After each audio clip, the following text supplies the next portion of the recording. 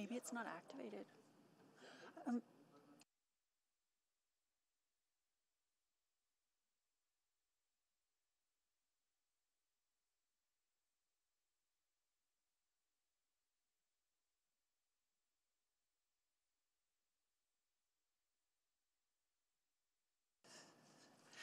Good morning. We are live from Council Chamber. We're just confirming one of the cameras is functioning, so just give us a minute.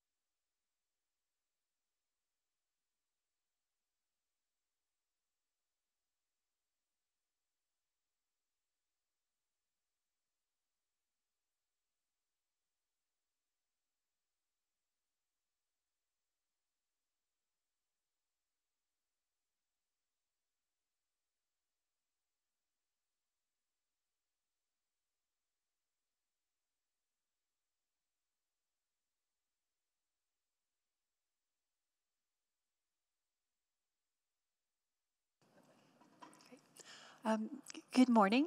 Before we begin, I will go over the emergency response plan for this room. In an emergency, everyone must evacuate through the nearest safe exit. And I believe the clerk is, uh, Arlene is displaying the, the uh, safety map.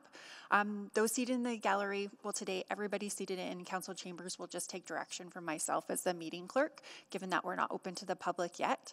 After evacuating the room, please proceed to a stairwell, take the stairs to the ground level, and evacuate the building through the doors marked, marked emergency exit and go to a muster point. Do not take an elevator or walk through the city room. Anyone with limited mobility should identify themselves to myself, the meeting clerk, during an evac- evacuation. Uh, and please finally speak to myself if first aid is required. Thank you. Thank you so much, Clerk Ward. Uh, I would like to now call this meeting to order and uh, acknowledge that we meet on the traditional land of Treaty 6 territory as well as the Métis homelands and acknowledge the diverse indigenous peoples whose ancestors' footsteps have marked this territory for centuries such as Cree, Dene, Saulteaux, Blackfoot, Dakota Sioux, as well as Métis and Inuit, now settlers from around the world.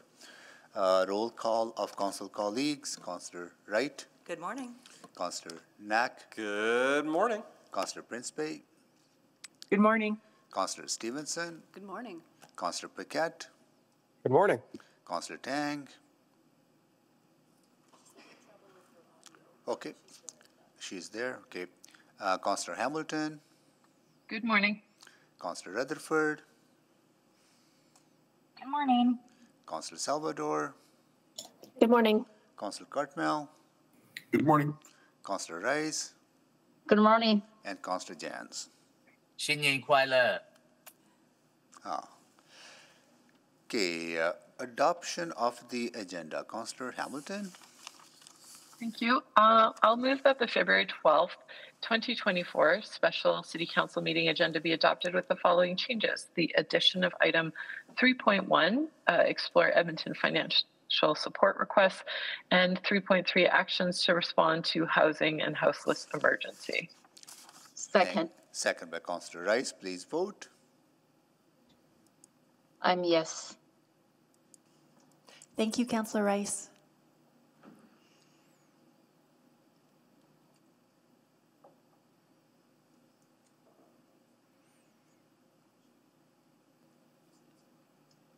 We're just waiting on one vote. Councillor Rutherford?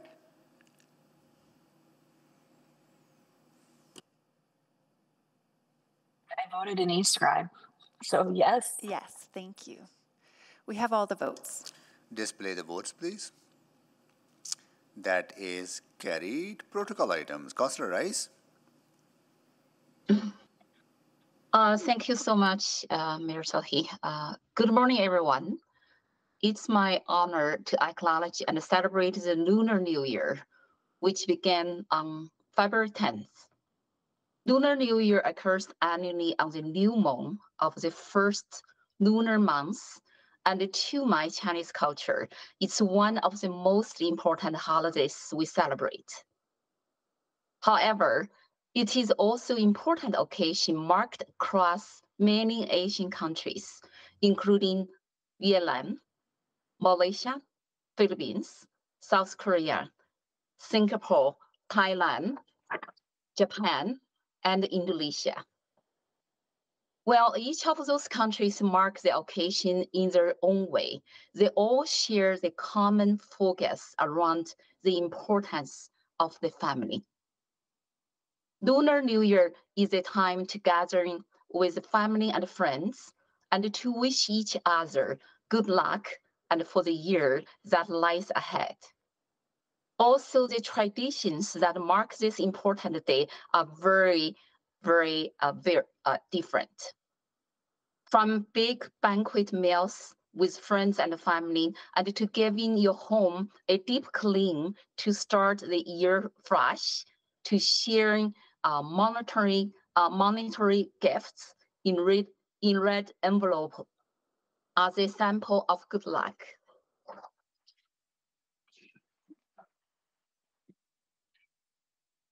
Many people mark the Lunar New Year in their own way.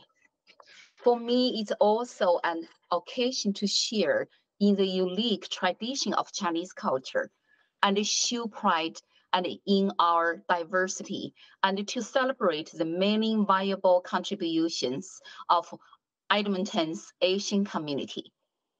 In thinking about contributions, I would like to recognize the following members of the Asian community for their leadership and many contributions. Mr. Heron Fan and for his work with the Edmonton Chinatown Multicultural Center. Mr. Ben Yan, ben Yan Wan, and for his varied work as a business owner, past president of ONCE Association of Edmonton, and the host of the 2002 and 2017 ONCE National Conventions in Edmonton. Mr. Donald Folkman Ma, for his work with the Ma Society of Edmonton for the past 40 years. Mr. Dao Wu Chen, and for his work as the president of the Forgiveness Association of Alberta since 2018. Mr. Dong Ling, for his work as the president of the East China Immigrant Society of Edmonton. Miss Gloria Gao, and for her work as the president of the Immigration Community Alberta Network Association and volunteering with the Minor Hockey Association and the Assist Community Services Center. Mr. Yue Dongdao and for his work as the president of the Chinese Senior Dramatic Club of Edmonton. Thank you for all those community members and leaders, your dedication and contribution to our Asian communities in our city. Well, there are many ways to celebrate Lunar New Year. Also, represents the opportunity to reflect on the past year and the dream of the possibilities for the next year. In reflection, I'm proud of the work our Edmond Chinese community has accomplished to create a welcoming environment that contributes to our city's overall vibrancy, diversity, and economic success. 2024 is the year of the dragon, and we honor and welcome the dragon's power and strength and good fortune. I'm hopeful and optimistic for the year that lies ahead, and I wish you nothing but the best. On behalf of the city of Edmonton and Edmontonians, may you all have successful and prosperous New Year. 龙年大吉大利，万事如意，新年快乐！恭喜发财。Thank you, Ms. Mayor. It's done. Thank you, Councillor Rice. Uh, you know, it was uh, phenomenal to actually see a number of uh, uh community organizations coming together to uh, celebrate Lunar Year uh, in in Edmonton. I had the chance to attend at least four of those celebrations. you know, to one at Kingsway Mall, one at Westminster Mall, and then Dynasty restaurant that was also organized by some young people from the from the Chinese community, such a dynamic group of people, and also the reception hosted by the uh, uh the Consul General uh, uh, Zhao. Right, so it was so nice to see community celebrating a market is very important. Thank you so much, Consul Rice, for recognizing those efforts. with that, any other protocol items? I see none. now select items for debate. Before we do that, I just want to run by because this has been a little bit scattered agenda. We're trying to bring it together. So I just want to make sure that we all understand there were a number of items that we were actually, that were discussed at committee. So if there's a need to select, we can select them. If not, then uh, we shouldn't, right? So uh, uh, 3.2 was discussed at the executive committee, uh, Al Mustafa Academy. Uh, also, uh, mm, and uh, bylaw 20678 to implement clean energy improvement program was also discussed at the executive committee. So just for our knowledge. Uh, Councillor Stevenson, go ahead, please. Thank you very much, Mr. Mayor. I'd like to uh, select uh, 3 1 um, and I can select uh, 3, 3, and 3, 4, which must be selected as well. 3, 3, 3, 4. Yeah.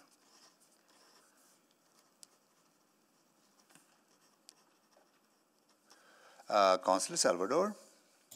Yeah, thank you. Um, I'd like to select uh, 4, 6, not for discussion, but just to move a subsequent. Okay, 4, 6 to move subsequent.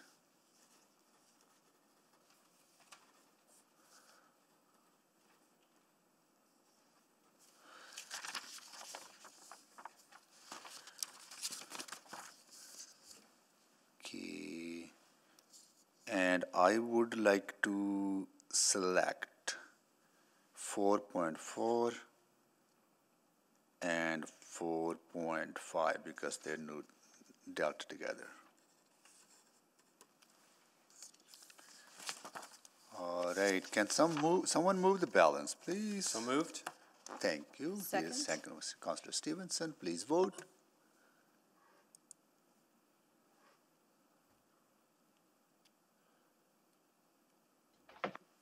I'm yes. Thank you, Councillor Rice. Councillor Rutherford's yes. Thank you, Councillor Rutherford.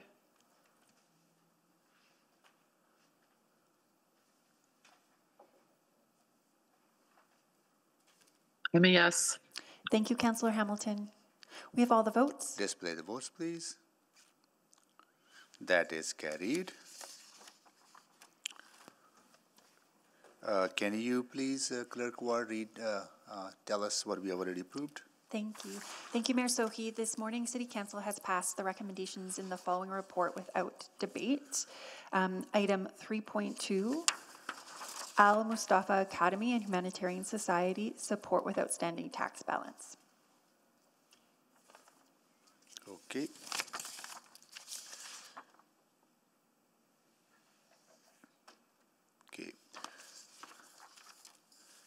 Uh, Request to speak, we have uh, a request to speak on two items, but uh, as the procedures we follow, we don't hear from members of the public at, uh, at council meetings. I would uh, uh, ask that we continue to follow that, that um, precedent, right? So, okay, good, all right, thank you.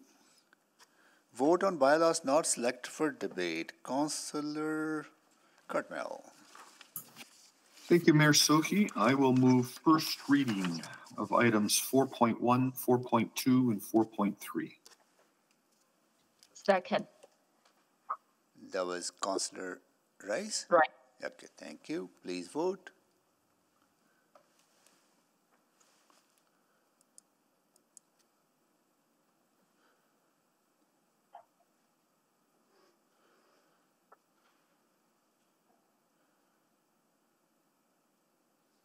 Yes. Thank you, Councillor Rutherford. We have all the votes. Display the votes, please. That is carried. Mayor Sohiel I'll move second reading of item 4.1.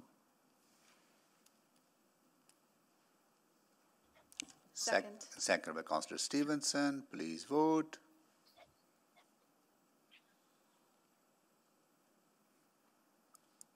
Yes.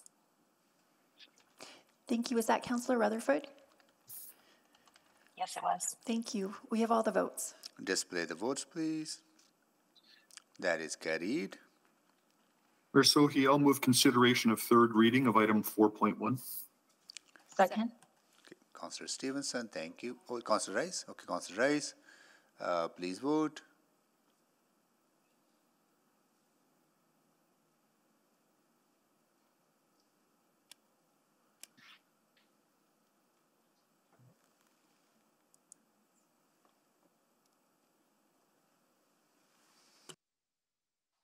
Yes. Sorry, I'm just re-logging in. Thank you, Councillor eScribe. Rutherford. We're just loading the vote now. It'll just be a minute.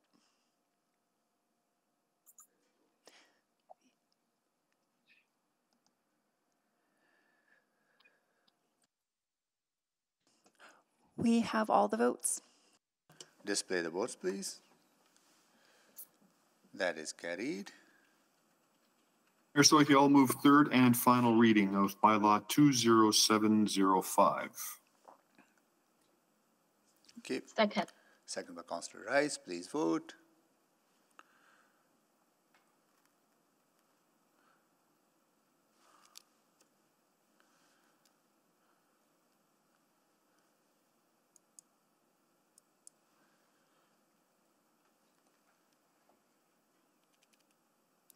We have all the votes. Display the votes, please. That is carried. Thank you, Councillor Cartmell. Okay, so next we have public reports. All right, so we already dealt with the, the first item, 4.1. And then we go to our second item of business, which is explore Edmonton financial support request, selected by Councillor Stevenson. And I'll go to administration for a presentation. Uh, we don't have a presentation, but I think um, Stacy has a couple of introductory remarks. Okay, Go ahead, please go ahead. Good morning. So this report here before you today is uh, brought brought by administration as a result of Explore Edmonton's request to the shareholder. As the items are financial in nature, they need to be approved by City Council. Um, and joining me today are a number of individuals. Um, with Explore Edmonton. And so maybe I'll turn it over to Tracy Bednard just to introduce the delegation.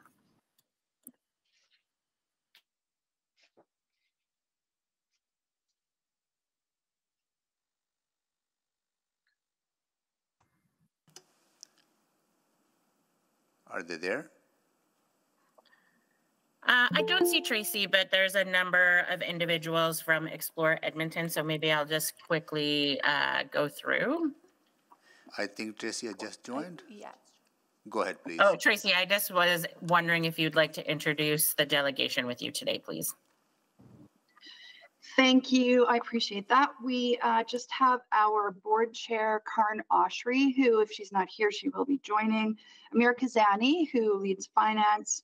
Arlindo Gomes, who leads the venues and um, uh, our key events. And uh, to address questions or any questions that might be uh, arising around stakeholder consultation, we have Barney Yerxa, who is the chair of the Edmonton Destination Marketing Hotel Group. Thank you, Stacy. And with that, we're happy to take any questions. Thank you so much. Uh, I will go to Councillor Salvador. I think she has a, a motion to be put forward on the floor. Councillor Salvador? Thanks so much. Um, yeah, so I do have a motion. I'll move it right off the bat here.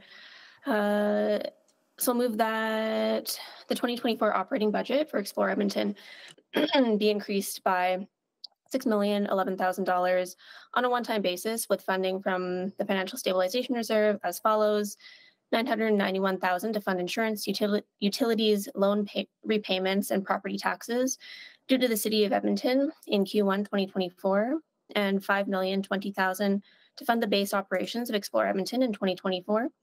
Uh, point two, that the City of Edmonton enter a grant funding agreement not to exceed 6,011,000 between the City of Edmonton and Explore Edmonton with terms and conditions acceptable to the City Manager.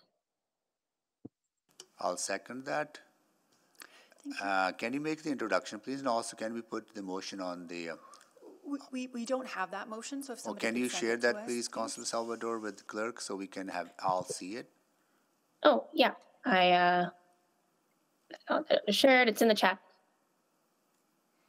Okay, Well, while Okay, that, um, while that is being done, can you make the introduction, please? Yeah, absolutely. So the purpose of this motion is really to provide Explore Edmonton with stable and predictable funding for the remainder of the year and to set ourselves up to have a much more focused discussion on Explore's base funding on a go forward basis when we come back to this conversation in a few weeks' time. Uh, from my perspective, uh, moving forward with three now and potentially another three come SOBA uh, does leave Explore with a higher degree of uncertainty uh, as to how to plan their upcoming year. So, uh, unfortunately, I think the approach of three now and maybe three later um, ignores the realities of the industry where lead time is really needed to plan.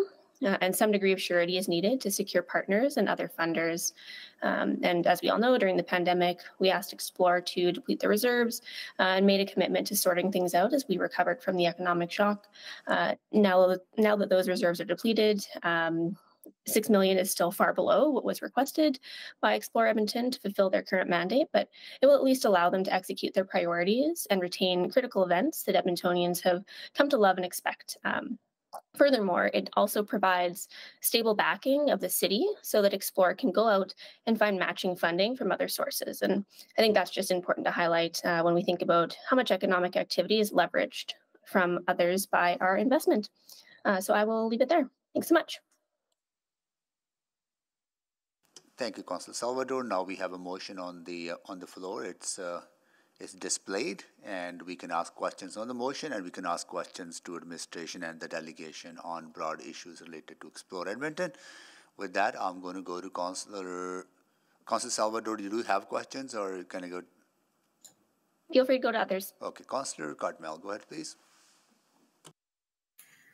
Uh, good morning, thank you. So, um, there was, I, there was a motion that I put forward back at, uh, budget in December, uh, that overlaps, uh, a fair bit with this motion. And so I guess I'm wondering what the status of that motion previous, previously made is or was, and how that's going to change here. So maybe I'll start, uh, Councillor Cartmell. Uh, so there were a number of motions relating to Explore Edmonton. Um, it's our intention that regardless of the outcome of today, you will still receive the information that you requested with the spring SOBA. So there was two pieces in the one motion I'm thinking of. One was with respect to the master plan of the exhibition lands, and the other was with respect to the sports groups that are uh, working to um, put a bit of a center of excellence together in uh, halls A, B, and C at the Agricom. And uh, I saw those two things as working um, hand in hand with future additional grant funding to explore. So if this passes today, um, then what? Uh, are we losing those other two pieces? Are we just, uh, you know, where from here? Because I'm, I'm frankly, I'm lost, and I feel, uh, um, you know, there was a particular purpose to the motion I made, which I understood was supported, and now I think that purpose is being lost if if one part of the motion is essentially advancing and the other two parts aren't. So I'm uh, I'm not sure what to think, frankly. So maybe I'll just, this particular motion um, is for one-time funding. So in my view, you would still, we would still bring you all the other pieces of information that you've asked for so that you can make the ongoing funding decisions at the appropriate time. Okay, thank you. Thank you, Councillor Cartmell. Councillor Stevenson. Yes, thank you very much, and thanks to the mover for putting the motion on the floor. Um, yeah, maybe just a few questions. Um, first, first to explore. Uh, can you remind me the portion of uh, Explore Edmonton's budget that is directly funded by by the city funding compared to what you're able to leverage with with other partners and orders of government? Yes, thank you for that question. Uh, over overall, if we look at 2023 as an example year, and that's when uh, the city of Edmonton funded the 11.7 plus five. Um, we we were able to internally generate or find matching funds for um, you you invested 20% of that total budget for explore edmonton. The rest we were able to generate through internal cash and also through matching from travel alberta uh, from the federal government. And i would also note that the hotel group has committed a four-year funding commitment Great. for $6 million uh, per year to try to uh, support your investment and also demonstrate the predictable, st- sustainable uh, priority for us. Amazing. And and that I assume is going to be work that you will continue to, to do in terms of exploring those other partnerships, looking for other funding opportunities as you've already done to, to quite a high success, correct? Yes, and we feel that, that that that's the expectation that you have on us. So Great. one of the challenges with a reduction in a city dollar is that we're not able to leverage that uh, through other partners. And and I should have also noted private corporate investors that we seek to help fund specifically a lot of the events that uh, that we bring into Edmonton. Great. Well, you know, we we did have a conversation. Um, uh, or you know there have been conversations in the past just around you know, the, the potential need or opportunities to look at um, you know, mandate priorities. Just wanting to confirm that those strategic conversations are going to continue so that we can, you know, really, really uh, maximize the value that Explore Edmonton brings. Yes, I, I, you know, I can speak for our board and management. That is something that uh, is the priority for us, and I think that it ties to Councillor Cartmell's previous question. Uh, while this provides some um, opportunity for the ability for us to really tread water this year and not eliminate all of those programs. It does not change uh, the, the opportunity that council and the board and, and we will be taking to ensure that the programming is matching the investment on a predictable basis. Great, great. That's really helpful. Well, maybe uh, just in my last couple of minutes, shifting to our, our city staff, you know, I've been thinking in terms of, you know, return on investment. Um, and I, am thinking of it in two ways. One is sort of in tax tax revenue, um, and then also some of the financial liabilities we face with our with our venues. Um, so Ms. Padbury, wondering if you could give a sense, again, recognizing that there's a lot of diffuse mechanisms, that it's not a one-for-one return, um, but I was thinking about the important role that, that Explore Edmonton plays in our hotel industry and how that in turn impacts um, the, the distribution of, of tax in our city. Do you have any information you could share around, uh, you know, the tax revenue that we we gain from the hotel industry and how that has changed, let's say over the past five years or so? So maybe I'll just start off just um, as a reminder that uh, taxes the, those assessed values will impact the distribution of taxes, but not the overall amount of taxes collected. Yeah. And with that, I think I'll pass the more detailed aspect of the question to Mr. Zabo or Ms. Watt, who are online. Uh, thank you, uh, DCM Padbury, and thank you for the question, Councillor Stevenson. Uh, the city of Edmonton, like most uh, major cities across North America, has seen in its hotel sector a pronounced decline in valuation, um, largely as a result of travel restrictions and uh, a lack of movement throughout the Corona 19, uh, sorry, COVID 19 pandemic. Um, we have not returned to anywhere near the uh, value that uh, hotels used to um, hold within our city. And um, so, I mean, the, the outlook at the moment is uh, on the tax side, uh, hotels is, is still substantially less of the overall non-residential tax base than, than it used to hold. Great. I'll, I'll come back for a few more questions, but I really appreciate that. Thank you. Thank you, Councillor Stevenson. Councillor Rice. Uh, thank you, Ms. Mayor.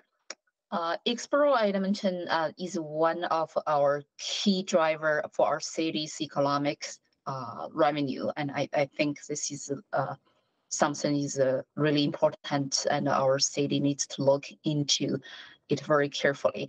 Um, so my question is about the first one uh, for FSR, and because they, that is the funding source we're from.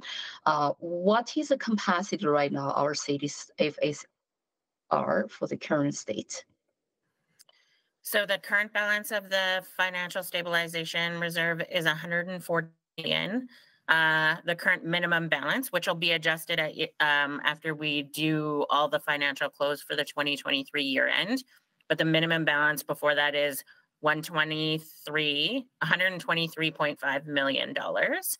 Um, but I would just uh, remind council that we offer, we do, we are running a deficit this year. And so we do anticipate that the FSR will be roughly $40 million below its minimum balance.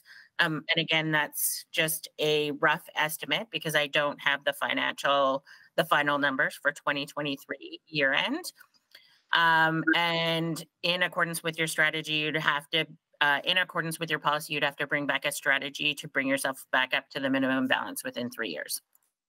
Okay, uh, thank you for that information. That means our financial uh, situation for our city and is still under that challenge situation.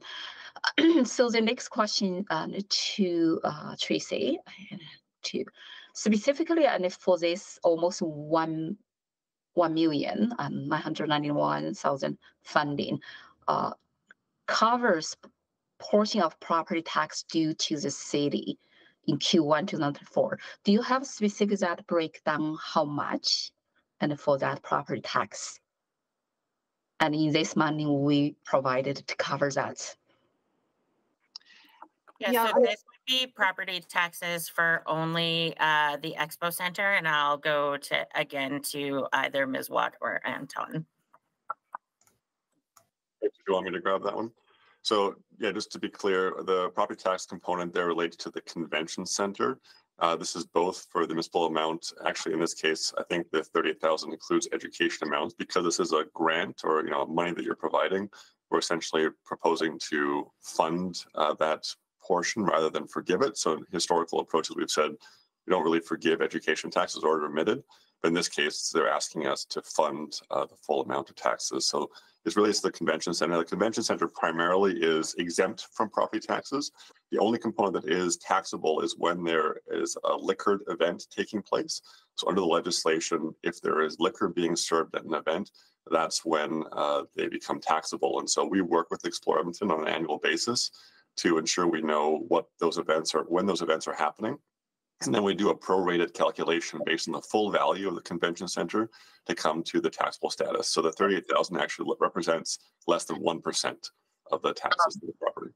That is why my question come in. And because thank you for that information. Um, then my next question is about, and then why specific reason and our city needs pay and for other type of like loan repayments and the utilities and insurance. So is there any specific policy and to cover for cities, ABCs, like agency boards and commissions to, to cover all those type of payments? And will that set precedent, precedent for other organizations come back to our city to ask the same coverage?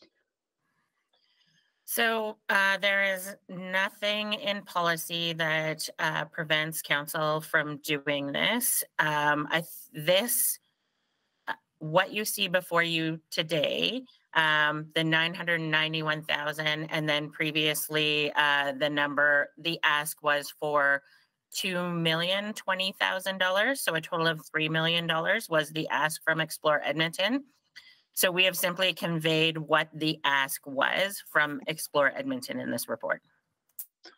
Okay, so I, I have more question come. I will come next second along. Thank you. Thank you, Councillor Rice. Councillor Wright. Thank you very much. Um, I'm just wondering to the mover, um, the additional three million over and above what's recommended in the report, um, what's that for? Yeah, thanks so much. And sorry, that was to the mover, right? Yes, yeah. Yes. Yeah. Um, so this really goes back to um, identifying the gap that Explore shared with um, with us initially. So the the full six million would essentially allow for Explore to to tread water or to maintain um, existing programming. Uh, and you might want to direct us to explore for details, but my understanding is that um, simply doing the three million would actually result uh, in in a number of tough tough conversations and decisions around programming, um, and potentially the elimination of uh, programming that currently exists. Uh, so the six million is really just about treading water and, and maintaining um, stability and and that um, base level of programming that uh, Edmontonians would expect going forward. Um, but again, it, it is uh, by no means precluding that future conversation about what that base should look like going forward. It really is about um, providing surety for this year. Okay, thank you. And I guess then to Ms. Bednard, um, yeah, can you just maybe expand a little bit more on that? Um, and then I was also wondering, um, you did, I think you outlined pretty well um, sort of what your plans are going forward with Councillor Stevenson's question, but um, yeah, if you could just maybe let me know the, the financial situation, why you need that extra three. Yeah, so uh, the the intent is to align the current programs and funding with investments and um, and a long-term predictable match to that. And we don't currently have that. So over the last few years, uh, council invests or has invested 11.7 annually as its base. And then in the fall, also committed uh, an additional funding package that enabled um, from between 17 million to 22 million dollars annual investment from the city of Edmonton. So the difference in 2023 was the 11.7 continues into 2024, but there was no commitment to the additional uh, investment. Councillor Cartmell had raised a motion to consider that in April. Um, and from Explore Edmonton's perspective, we are not able to continue the programs without uh, without that $6 million. Uh, collectively, that still represents less than we have invested in our programs previously.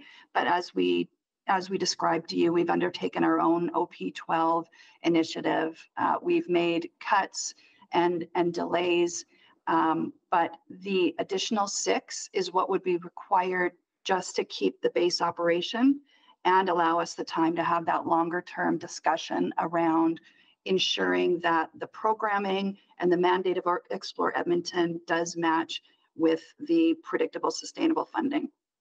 Okay, thank you. And so that would mean like things like K-Days, Farm Fair International could be in, in jeopardy of of not going going forward for 2024? Um, it, it could. The, the reality is uh, you invest the least in that. Uh, significantly, the impacts are on the loss of business that we are able to attract into Edmonton. Um, so, of course, the administration leads uh, discussed the reduction in tax. Explore Edmonton uniquely is out in the national and international markets, bringing in conferences and events. Although those don't drive revenue to Explore Edmonton, they do put people in hotels and restaurants and uh, bring money into the economy. So I would I would articulate that that is the most significant impact to uh, not not just Explore Edmonton, but to uh, the business and the economic impacts in the city.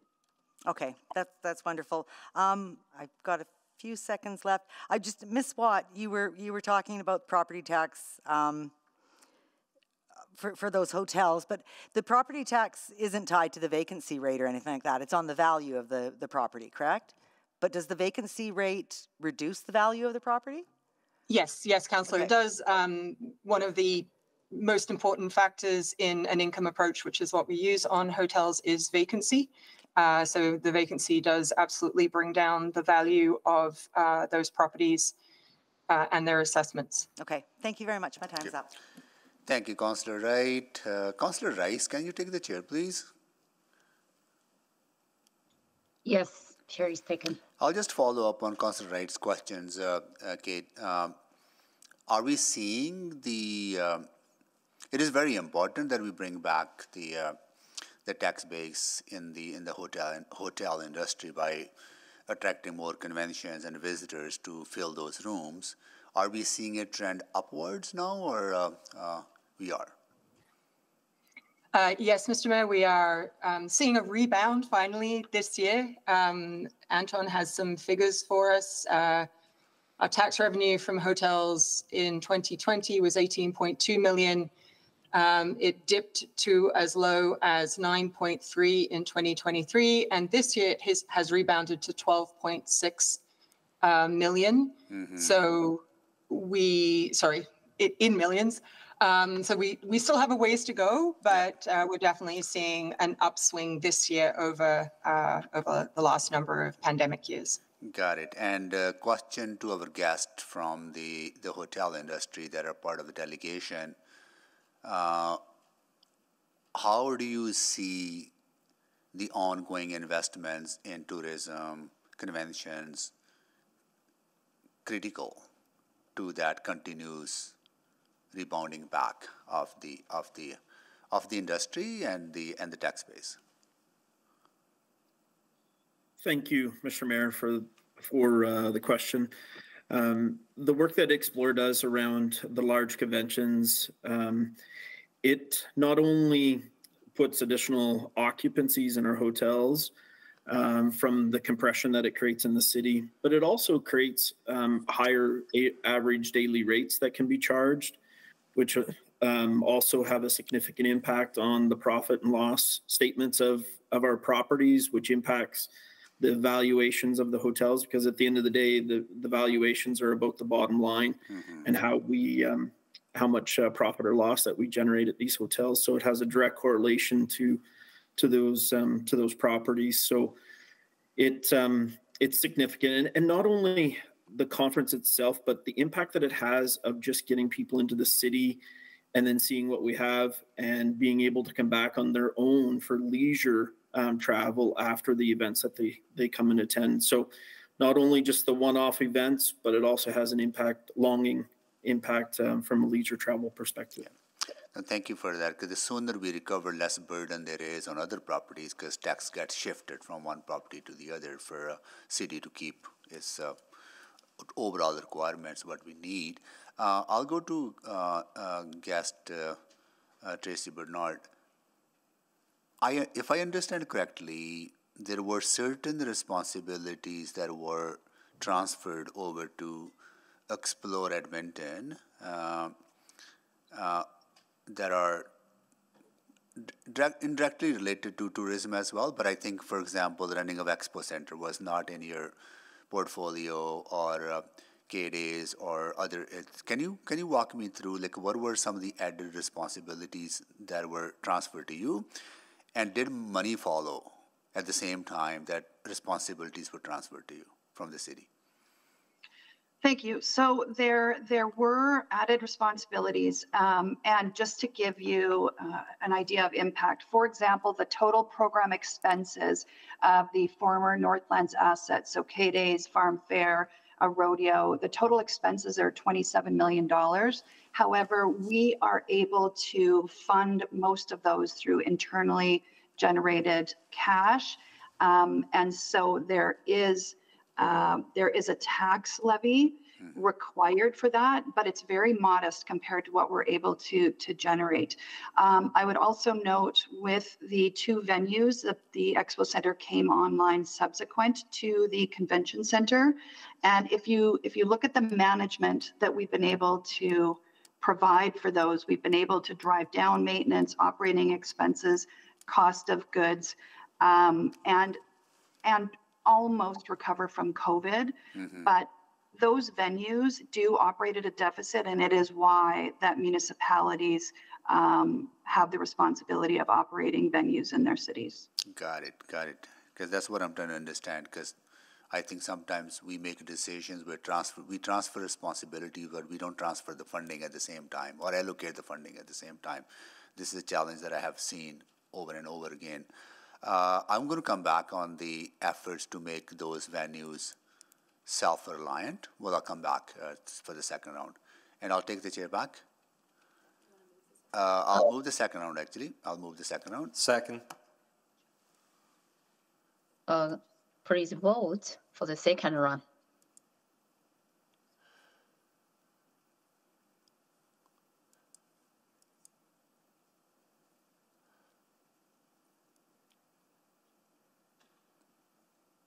I'm a yes.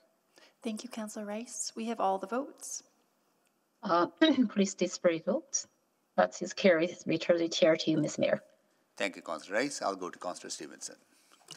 Great. Actually, I think my colleagues have really touched on a lot of the, the points. So just to reiterate again, we've seen sort of a six million, roughly six million dollar drop uh, from 2020 in terms of uh, tax tax revenue from hotels. And again, it's not it's not lost revenue, but that's that's put onto other other businesses in the commercial tax base.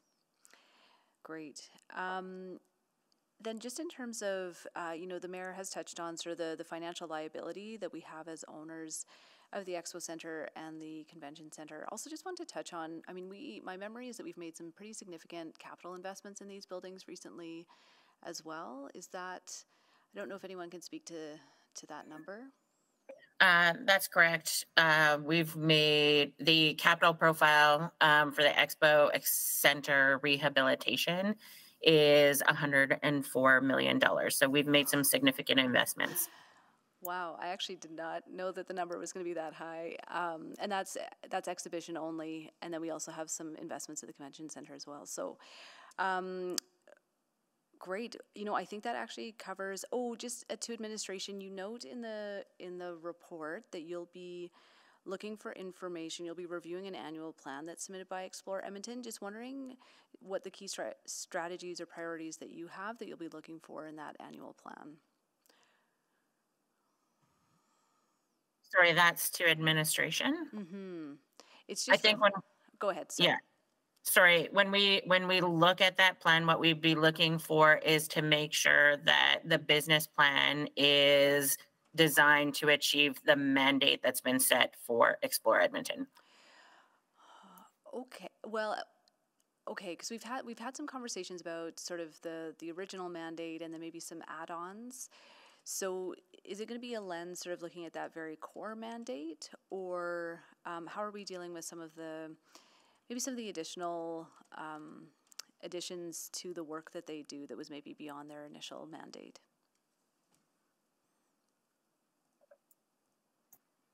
There, I'm, I'm not sure. Can you hear me now?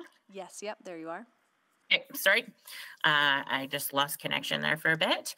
Um, so would you mind repeating the question, Councillor? Oh, yeah, no, of course.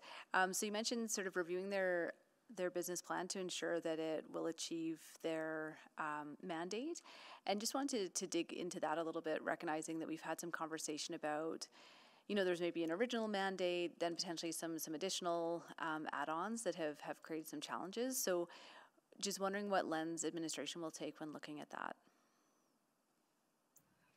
So we'd be looking for are they doing are they performing the destination marketing uh, requirements under their mandate? Are they operating the convention centers? And those are the two, and I maybe defer to Mr. Corbould, but those are the two larger aspects of their mandate. And then we'd look at the signature events that are being um, undertaken. Great, great. Okay, that's wonderful. Really appreciate it. Uh, appreciate everyone's work on this. Thank you. Thank you, Councillor Stevenson. Councillor Rutherford. Yeah, thank you. I guess just to the mover um you know like literally this is is one of the first council meetings we've had since our fall soba meeting in which you know as councillor cartmell pointed out we did have the motion that talked about debating this in spring and you know at that time at the fall budget with all the other competing priorities you know council did discuss this and made an intentional decision to not. So I'm just wondering what, why now? And like, why is this coming forward now? And why, are, like, it just feels like not good process. So, so what are your thoughts on that? Um, I'll start and then Mr. Corbould can maybe weigh in. I think Sorry, that's, that was to the mover, I it's, think. it's to the mover. Oh, sorry. Yeah. It's to the mover. Yeah, um, thanks so much for the question. Um, yeah, so on my end, I think for me, it's really about having a fulsome understanding of what the implications of, of not moving forward uh, with this funding would be.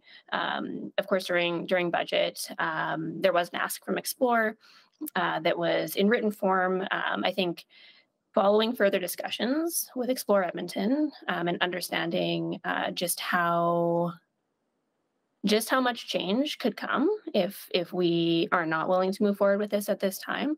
Um, that's what uh, really prompted me to move forward with with a higher degree of urgency um, and and having a better grasp on just the planning and lead time that's needed for a lot of the work that Explore does, uh, whether that is trying to you know follow through on commitments for for event bids that have sometimes multi-year lead times um, and multi-year programming. Uh, so that's what it was for me is, is gaining that better understanding. Yeah, and Councillor Rutherford, I'll just add the reason we put the report together is that that was kind of what we uh, felt was intended by the shareholder after the shareholder meeting in January. So. Mm-hmm. Yeah, no, no, I understand. I'm just trying to. So I guess Tracy, can you outline more to the public uh, what's at stake if this d- did wait until the spring SOBA to debate? Yes, so and, that and the, so that the public has that understanding too. yeah, I, I appreciate that. And I think um, what has not changed and is of absolute priority to us, the board administration, to council, to the shareholder, is the longer term discussion around what is the mandate and what is the funding and how do we consider that on a more predictable basis? So sort of solving the issue that comes up every year when we approach council. So so uh, that it that is maintained and that is a key priority for us. In the interim uh, without any additional certainty or commitment of funding we would need to take actions that would permanently impact the visitor economy. So we would need to cancel programs, remove ourselves from bids, uh, remove ourselves from sales processes, And um, that is not something we could recover if we waited until until uh, April. So really the this is this is a temporary stabilization to enable us the time and process to have that bigger discussion and decision. Okay, that helps clarify for me. Thank you very much. Those are my questions, um, uh, Mayor Sohi. Thank you, Councillor Rutherford. Councillor, right? Councillor, Councillor Tang, sorry. Thank you, Mayor Sohi. Um, I guess, Tracy, can you just, on that last point, can you just help me Can, really can you speak up, grasp it? Councillor Tang, please? Oh, yes. Can you hear me okay? Yeah, wouldn't mind if you could just move a little bit close to the whatever uh, mic you have, because it's Okay, I'm on my headphone. One second.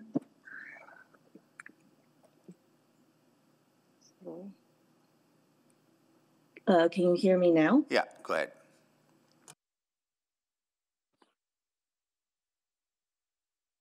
Yeah, go ahead now, please.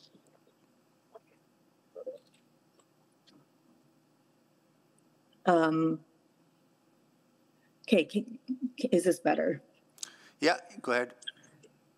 Okay, um, so I guess question to to to Tracy, if you can just like on that last point, help me really fully grasp um, with the stabilization funding and the longer term conversation about a predictable funding model.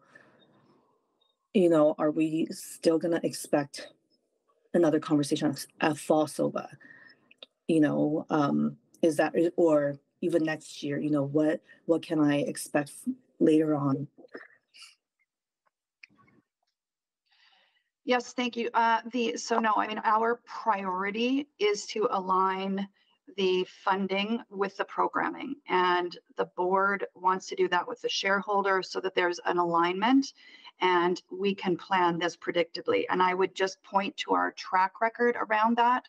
Uh, we worked with Edmonton Destination Marketing Hotels a couple of years ago, and um, we we committed to a four-year uh, funding package that they invest in Explore Edmonton, and we work in partnership with them to put that investment into play. But we also have to demonstrate the returns on that, um, and that would be the relationship that we have with you. Uh, if there are if there are one-off items that come up, um, just as we do with EDMH or we've done with you, if there was some major bid, if there was a major international bid, something like that, we would work in partnership with administration and, and we would approach you. But the first intent of us is to uh, agree with council on our mandate, fund whatever that mandate is, and that becomes the predictable funding. And we're able to enter into markets knowing that we can make a commitment for four years or whatever is required for that bid based on that level of funding. So, okay, that that is helpful. And so by let's say, you know, once we of get through this next bit by fall, we should have a pretty, you know, all that work will be happening and we should be having a pretty good sense of what will happen year after year. Right. That's correct. And I think that I think what we can do, we spend a lot of time together. And um, I think what we can do once we have that predictable funding is do take that take that energy and continue to work with other funders to to invest because we also have that that strength and confidence. So uh, you know that's where we see realigning our time. We think we can find additional investments but we need this to be predictable. We need to know what that amount is so that we can then find that appropriate matching um, into the long term. Similar to what we did counselor with the nighttime economy strategy that was Mhm. just a council we didn't ask you for funding. We went and found a funder for that That's right.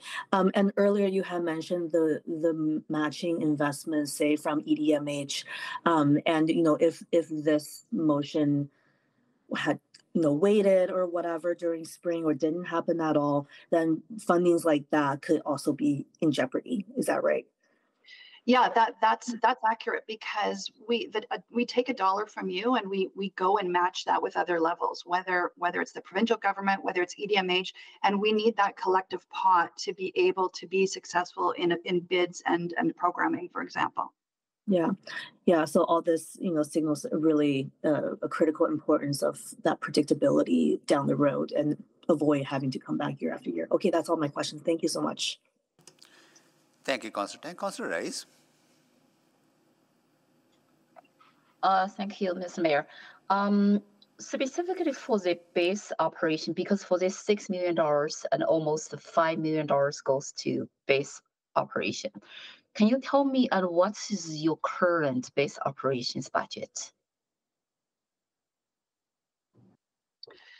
Yeah, I mean, we would we would adjust that base. We adjust that base operation depending on our various investments. But um, a base of a ninety million dollar um, operating budget, which allows us to do our destination development and marketing, bid, attraction, operate venues, and uh, operate and produce K days, farm fair, etc. That's at a full cost of about uh, ninety million dollars and um, we require about one fifth, slightly less than that based on this, this ask to enable that full budget from the city of Edmonton. Um, so then my question go back to administration, uh, because this six million dollars will take from the funding source FSR. We are FSR is already has some challenge there.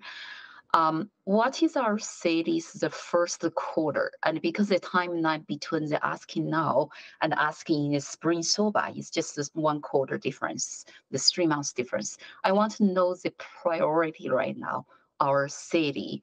Uh, what is our current priority? if we take $6 million and from FSR, and what's the impact could for the city's current operation priorities?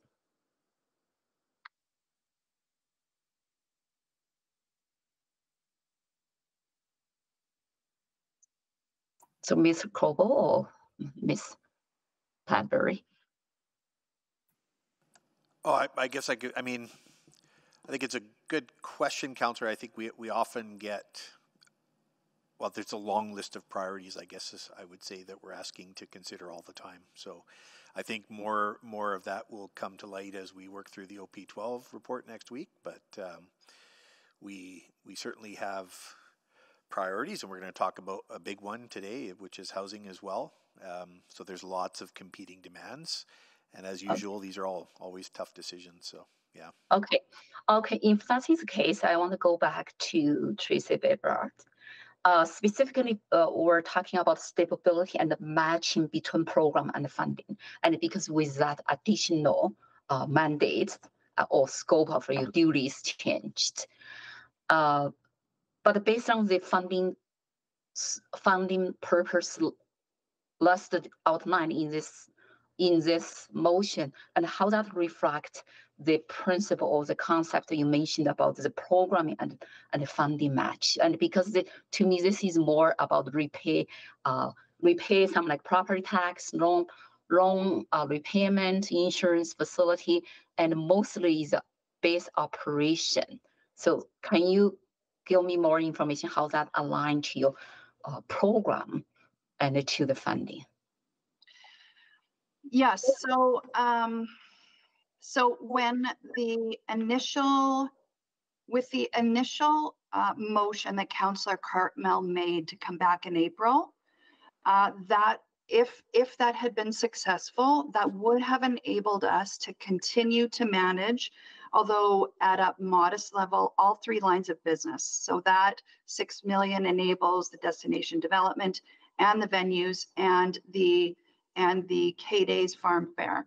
Uh, with the with the $3 million that Explore Edmonton had originally asked for consideration at this meeting, it was really to just deal with some of those base operating costs to buy us some time to that additional uh, consideration in April.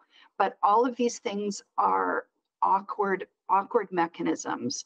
Mm-hmm. If if we were able to have some certainty around the six million today, it allows us to continue to operate the venues and those other components, but then puts us immediately into the longer term discussion that I think Councillor Cartmell and others had intended around um, what is required to match the programming with the consistent base funding from the city.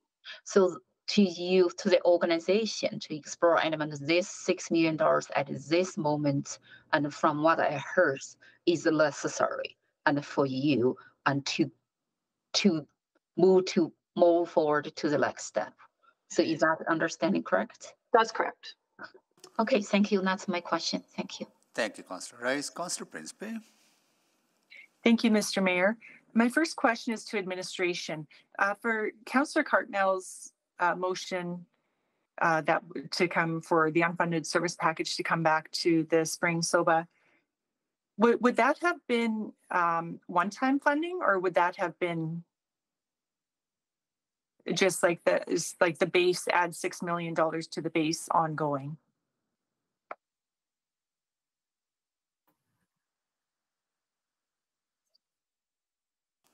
Um, I think it would have been it. The service package. It's hard for me to answer that because the service package we would have brought back six million dollars, but I'm not sure without doing the other work what the out years of that service package would have looked like. So there was likely that a component would have been one time and a component would have been ongoing. But until we do that other piece of work, I'm not sure what that service package would have looked like in totality. Okay, so you said you are still doing that piece of work Councillor Cartmell's motion. Is that correct? That's correct. We'd still continue with the work um, on the motions, the subsequent motions that were tabled during the budget. Okay. So then part of Councillor Cartmell's motion then would not be valid, I would assume, because it says increase um, Explore Edmonton budget by $6 million in 2024. Yes. So if if this were to pass today, um, I think we wouldn't bring forward that piece of the motion. We would just identify that that had been completed by this particular motion today. Okay. All right. So it's not like it would be increasing $12 million at Spring SOBA. That's correct. Okay. Uh, and then to the mover, did you did you work on this motion with Councillor Cartmell? Just because they're very similar motions, eh, did you work together on creating this motion? Yeah, thanks for the question, Councillor Principe. Uh, no, I um, quite honestly saw the report uh, was reflecting on uh, all of the conversations that we've had around the Explore Edmonton table, and um, again identifying that uh, there would be some some pretty significant implications if we don't move this sooner rather than later. Um, I I changed the amount from the three million to the six million, um, and uh, given the conversations that we've had previously around uh, Councillor Cartmell's motion, which uh, of course I was supportive of, um, I yeah thought there would be some some good alignment, um, which is why I put it forward today. Thank you. Those are my only questions. Thanks. Thank you, Councillor Principe. Councillor Rice, can you take the chair, please? Yes, chair is taken. Yeah. So I just want to follow up uh, on uh, to Explore Edmonton. Like, is there opportunities to make both venues fully cost recovery. I know that I, I think you're doing good work on um, recovering as much as you can now because I think you, I think your cost recovery is significant uh, based on the uh, the numbers I saw, and I think there'll, there'll be good information to share publicly as well, right? So, are there opportunities to make them completely off tax levy? Thank you, Mayor. Um, yeah, so first, first, I, I do want to acknowledge uh, the the oversight of the venue management. Uh, together with those those venues, even with inflation and with all of the increases, we've been able to drive down costs, including maintenance and repairs, payroll, uh, food costs, and those things. So I, I think from uh, an efficiency perspective, that is an advantage that managing both of those venues deliver. The other strategic advantage is that um, we use both of, we use one sales team to sell both of those venues mm-hmm. and if one maybe doesn't work the other one does so i think there's an opportunity for that one as well um, i also think that uh, by having explore edmonton do it tied to the sales teams we can drive other revenues uh, like for example mayor you're aware that we now work with the uh, AGA and we deliver their food services. That does provide additional revenue and it also improves the visitor experience for a premier venue that we have. So um, I can't commit to it being cost neutral. I don't know of another venue in Canada that is cost neutral. Okay, I think that's a good information to have. Like if you you're you're trying, right? But uh, we also need to recognize that you, we may not get there because of uh, the nature of the business, right? So uh, uh I also I think I'm coming to this realization that the because you have taken on additional responsibilities, your base budget of $11.7 million needs to be adjusted on a permanent basis moving forward so you can fulfill all those responsibilities. Do a good job of marketing Edmonton and other responsibilities that you have. Am I correct in that assessment? That's what you want to do, and uh, this motion allows you I will give you certainty for one year, which we did last year as well, right? But I think what you, uh, what I understand you're looking for is permanent increases to the base funding that you don't have to deal with this un, in this uncertainty ongoing. That's correct. Okay, I think that's what we would have to grapple this year. Because um, uncertainty is not healthy.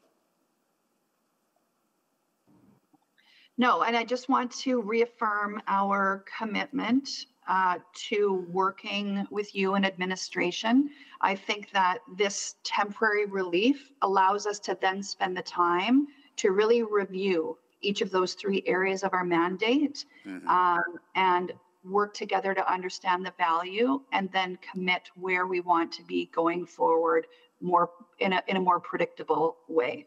Mm-hmm. So I understand questions around, you know, dealing with $3 million now, than having further discussion in, uh, in April, but that also doesn't deal with the uncertainty you have, right? I think having given you one-time funding of $6 million gives you and council and administration time to figure out the long-term sustainable funding. That's correct. Okay, got it. Uh,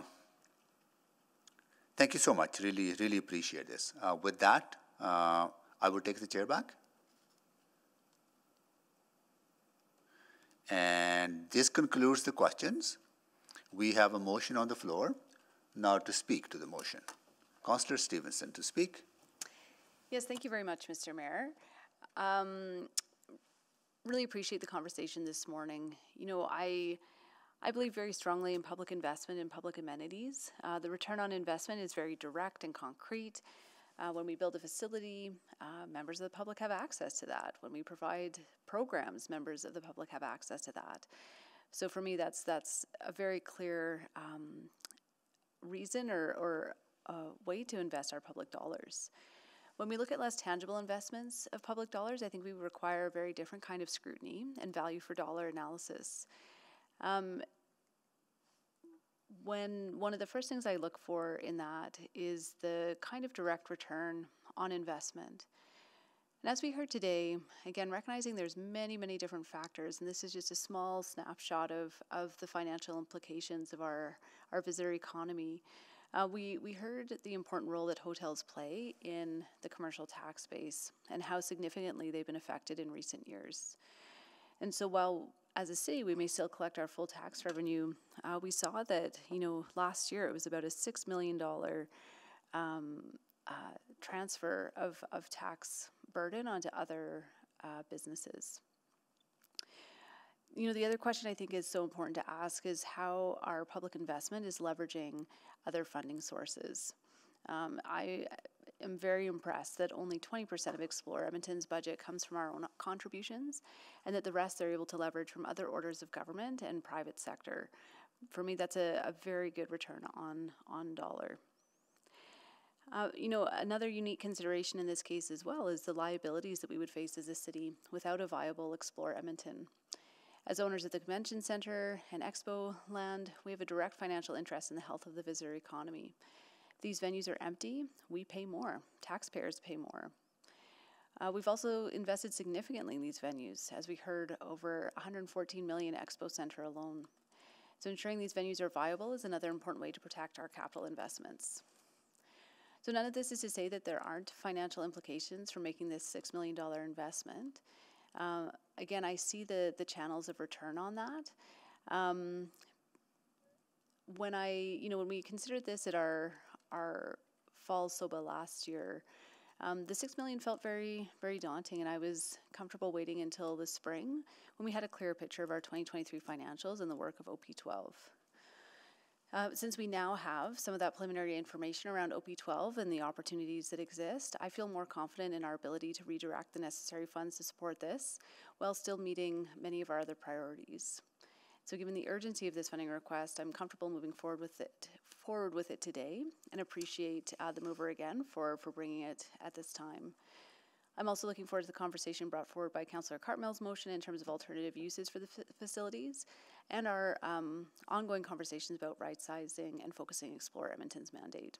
So thank you again to the mover, and I look forward to supporting this. Thank you, Councillor Stevenson. Councillor Tang.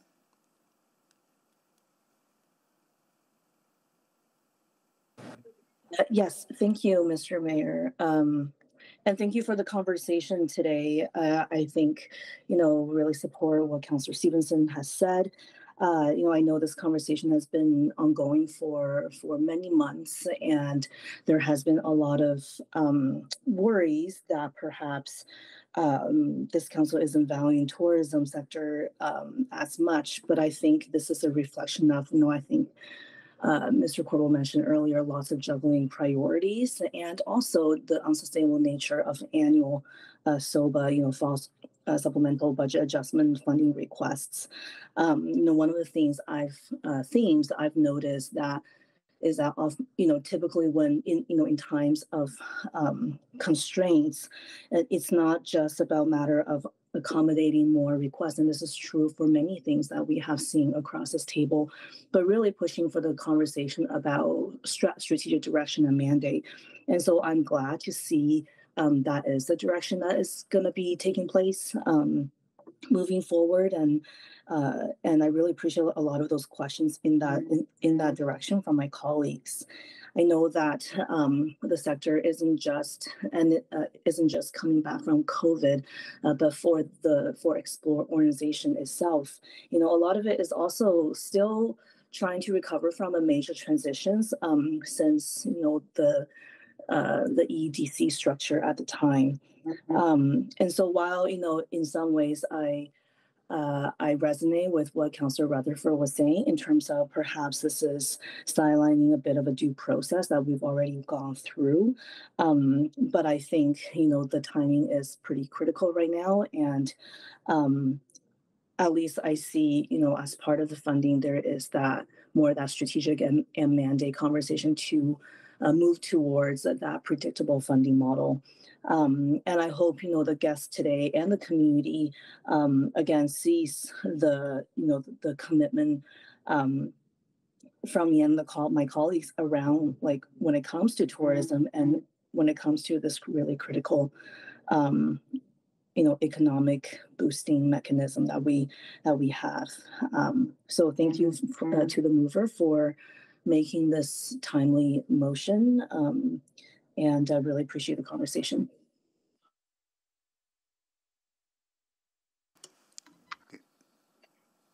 Thank you, Councillor Tang. Councillor Rice, go ahead, please. Uh, thank you, Ms. Mayor. At the beginning, I I think this decision is uh, uh, is not very clear for me and to which way we should move forward. And because there are many many questions and still not fully um, um, answered, and based on the information, we'll come back to April. Uh, but I do heard very clearly um, there are two points here. Uh, the first point is about the um, from long-term perspective for this organization's contribution to our city's economy. Uh, recovery and growth and that stability and the timeline, uh, the timing, and how we can make sure the the base operational funding be provided really can plan in advance for the programming uh, that could attract more uh, investment or more uh, return and back to our city. So I heard that clear. And also I heard about the uh, priority.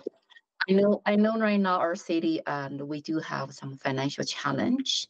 So we really want to make sure our money used, uh, every single dollars be used will bring value back to our Edmontonians. And I also I heard about uh, we have so many so many uh, competing priorities, but how we balance those priorities with the limited resources, including the funding. So I think that strategically decision um, making uh, is really, really critical and for our financial situ- for our city's financial situation at the same time for our city's economic situation as well.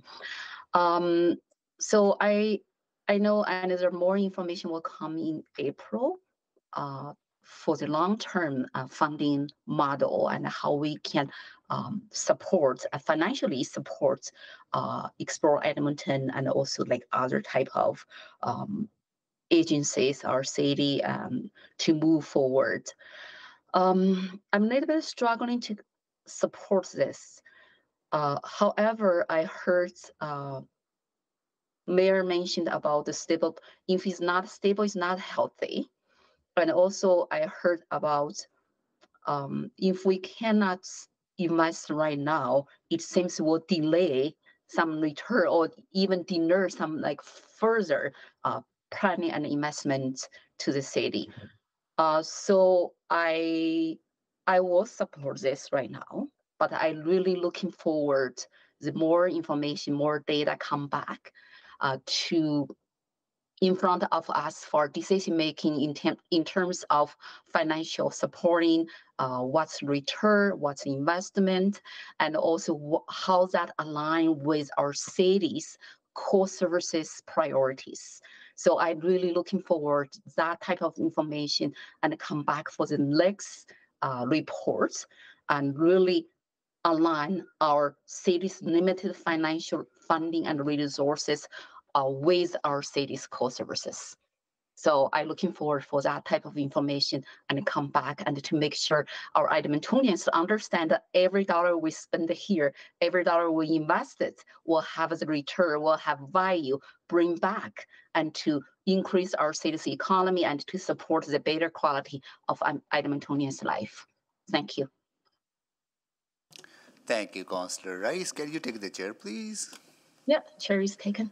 Thank you. I want to thank Councillor Salvador for uh, bringing this uh, forward, and if this approve, is approved, then um, at least give some certainty to explore Edmonton until the end of 2024 and gives us time to sit down with them and uh, dig deeper into uh, how we can increase the base level funding, which is, in my mind, is very, very important things to settle because without that, uh, Explore Edmonton would not get the certainty that it needs to uh, continue to attract tourism, continue to attract conventions, and also it does cause uncertainty around the running of those two important uh, venues as well. Explore Edmonton is absolutely plays a critical role in uh, supporting our economic growth and prosperity in the city.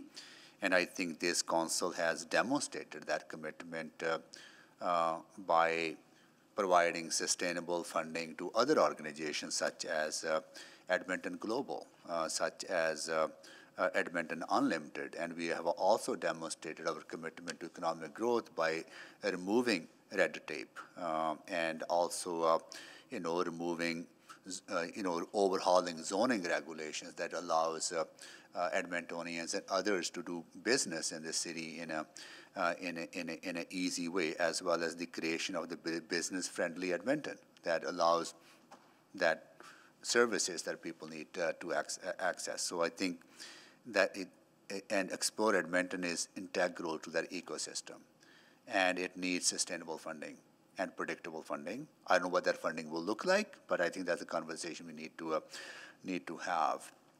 Uh, I, you know, we heard from administration, we heard from the the hotel industry that uh, you know they are on the path to recovery, and I think giving predictability to Explore Edmonton will help that with with that uh, that recovery. And I also heard from uh, people who run uh, uh, restaurants, bars, and pubs, and they they're on the path to recovery as well. So they rely on tourism, they rely on convention. I think we need to see it in a in a, in a big picture picture as well, right? And uh, uh, so I look forward to those conversations once uh, this uh, this funding is is approved, if it is approved by by council. Uh, but I also, you know, want I don't know how to grapple this, uh, what the solutions are, but I also see decisions being made by us and previous council where when the responsibilities are transferred, corresponding funding doesn't follow at the same time, and we have to struggle later on. We allocated one-time funding, which is fine. I see with the on-demand bus services is a reminder of that too, right? I think we need to figure out a way that uh, once we know that demand is permanent, that demand is ongoing, we need to figure out to provide more sustainable predictable funding to, uh, in this case, uh, we know that for our economic success, our tourism success, for our convention success, Explore Edmonton needs ongoing, sustainable, predictable funding. So I look forward to that conversation when we get to uh, get to get to that point. Um, uh, with that, I will take the chair back and goes to Councillor Rutherford. Yes, thank you, um, Mayor Sohi. Um, I wasn't going to speak to this. I, I am going to support the motion, but I do feel it's it's important to speak to this because again, I, I really just I've been reiterating this multiple times since uh, being elected is that when we make these decisions on a one by one basis, by the time we get to budget, we're so backed into corners um, and we're having less and less to even pull, pull from. Pulling this from the financial stabilization reserve is not ideal when we could have just increased the tax levy and given them that sustainable funding at the fall SOBA. And I know we were, you know, trying to get that low, but if this is something that was really important to us as a council, that would have been the best process and the best time to have that. I've been very clear, it was in my campaign platform and to this day that that tourism and our our um, entertainment industries are huge huge economic drivers and we need to support them. So in terms of supporting this the uh, you know just to to explore edmonton you've always had my support on this. I just do not like the process that we as a council are going through right now. I think we we have these supplemental budget adjustments to grapple with all of the competing priorities and even you know as mr corbould mentioned the other report today that talks about the housing and houselessness uh, immediate actions and uh, the the amount of dollar signs i see with that. Um, i'm very concerned about using the financial stabilization reserve for this funding source. It does not provide the stability. It's it's going to push us in fall soba to have to uh, either really look at um, increasing the tax levy for Explore Edmonton, or we've just increased their budget, um, and we're we're we're stringing them along in a way that I don't think is fair either. That being said, I also really want to encourage Explore Edmonton. I know that there's a lot that you've taken on in an increased mandate, but you know we as a city are going through the OP12 um, activities uh, to look for any and every opportunity to streamline costs, to reduce costs, to say what is needed and what is not needed. Um, and and we've asked and called upon all of our external agencies to do the same. And I, I still think there is opportunity and room there for Explore to do the great work that they do and that they we need them to do in the city in a more financially minded manner. So I, I, think that we need to have both conversations. So I am willing to support this. but I am very concerned about process. Um, and and I hope that, you know, when we're coming up to supplemental budget discussions as as council, that we understand that what we prioritize at those should be our priorities for the year. Um, and we should be able to hold and be accountable to those decisions one way or the other and the impacts of those decisions. Um, so, so let's try to clean up our process going forward. But I will support this because I support Explore. I think it's important. We don't want to lose this economy. It hasn't fully recovered like other Canadian municipalities have, and and we need it to recover. So, so thank you. Thank you, Councillor. For Councillor Salvador to close. Yeah, thank you so much, um, and really appreciate the conversation today and um, and the excellent questions and answers that we received. Um, and yeah, I I don't have too much to add, uh, but I will say that we we all know that the economic activity and growth that Explore generates far outweighs its annual costs. Um, what really stands out to me is hearing about um, how much Explore is able to leverage from various partners and private corporate investors. It's so impressive, and I wouldn't want to lose that. Uh, we know that the return on investment is incredibly strong. Um, this motion really provides an opportunity uh, for Explore to tread water and avoid eliminating programming in the immediate term, uh, while still providing that opportunity to have uh, those larger strategic conversations about mandate, programming, and base funding going forward. Um, and, and as was mentioned, collectively, this is still less than what they need. Uh, it's temporary stabilization, but uh, the six million will at least allow for base operations to continue, uh, and importantly, allows for time uh, to have that longer term conversation about aligning programming and mandate with funding in a more permanent way uh, to provide that stability. Uh, and when I think about the the funds that we invest into explore um, and, and the dividends that they pay in a variety of ways. I need to continue supporting that. Um, I think about local businesses, hotels, restaurants, retailers, um, and importantly, Edmontonians who depend on and rely on our continued investment and participation in uh, city events and activities, including things like festivals, uh, as well as conferences, um, and many of the other activities that are brought here by, by Explore Edmonton uh, without uh, any additional certainty in the interim. We've heard directly from Explore uh, that they would need to be looking at canceling programs, uh, removing themselves from bids and sales processes, uh, which could permanently have uh, an impact on our economy. I don't want to see that, which is why I'm putting this forward today and um, appreciate that it might not be the ideal process, um, but I do think it's the best path forward at this time. so I hope the council can support this today, and I look forward to future conversations about aligning funding with mandate. Thank you. Okay. Thank you, Councillor Salvador. All right, so please vote.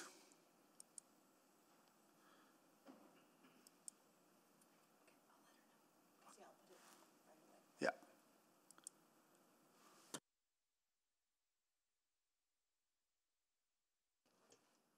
We have all the votes. Display the votes, please. That is carried.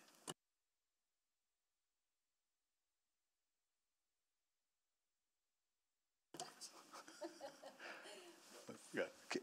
Uh, okay, that is carried. All right, now we are going to go to. So thank you so much for the delegation for joining us from Explore Edmonton. Uh, we are, have concluded this item and motion has carried if, if you were not able to, uh, able to see it. Uh, all right. Now we are heading to our next item, which is 3.3 Actions to Respond to Housing and Houselessness Emergency. And we'll go to administration for a presentation. Thank you, Mayor and Council. Um, Good morning. I'm joined by our city's Chief of Staff, Salima Ibrahim, and the Mayor's Chief of Staff, Lisa Holmes, I believe, is online to speak to the actions to respond to the housing and houselessness emergency. At the January 15th, 2024 Special City Council meeting, Council passed a motion to declare a housing and houselessness emergency.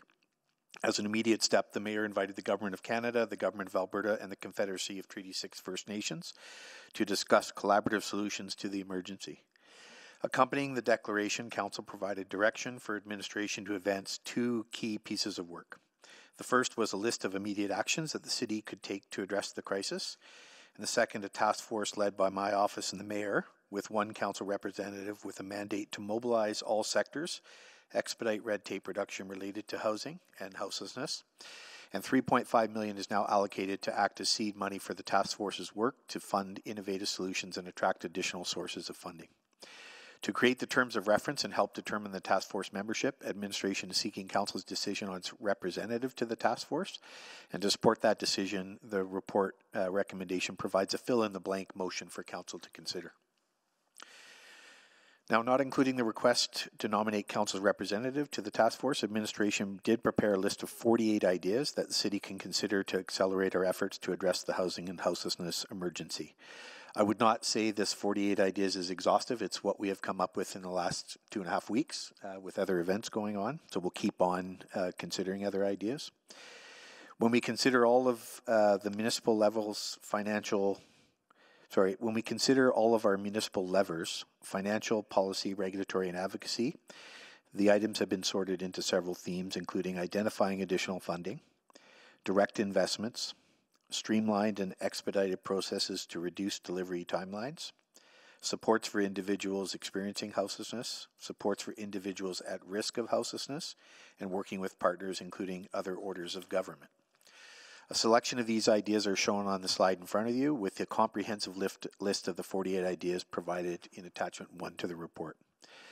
There are items that we can look at within our existing programs, for instance, streamlined development permits and fee structures, but there are also items that would require council approval. If you do express interest in the ideas, we can certainly return quickly back to council with, with decisions where you can provide your authorization to move forward.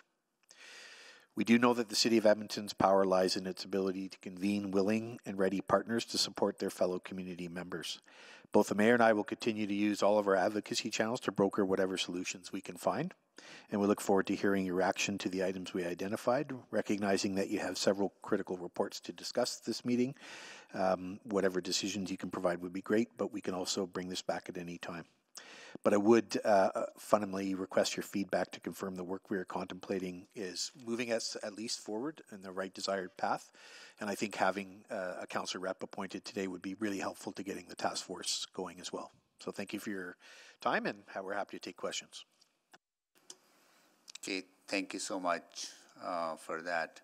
Uh, in order to appoint a council rep, I just want to understand the process from uh, clerk uh, one council member has shown interest, right? So I haven't heard other interests, right? But there were some, I, I think uh, there's uh, people been back and forth, right? So uh, I don't think we need to, I have not, if there's consensus around one person, right, and is anyone else, I don't know if they want to step up. So for that, we need to go into camera, right? If there's more than one right? Yes, that is correct. Okay.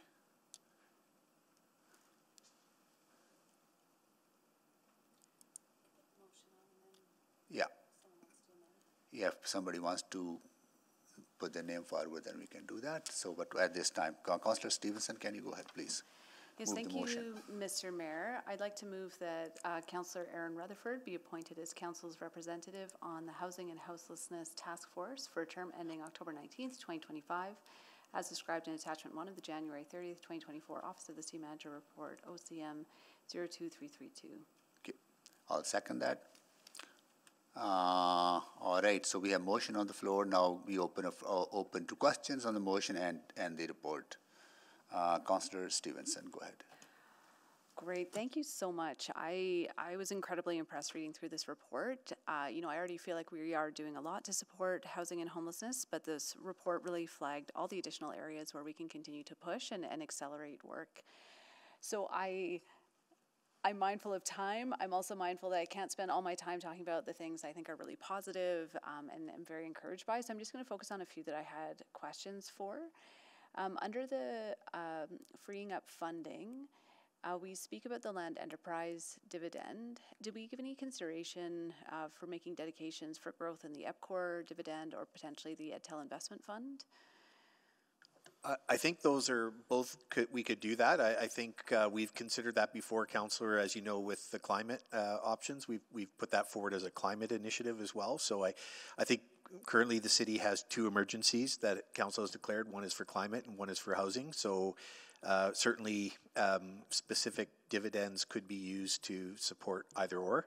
Um, and so really the will of council, but those are easy to do. They're, they're one of the easiest things to activate very quickly if council makes a decision about what they want to do with future dividends. Great. So we'd get some options back for all of those uh, potential sources. So uh, Land Enterprise, EPCOR, and EDTEL. Yeah. Great. Correct. And I think the question is simple. Do you want to commit now all pre, all future increases to these two emergencies and, and in what is it a Mhm. 50-50 or is it one, does one prioritize the other? And then we can do that in the future when we get those dividend numbers.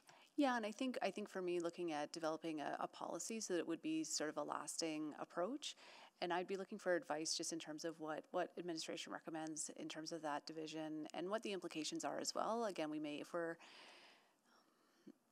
you know what what do those dividends typically go to what what may we have to compensate in other ways i think some of that analysis would be helpful Yeah, I, we can provide that. I, and uh, maybe if I can, the simple answer to that is they typically go to whatever is on top of council's mind at Yeah. the moment we get the dividend check. Yeah. And this is why we have recommended before that, you know, it'd be better to make a more deliberate decision of future dividend increases, so you're not sort of faced with whatever the crisis of the, of the week is, because there's gonna be one every week, right? Absolutely. So we, we, we like the idea of pre-dedicating it, and given that we now have two emergencies, that makes sense to me to prioritize over all the other priorities we have. absolutely and i think having a, a policy so that that is in place in perpetuity would be would be really positive uh, just with the question of relooking at recent budgetary decisions uh, are we thinking both capital and operating so that was number five under free up funding Yeah, I, I think uh, absolutely we could consider both. Um, I think I would say though that we did look hard at the capital, and there's not a lot to stop with. And and this goes back to some of the assessments we provided council about a year and a year and a bit ago, where there's not a lot of opportunities to Mhm. to slow down or stop capital funding. So I, I think it could be open in small amounts, but um, it's going to be very difficult. And I think the other issue is um, if we're giving funding to others, that becomes an operational expense, not a capital one. Um, especially if we're supporting, you know, either private or not-for-profit housing initiatives. Yeah, I mean, I think with capital, we, again, we, there could be a physical asset if we're actually building buildings. Um, but one, one thing I wanted to caution against was, uh, or, or maybe suggest when we're looking at some of those decisions, because we have made some fairly significant decisions around uh, transit in particular um, and active transportation. So just wanting to ensure that we are considering the holistic notion of affordability that's in our city plan in terms of the cost of housing and transportation.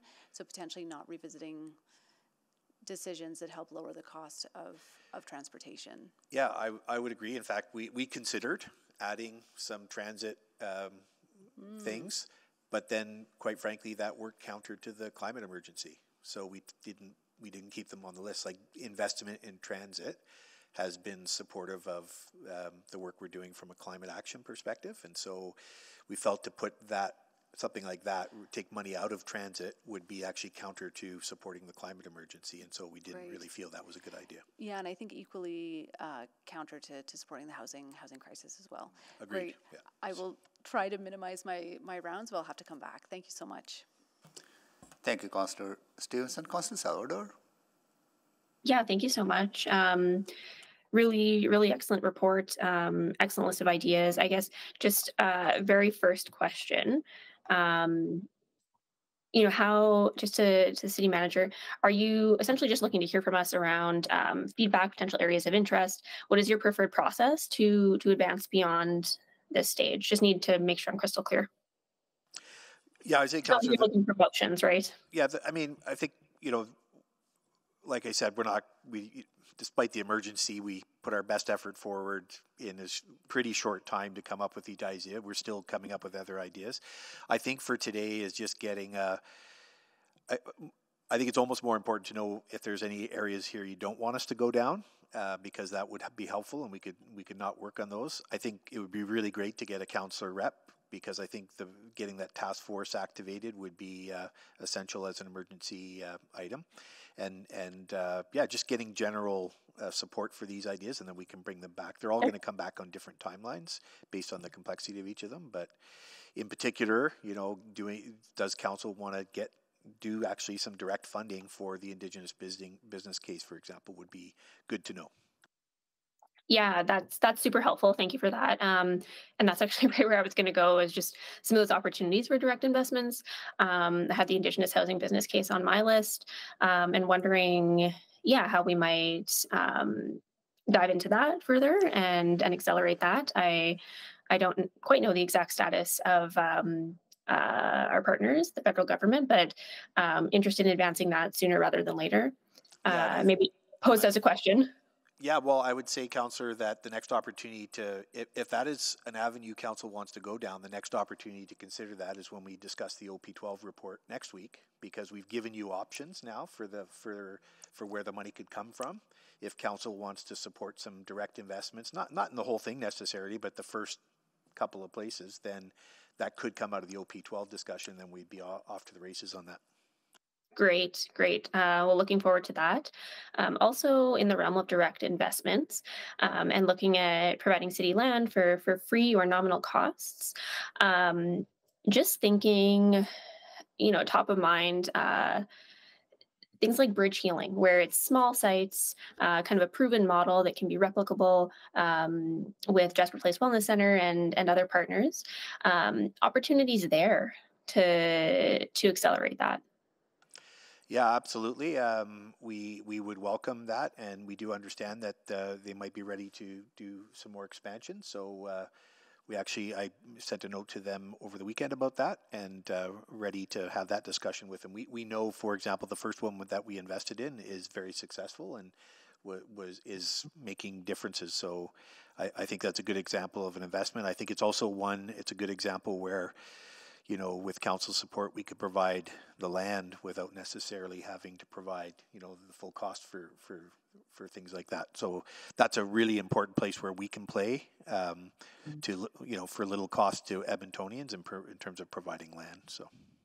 Okay, amazing. I'm happy to hear that you're you're already in contact with those folks, um, and and great to see you know the initial investment being able to leverage additional dollars and, and then a successful model. So that's good. Um, also wanted to ask about, uh, we received a letter from HomeEd um, just outlining an opportunity to to expand and scale up uh, their role in providing um, non-market public housing.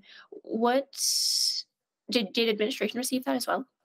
Yeah, we did receive it, and in fact, um, if I had received it before we published the report, I may have added the list to the idea to the to the report. Uh, so we really appreciate the idea, and um, uh, I did get a copy of it, and I and I think it's worthy of of considering. I also think that our report actually has some of those ideas embedded within it. So it's just a matter of uh, if we want to attach some of those ideas to HomeEd being the solution. I think that is very worthy of consideration.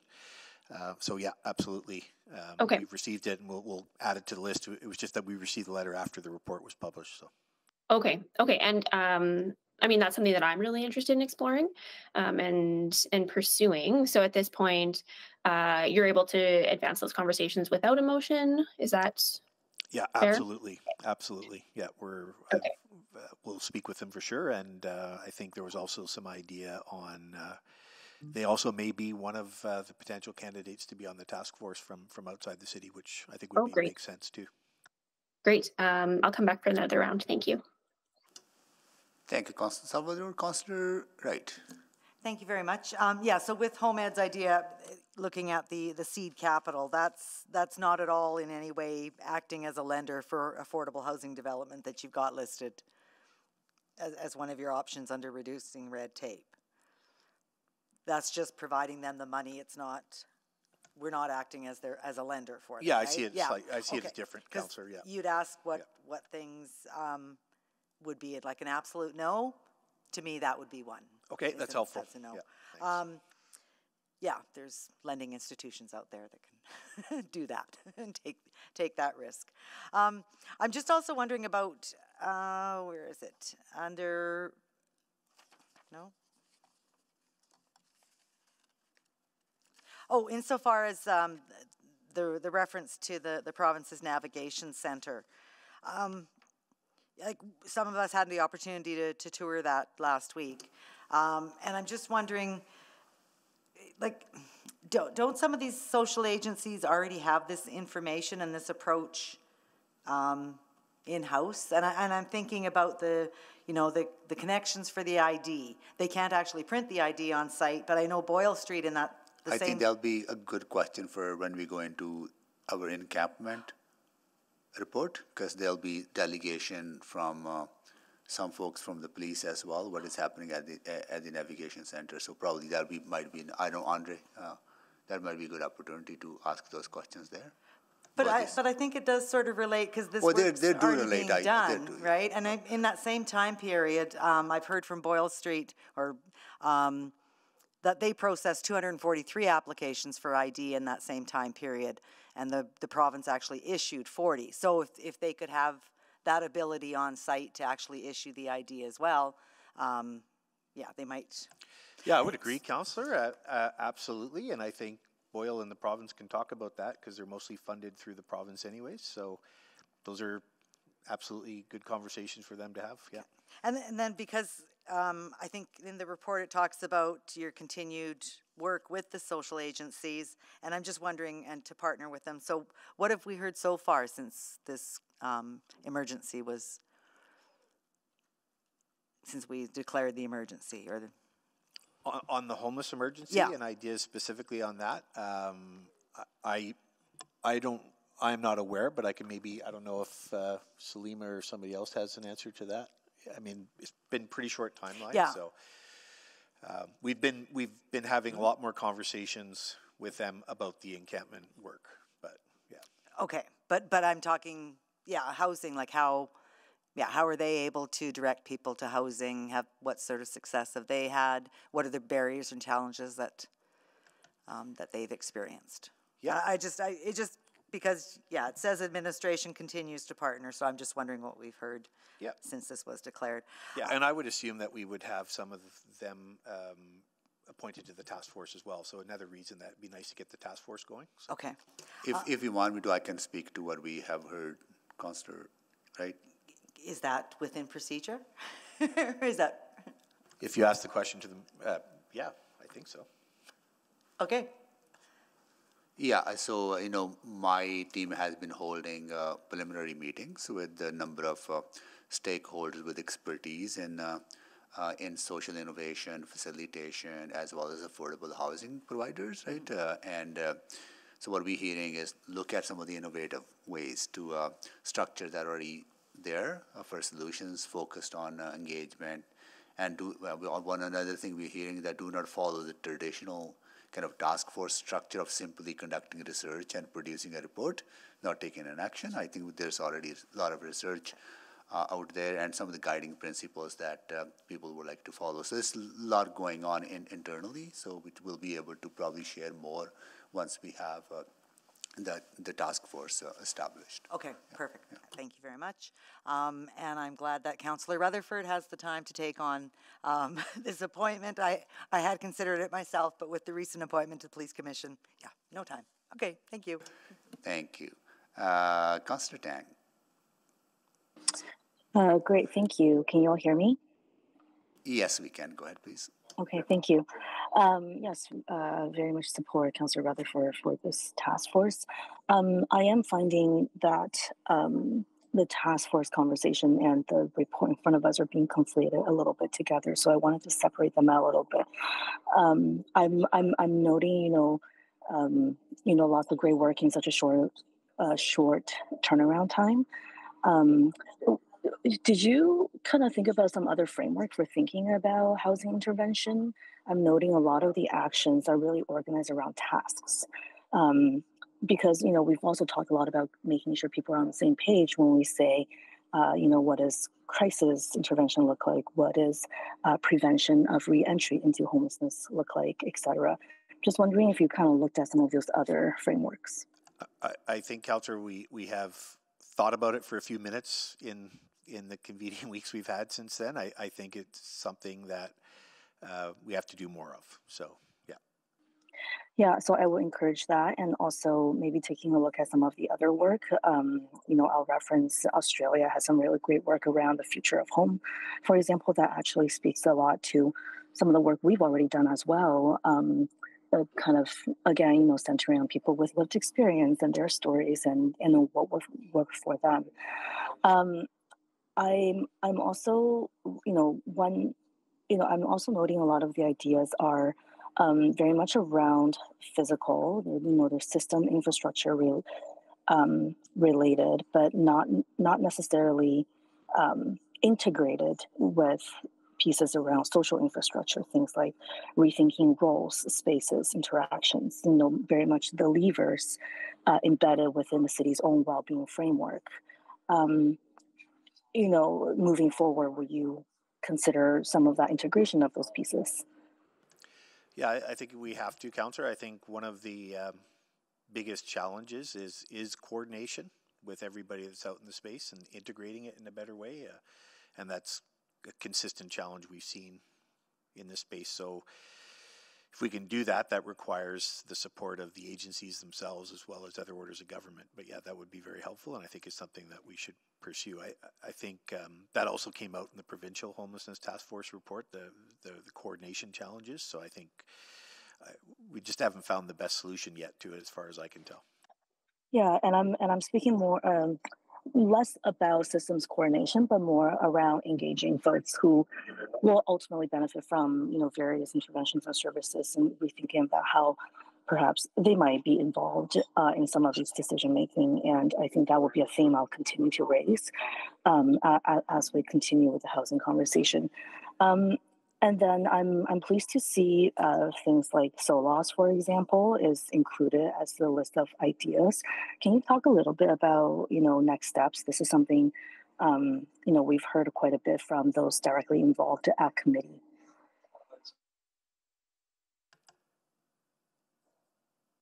I cannot, but I'll see if anybody else. If not, we can sort of get back to you on that one. I, yeah, I we, I would. we kind of wanted to do that, but we I don't think we've figured out exactly what the spe- specific next step on that one is. Okay, yeah, no problem. Happy to kind of get a follow up on that. And I guess just a question around the task force, which I see it as separate from the administration report itself. Uh, you know, typically function or typically form follows function, um, but I'm already hearing around, you know, who might be on this task force and what they might do. Um, I guess, you know, and I'm thinking, you know, I'm also hearing this conversation about function, uh, you know, with social innovation experts and, and whatnot. Um, because I think if we end up focusing just around like who is represented and what are the external stakeholders we need to have, that feels pretty traditional to me. Um, so I guess I'm just, you know, I just want to stress that point and want to hear any, I guess, reaction to that. I, I think my reaction is, Councillor, I, I, I, would just like some assistance in clearly understanding what a per, perhaps non-traditional um, list of task force members and tasks are, and then we can get to doing that. Yeah, absolutely. But for, you know, just just to use FOMED as an example, kind of already hearing that they may there's an interest, and you know, we're going to try to seek that interest out. But I would just urge, um, as uh, you know, whoever's leading the conversation with various stakeholders, I think you know, I would I will want to know what the task force will accomplish. That's separate. That's different from administration, etc. Before landing on membership. Okay, that's yeah. all for me. Thank you so yeah, much. No, thank you, Councillor Tang. I think it's a very, very good, good point because uh, you know names have been suggested, but uh, I don't think we have uh, uh any any landed on any of them, right? And I, I think tapping into non-traditional kind of, particularly people with lived experience and those who work in the social innovation sector. Right? So, okay, yeah. No, thank you for that, uh, Councillor Rutherford. Yes, thank you. Um, just wanting to provide a little bit of feedback on the actions for council consideration in attachment one. Um, I I guess one of the things that I would just give feedback to, and I'd be curious your thoughts on this, Mr. Corbould, is under the section for support, supporting individuals preventing a transition away from encampments. It says establish an outreach hub similar to what the province is doing.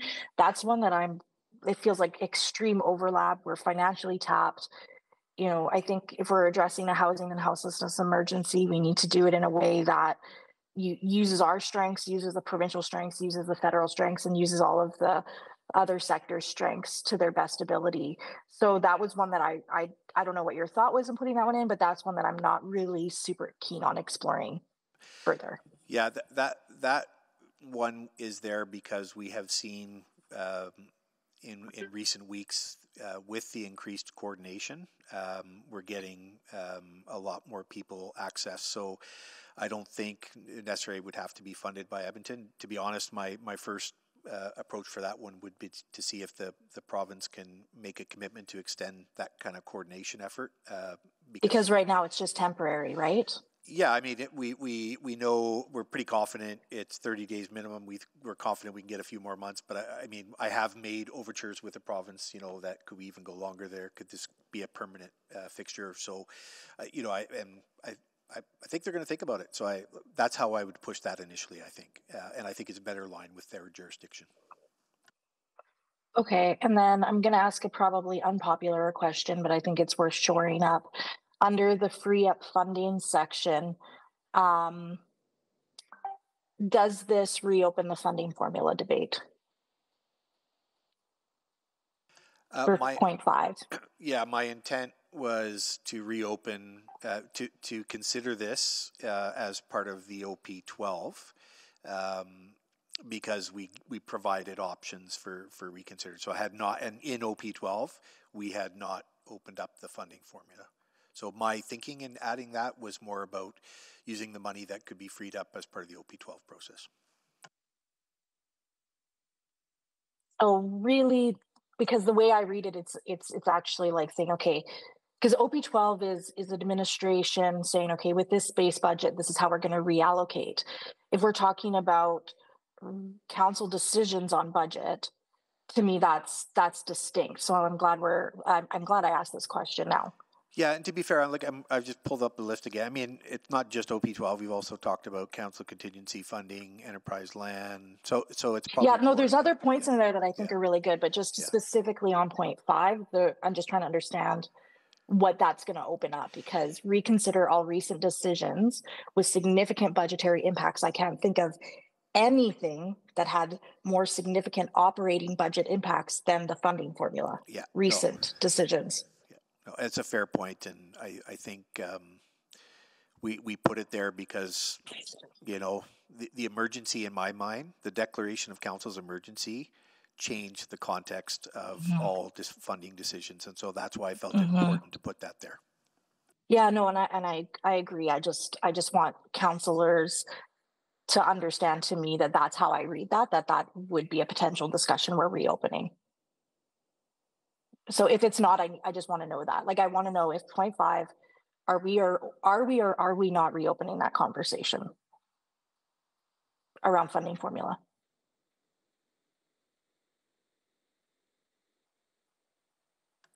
Is that to council or to me? It, wasn't to my you, intent. To you. So from That's administrative, Okay. when we wrote that, we did not intend to open that conversation again.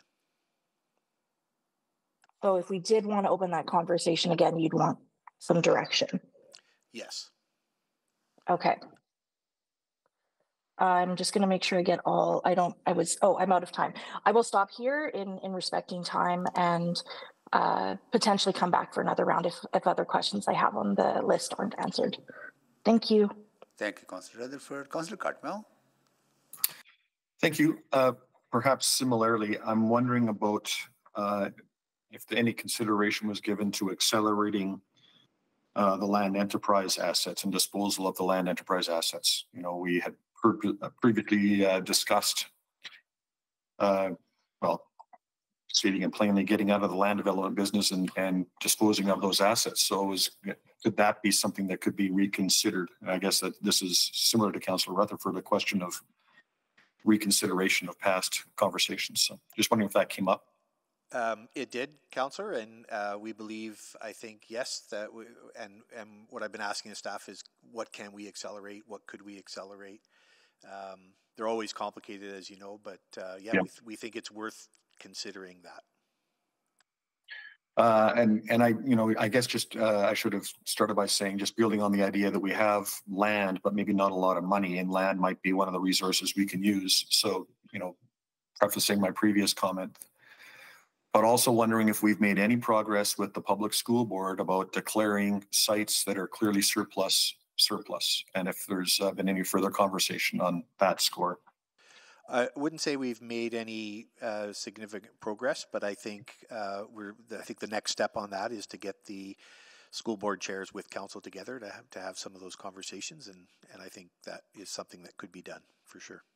So I've heard this idea that we have to have a meeting with the chairs and council before we can have any conversation around surplus school sites, and uh, but I see nothing on our agenda that has any such meeting, and I'm getting really frustrated that we cannot make progress on this. Uh, that's land that's available. Uh, a lot of it is serviced. Uh, a dollar a year lease for 75 years makes that land leverageable to housing partners. And the only thing in between us and getting something done is the reticence of the school board to declare sites that are clearly surplus surplus. So uh, can we move forward on whatever meeting has to happen so that we can actually have this conversation? Because it's, uh, I've got a site in the ward I represent that's going on three years of being emasculated by this uh, inability to have a conversation. Yeah, uh, I don't believe we have to wait for that particular meeting, but it, I, I think it's about how, how can we engage the school boards? Absolutely. I, we, I think we need to move forward on that as soon as possible. We've been trying to get that meeting for months. So yeah, agreed. So, so who's not willing to have the meeting? Um, I don't think I mean- anybody is not willing to have the meeting. I think between your agenda and other people's agendas, it's just difficult to get these folks together, all of you. Yeah. ah, it's too bad they couldn't make it today. Okay, thank you. Thank you, Councillor Cartmell. If, if I can add, uh, I did have a conversation very recently with one of the chairs of the school boards, and uh, we talked about surplus school sites. So this is something that we they want to follow up as well as quick. So we need to set up that meeting as quickly as possible.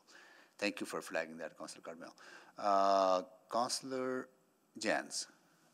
Yeah, thank you. And just to build on that too, I also just had a, a meeting with the chair of the public school board last week on on this topic, and so they're looking at it. They're working on a policy around um, what they can do with this. So I I totally uh, agree with Councillor Cartmell, though. I think this is urgent, and I think it's one that uh, potentially, um, if if the mayor could prioritize with with his office and and and get the get the chairs in the room, even if we have to do it individually, like come with some sort of unilateral agreement with first the public, then the Catholic, then the Francophone. I think a lot of time has been lost trying to get everyone in the room together on the same page on all four of these. And obviously, it's complex legislation where there's first right of refusals and all sorts of other stuff. But um, I I'm not saying this to contradict Car- Councilor Cartmell. I I agree. There's urgency here, but just wanted to add that as context. Um, sorry, uh, uh, di- digressing. Um, I, I like the report. There's a lot in there. I just, uh, for administration, a couple of things. Um, I would love some sort of a consideration of expanding or uh, crediting or promoting home share. Um, I've worked with Canada Home Share Network. I've worked with home share for students and um, for post-secondary students and others. And, uh, you know, that frees up extra supply in the housing market very rapidly. There's millions, millions of empty bedrooms um, around Alberta and uh, especially here in the cities.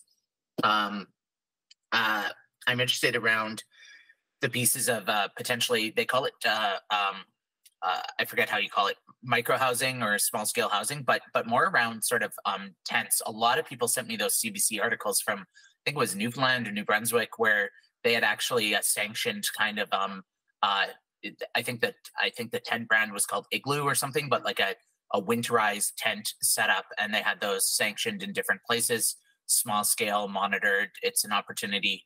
Um, I'd be curious about that. Um, expediting permits for secondary suites and laneway housing. Really interested in that. If there's something we can do that could unlock a lot of basements very quickly. Um, I mentioned home share incentives.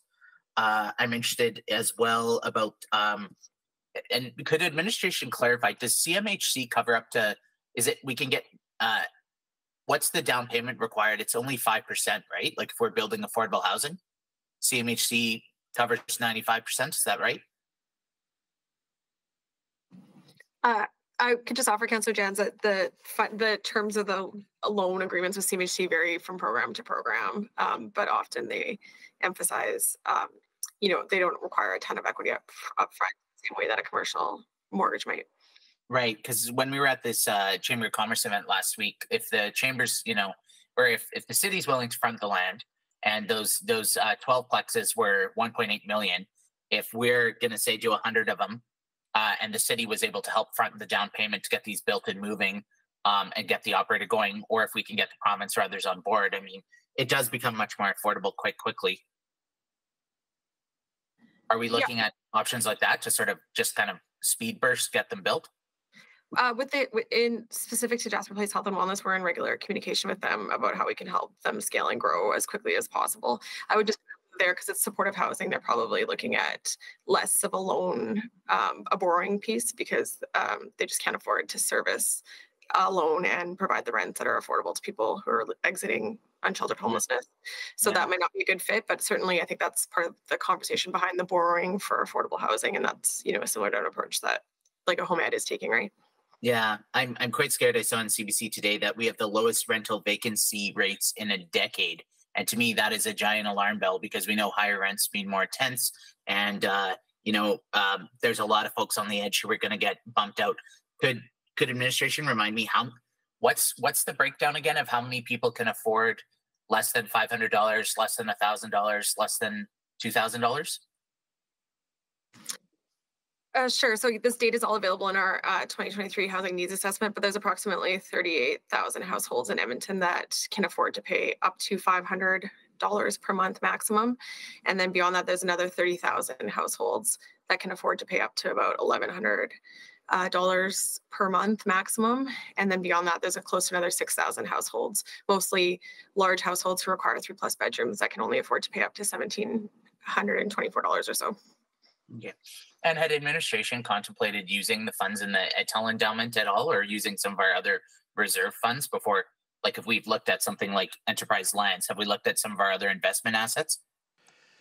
Um, yeah, Councillor, we have considered that. We we do not. We strongly do not re- recommend any use of the principal in any of those funds uh, because you know, I strongly feel that, that that's that's we're saving that up for our, for our grandkids and our great grandkids, and I think that's the responsible thing to do. So, you know, and policy would not have us look at those, so we we would strongly um, recommend against going into the principal any of those. We how you want to use the dividends, absolutely uh, will of council, but we would strongly recommend about against going into those um, pieces. Thank you. Okay, great report. Thank you. Uh, Constantine. Uh, thank you, Mayor Sohi. Uh, so just on the, the, the, school board piece, and I'm, uh, you know, because there was a separate meeting that I think we've been trying to schedule for close to a year with all of council and all of the school board um, about joint use and, and a variety of topics. But I'm thinking, you know, with the urgency of this, this might be something that the task force that you have, like, to meet with the chair and, and like, you know, just go book one right away, and then we can still try to finalize a, a group meeting at a later time, just so that you know, as much as I'd like to be in that meeting, I, I trust you. I trust Councillor Rutherford to go and do that work and, and move that forward. So just uh, offering that as a thought. Um, just since you were asking for feedback, Mr. Corbould, just a you know a few things, and, and appreciate we'll have the discussion next week. Um, I, am actually a little uh, hesitant to use OP12 reallocations for this because uh, I think we've got a lot of other core services that also need funding, whether that be snow removal, grass cutting, transit safety, bylaw officers, peace officers. We've, we've heard of about a lot of core things that, that we should fund. And so I'd rather use funding from other sources, but, but I might be the only one and we'll have that conversation next week. So we'll, we'll leave that there. Yeah, I guess, I guess my only concern, Councillor, is in, in the hierarchy of priorities, as mm-hmm. I see it right now, based on my understanding of the debate that happened, yeah. I see at the very high top end, I see a climate emergency and a housing emergency that yeah. council has declared. So those will always be things Absolutely. that I think have to be prioritized. Next, we have council's six priorities, and then we have core services. That like that's yeah. what I'm. And this often comes up in our OP twelve discussions, and there's a lot of non-core stuff we're still doing that council is still making decisions to yeah. fund. So it is uh, the, appreciate the, why you would the level it. of, of of priorities is difficult to Absolutely, with. yeah. I, I, just for me, I, I would rather look at some of those other funding sources, whether that be land enterprise, and, and again, I don't want, I think Councillor Cartmell's sort of touching on it, but, you know, i- if we're looking to do a relatively large amount in a short amount of, relatively short amount of time, you know, do, do we need to have a conversation about the land enterprise inventory that we have? And, and, uh, but, but, I- but I also appreciate, uh, and that I was on the losing side of that, and so I, I wouldn't want to revisit that conversation other than if we're looking for tens of millions of dollars over the course of, I think, about a two-year period, that is, that is something we could do to provide a lot of capital funding to build product. Yeah, absolutely. We, we would, we would just need a motion of Yeah, council to change the and, policy. and I couldn't make that because I was on, on the not the prevailing side. So I'll, I'll I'll leave it there. But I just I, I wanted to know if that had been talked about. So. Uh, okay, those are really all my feedback for now. So uh, I'll, I'll leave it there. Thank you, Mayor Sohi. Thank you. Uh, just want to focus on the uh, on the opportunity for land allocation, Andre. Uh, we had a presentation at the uh, uh, emergency housing symposium that was organized by uh, Chamber of Commerce, and Crystal did a phenomenal job making cities uh, talking about cities investments. So thank you, Crystal. Uh, the immediate kind of quicker opportunity. So do we have kind of compiled a list of all the lands that we have available that we can start immediate conversation either with the Jasper Place Wellness or other housing providers? Yes, Mayor, we've done that, I'd say thirty times in the last three years. Yeah. And uh, we most recently did it with, uh, with helping uh, the province to look for more shelter space. Good. So our, um, our real estate folks have great visibility in all the land that, that we have Yeah. and where it is and what the different conditions on it and which need rezoning and which don't and all those kinds of things. So Yeah. one hundred percent, we are ready to talk to anybody who is, is looking for land for, for any of these things. And of course, there's different policies with respect to all that. and- Got it. and Even- Absolutely is the answer. So I think getting, getting the word out, reaching out to agencies and all that, right, is important because that's something that we can do uh, immediately. That will be, I mean, takes time to build, right? But something that uh, And I would we can initiate, uh, start right away. And the other thing I would add is some of the challenges in the past are, are, that context has changed because as you can imagine, some of the challenges has been amenities and, and, and proximity, but with the opening of the Valley Line and, and other transit initiatives council has invested in, that, that in some ways reduces challenges for places that had previously been looked at, that we can maybe look at in a different way now. Yeah, good, okay. So on going through the list, there's, I, I'm pretty much agreement in, uh, all of them supporting and learning more and exploring, exploring more, but I do want to flag, uh, uh, reconsidering all recent decisions with significant budgetary impacts, because, uh, you know, as Councillor, uh, uh, sorry, Knack has identified, there are other decisions that we have made, right, that are important for community, community building, right, and uh, and they also help with the dealing with the, some of the social determinants of health, right, such as rec centers, libraries, and all that, right. So I think uh, because this is a long-term, this emergency is caused by long-term underinvestments in the social infrastructure, right? So we just need to make sure that we continue to build that social infrastructure for our efforts to be more sustainable and long-term and permanent, right? So I just want to flag that uh, uh, from that point of view, right? So that those investments are very important investments as well, right? So um, That's helpful clarity, thank you. yeah, right. Uh, Can I go to Crystal? Crystal, can can you quickly highlight the investments we have made so far in, uh, in, uh, in uh, uh, non-market housing, affordable housing, as a municipality? Like, because there's some narrative out there we haven't, that we are not stepping up. Just want to kind of Sure. yeah, I can that narrative. Yeah, so I could speak to that for sure. Over the, um, you know, over our last four-year budget cycle, the city of Edmonton invested approximately 132 million dollars in affordable housing that generated over 2,800 new units of affordable housing. Um, obviously, working in partnership with other orders of government, but we were able to leverage that money considerably and, and construct almost a billion dollars of affordable housing um, through those contributions from the other orders as well. Uh, and then this year we have another, uh, you know, a new investment cycle in underway, and we have approximately 150 million dollars has been committed to that so far, and potentially um, there may be some more as well. And we're hoping to achieve at least as many units as we did last time um, over the next four years. Mm-hmm. And also some of the innovative ideas that we've been uh, able to uh, able to support.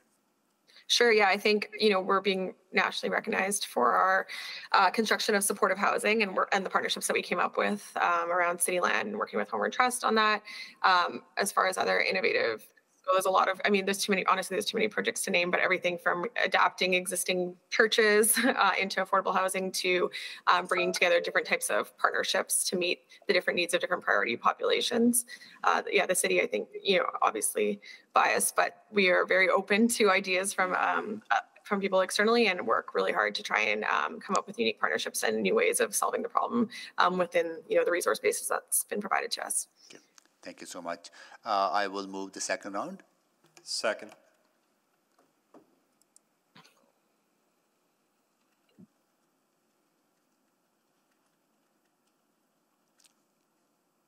Councilor Rice? Yes, I already voted. No, no, uh, you're chairing the meeting, sorry. Yes.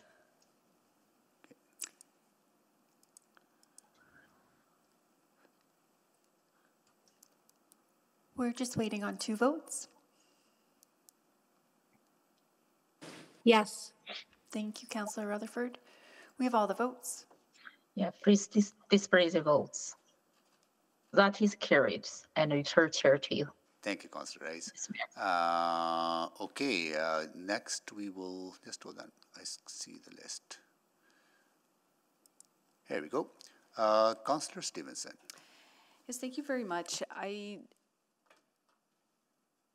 I have, uh, I will, I'm going to switch tracks and talk a little bit about something that I, I felt, um, I wasn't sure if it was intentional, and again, recognizing this was put together very quickly. I didn't know that many of the, the ideas spoke to more of the, the housing side of the housing crisis with market housing and what we can do to, to bring more um, housing, uh, market housing on online. So just wondering, um, well, start with, well, I'll just delve right into the construction financing question. So that's something I'm, I'm hugely supportive of. What I'm hearing from industry is that there are very viable projects. Um, and they are just struggling with skittish banks who, who won't provide the construction period financing. So this is, you know, two to five year loan. Um, just wondering what what options have been explored to to help address that gap, if any. I I don't think a lot of options because I, I, and I like I've said before I don't think we want to be that bank um, as a city given some of the other risks we have uh, so I would say I, I, think the biggest thing we can do for market housing councilor is continue to do the next level of work we need to do on permitting and and mm-hmm. making it really easy for speed and those kinds of things which which you know uh, Kim and I are going to meet soon with a bunch of developers on what they what is next on their priority list for us to move forward on. Yeah, well, I, I just want to go back to this question of using something like the Ed Tel endowment, because um, just to clarify, I mean that is that is a that is an investment. We invest the principal every every year. That's that's how we grow that fund. Is that correct? Yeah, and I'll just defer to Stacey if she wants to talk about specifics on that one. Well, yeah, and maybe I'll just, you know, I was just looking at the 2022 investment report that we have, uh, investment committee report, and again, recognizing that 2022 was a was a you know a difficult year. Um, again, you know, we were looking at returns of 2% in the money market um, and actually negative 7.4% in the balanced fund. So, so we do, I guess I'm just unclear why um, you know, investment using those funds in, in real estate, which would be sec- secured in a way that, that stock markets aren't, would be an aberration or, or create any challenges in terms of the, the policies and ethic that we have around that principle. So maybe let me just start off by saying the money market and the balance fund, those are different from uh, the EdTel investment. Uh, that is city um, excess cash the city holds for things that need to be funded in the future and they're invested on the basis of what is the timing for that cash flow need. Mm-hmm. Ed Tel Endowment Fund took the principal from the sale of Edmonton telephones which was roughly $450 million, and it's grown. Uh, that principal that principal grows um, as we invest it, and it grows um, to inflation adjust the principal amount. So now it's close to a billion dollars, and and on that billion dollars, we earn dividends. So when you want to take and use that funding from EdTel, it will ultimately have an impact on your future uh, operating budgets because the dividends will decrease over time. Um, and that's secure, like we would have to reopen a bylaw and hold a public hearing. But uh, can I just can I just clarify the assumption that that, that it would decrease the principal, recognizing so you know looking at the ten year trend, the EdTel has has returned nine percent. The benchmark is seven point five percent. The the rates that I'm hearing are needed are sort of in the in the eight to to ten percent range. So again, I'm just unclear why that would deplete the principal if we're earning a return on that investment. So sorry, maybe I'm unclear at what you're looking to do with the EdTel Endowment Fund, but if you use any of the principal, you will impact your ability to earn. But if we're using the principal to earn a return through short-term lending, I'm unclear what we're losing.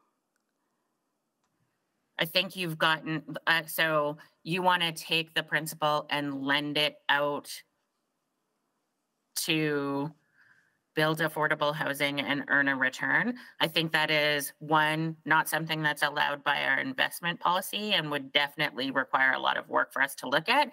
And two, introduces an element of risk over and above the risk that we would likely have in the portfolio. Okay, I'll come back for a few more questions, but appreciate that. Thank you. Thank you, Councillor Stevens. Councillor Principe? Oh, sorry, Councillor. Thank you. Sorry, go ahead. Councillor Principe, go ahead. Yeah. Yeah, thank you, Mr. Mayor. Uh, I just wanted to ask uh, Ms. Kjenner, you know, the mayor, I was just wanted to follow up on what the mayor said about the narrative that the city is not stepping up. But typically, is the municipality's responsibility in their contribution towards affordable housing more about providing land than necessarily providing infrastructure or grants for infrastructure? yeah, I think, I mean, uh, uh Councilor Principe, I think that's a good question. Obviously, like, I think it's fair to say historically, municipalities across Canada have primarily contributed to affordable housing through the provision of land. Um, but for sure, that's not to say that some haven't been involved in capital. And, and, but most importantly, I think the point stands that, you know, municipalities have the least resources of the three orders of government. Um, to be able to contribute to housing. Uh, so, so the efforts on the part of the city, you know, that position as a as a leader is in part because recognizing those constraints, but also just that we've um, taken on a, a, leadership role that's really helped to catalyze uh, development in our city. Right. Okay. And I too am going to bring up a very unpopular suggestion uh, that many may not want to hear, but uh, I'll ask Ms. Padbury. Uh, is there any uh, reconsideration because one of the things reconsideration all recent uh, decisions with significant budgetary impacts. I'm not sure if this is necessarily a significant budgetary impact, but the bike lanes, $100 million being paid off over 25 years. Is that correct? Or 20 years? Uh, I need to double check, but I think it's 20. 20. Okay. So would it even be possible to reallocate that towards affordable housing? To be paid off over 20 years? So the issue we have with affordable housing is unless we own the asset, we actually can't borrow for it. Um, and so you would get yourself into another, um, an entire other scenario if the city starts to be the owner of affordable housing. And it hasn't been our practice to own, to, to not, to go down the path of owning a lot of affordable housing. Um, uh, the debt servicing on active transportation is $7 million a year. So if you weren't going to allocate the $100 million because it's difficult to allocate that because it's debt and it wouldn't necessarily be our asset, the operating budget impact of the debt servicing on that $100 million is $7 million a year. Okay. So not really a consideration. Is that what you're telling me? um, not probably not eligible for debt is what I'm I'm saying. Um, and then only a small portion could be redirected from the operating budget. That would be the equivalent amount of the Okay. debt servicing plus, or sorry, Yeah, I the principal plus interest payments. Right, yeah, okay, thank you. That's it for me. Thank you. Thank you, Councillor Principe. Councillor Salvador? Um, yeah, and sorry, just looking at the time, um, do I have time for a round? Yeah, actually, you know, uh, Councillor Stevenson has questions, others may have questions as well. So let's take a break here and we'll be back at 1:30.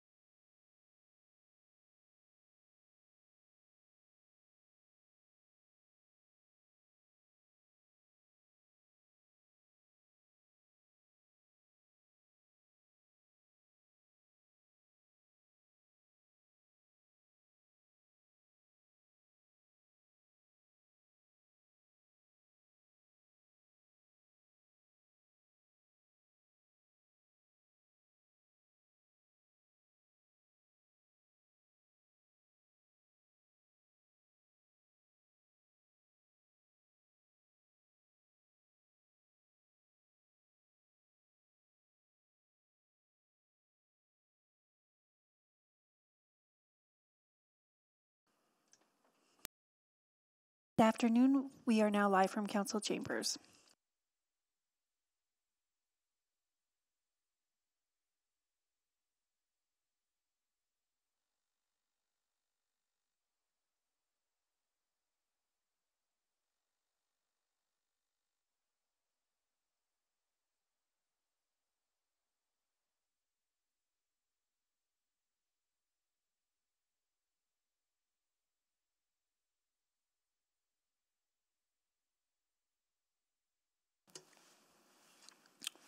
Okay, I would like to call this meeting back to order and do a roll call of council colleagues. Council Wright, Good afternoon.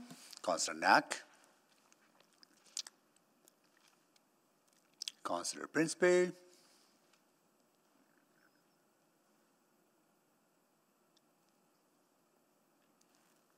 Councilor Stevenson. Maybe I should wait.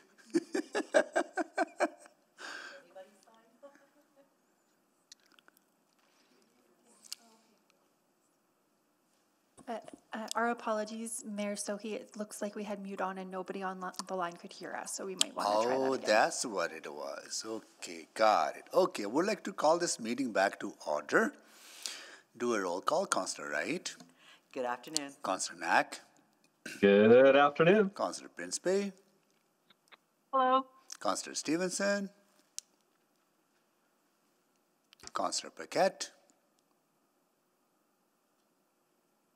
Constable Tang, Hello.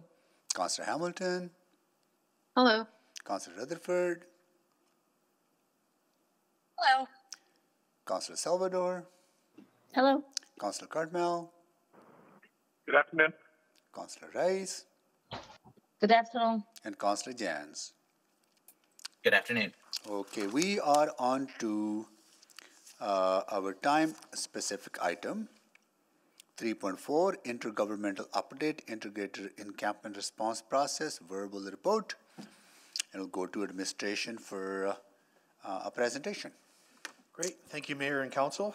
Um, Yeah, we're here to provide an update on the integrated encampment response process. We have uh, a large delegation, uh, and I won't name them all to save time, but we have a large delegation from administration, from the Edmonton Police Commission and the Edmonton Police Service.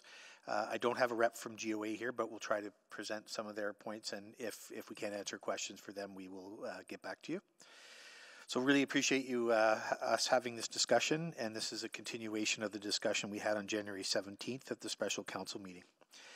As we've uh, talked about previously, an encampment is not an adequate space for anyone. Our peace officers uh, and others have documented some of the dangers present in the encampments, including exposure to extreme weather, uh, victimization, significant safety concerns from inadequate structures and temporary heating using fuels and open flame. The city does have an encampment protocol that we follow to assess and action encampment sites of a variety of risk levels. At the January 17th meeting, we discussed the Government of Alberta's announcement to help support the encampment response by opening a navigation and support center. As I will detail later in the presentation, uh, this support center provides a multidisciplinary uh, triage and overnight shelter space to help people move away from encampments into more stable and safe housing forms. Recognizing there are many reasons why someone may live in an encampment, our approach needs to be adaptable and personalized to support the individual needs of each person. And as a result of the con- continued efforts of the city team, uh, the Help Community Partners, Mustard Seed, Bent Arrow, George Spady Society, and Radius Community Health and Healing, uh, the EPS and the GOA, um, we are now seeing uh, people begin journeys of housing to longer term healings uh, in higher numbers.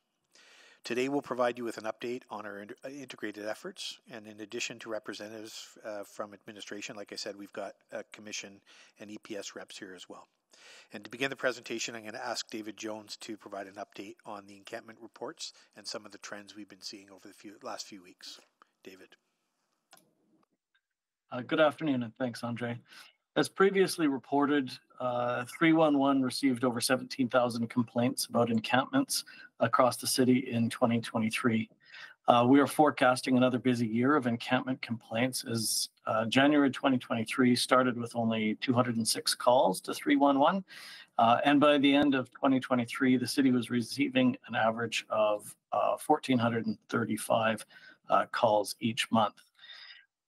With that said, the current um, the current encampment approach is showing early positive results. The consolidation of resources under the Emergency Operations Center has decreased response times and assessment times for encampments on public property by 27%, from 9.1 days to 6.6 days overall.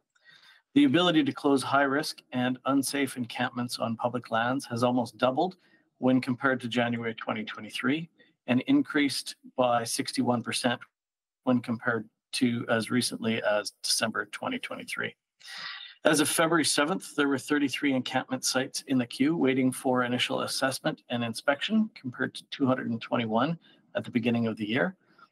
Eight were scheduled for closure and cleaning, usually on, an, on a daily basis, and the majority of sites, 133, are confirmed to be vacant and are waiting to be cleaned by our city crews. These numbers change daily as new 311 calls are received, and our team continues to assess and prioritize encampments. Crystal will now review the current state of shelters and Indigenous-led shelters.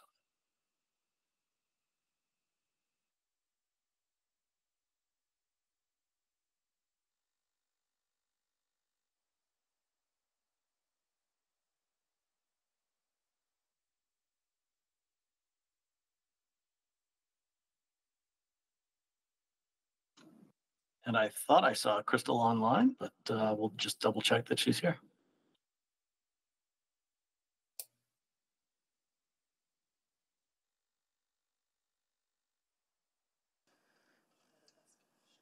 It appears that she just, oh, she should be back now.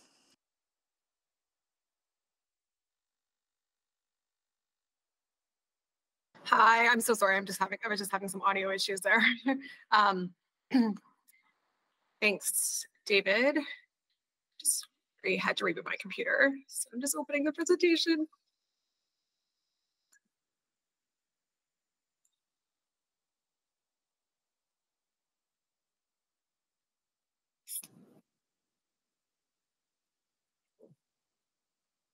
If you need a minute, I can jump in for you, Crystal. Oh, that'd be great. Wouldn't mind. Thanks, David.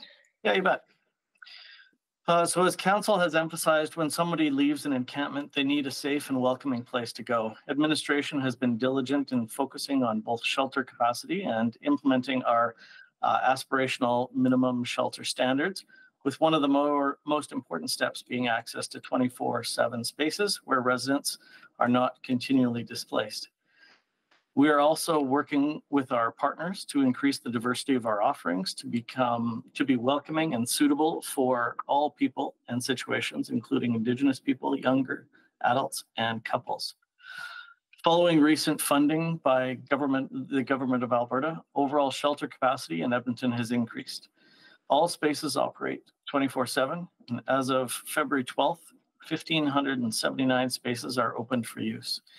In a show of additional support during the recent extreme weather activation, the Al Rashid Mosque operated an additional 50 spaces, which operated an average 74% capacity. Al Rashid also operated day shelter spaces on January 13th and 14th on a voluntary basis to support the extreme cold response. Work is ongoing related to Indigenous led shelter spaces. Despite making up only 6% of Edmonton's overall population, according to the to Homeward Trust by names list, 56% of Edmontonians experiencing homelessness are Indigenous, and the vast majority of emergency shelter spaces in Edmonton are provided by non Indigenous organizations. In order to help address culturally appropriate spaces, two separate expressions of interest have had been completed. One for Indigenous led shelter spaces and a second for Indigenous led transitional spaces. From those two EOIs, four projects are being advanced to address Indigenous homelessness in Edmonton. Two Indigenous-led shelter spaces uh, are in progress. The first is Niginan Housing Venture Stabilization Space, uh, which provides 87 spaces, uh, and they're fully operational at the old Sands Hotel site. Niginan has converted a space for shelter purposes and added trailers and pallet shelters in the parking lot. The city received notification of an appeal for the temporary development permit for the trailer spaces at Niginan. The Subdivision and Developmental Appeal Board uh, is scheduled to hold a public hearing on February 20th, 2024. Uh, and the second is the Enoch Cree Nation project at the Coliseum Inn, with 80 spaces currently open and up to 100 shelter spaces uh, will be available when fully operational. City staff are working closely with the operators to ensure that all city processes are being delivered efficiently and to glean any lessons learned from these operations. This will aid us in helping to facilitate future Indigenous led shelters. The third, uh, the multi agency collaboration or collaborative Indigenous led permanent shelter, is still in progress as we work with the sector in a collaborative effort to design what a purpose built Indigenous shelter could look like. The Indigenous led transitional space expression of interest is also in progress. By bringing together a multi agency collaborative working group, the Indigenous led transitional space draft plan is being formed. Currently, the expression of interest open space transitional space report has been developed by a consultant and delivered to the city staff and Indigenous stakeholders seeking feedback. A progress report will be brought to Council on the EOI later this year. I'll pass it on to Andre to review the current response process. Thank you, David. Um, as first discussed a few weeks ago, the city is supporting other colleagues at EPS and the GOA in an encampment response plan that introduces additional support mechanisms, uh, namely the Navigation Support Center as well as the Emergency Operations Center. The Emergency Operations Center was activated January 17th to coordinate the logistics and resources of this response and is being jointly operated with the Office of Emergency Management as the lead and Edmonton Police Services. The EOC has uh, existing resources and expertise to provide management, coordination for, for prevention, mitigation, and response activities, which makes it a natural fit for the coordination role. There are four phases in this coordinated response approach, some of which have been adjusted since we spoke with you in January. Phase one is the assessment and notice. This team includes COE staff, park rangers, peace officers, EPS, fire rescue, and we've uh, endeavored to get REACH involved in this, and they have uh, certainly uh, taken part once or twice, and we're working towards that being a more permanent fixture. Uh, occupants are given time to gather and remove personal belongings before a site is cleared, and this step uh, will continue to exist. And ensuring time together and organized belongings, belongings is a critical principle of our encampment response and one way to ensure that individuals are treated with dignity in a challenging situation. Uh, we have learned that too much advance notice of closure can expose our staff to additional risks, including the presence of booby traps, third parties on site interfering, and, and others interfering with the closure process. Phase two, site resolution. During closure and cleaning days, EPS and GOA sheriffs arrive on site to guide the closure of the site. I will note that more and more they are reducing their presence to close these sites because they're simply not required. And I see daily updates that say actually we need less uh, folks there, so they're actually taking a different approach and reducing their presence as required. Uh, the city operations crews uh, enter the site once it's vacant and begin the process of cleaning as you've seen. And then transportation, which is phase three, transportation from the encampment site is now provided through the GOA sheriffs using city ETS contracted buses for those displaced during an encampment enclosure. And individuals affected by the closure are transported to the Navigation Support Center, which leads us to the fourth, fourth and final stage or phase. Phase four, the triage and reception. The new paths help to address each individual encampment occupant situation more effectively and in a more coordinated way. Path 1 offers a direct transportation to the Navigation Support Center opened by the GOA. Path 2 is direct transportation to the Integrated Care Center, and the ICC will provide immediate access to medical and addiction services. Path 3 results in EPS executing warrants uh, and transporting individuals uh, from there. And finally, path four results when paths two and three don't apply to an individual and they decline supports offered through path one and leave the site on their own. The other thing I would add is that uh, in addition to people coming from encampments to the navigation center, uh, they are receiving drop ins, and there are a few times we have. Uh, uh transported folks from uh, some of our transit closures that, that are tied to the transit safety plan. I will now ask uh, Deputy Chief Lazenby to review some of the impacts support of the Support Navigation Center. David. Thanks, Andre. The Emergency Operations Centre is activated to support a coordinated approach to encampment closures with the Government of Alberta and Edmonton Police Services. The primary objectives are to address public health and safety concerns, improve the living conditions of homeless Edmontonians, and facilitate access to support services and altern alternative shelter via the Navigation Centre. The EOC supports approach supports intergovernmental coordination of resources and re-emphasises the importance of this strategic centre and includes twice daily meetings with all the response teams from the GOA, EPS and the City of Edmonton. The City is playing a support role. It's important to remember that the Navigation Centre, including which services are provided and which groups are supporting it, is organised by the GOA. During this operation, the City has paused its work with our key partners, such as Homeward Trust, Boyle Street and Bissell Centre, who regularly work with the City via a steering committee on our encampment response. Historically, their support has helped drive data coordination, human-centred design, planning, continuous improvement, evaluation and issues management. Although non, not directly involved in this EOC encampment response, the City continues to value these positive relationships and would explore opportunities to resume the partnership depending on future decisions and operational response. To date, closures have not been met with issues. As of February the 8th, the team had closed and cleaned 191 encampment sites. Of the 271 occupants of these encampments, over 52% of the people engaged, 143 of them, chose to accept transportation to the Navigation and Support Centre to receive assistance and support. All of these 143 people were transported on contracted Edmonton Transit Service vehicles with on-bus supports provided by the help team.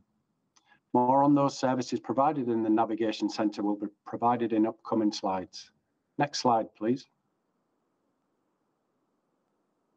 From an environmental, health and fire safety perspective, cleanup is a critical step in restoring these spaces for public use.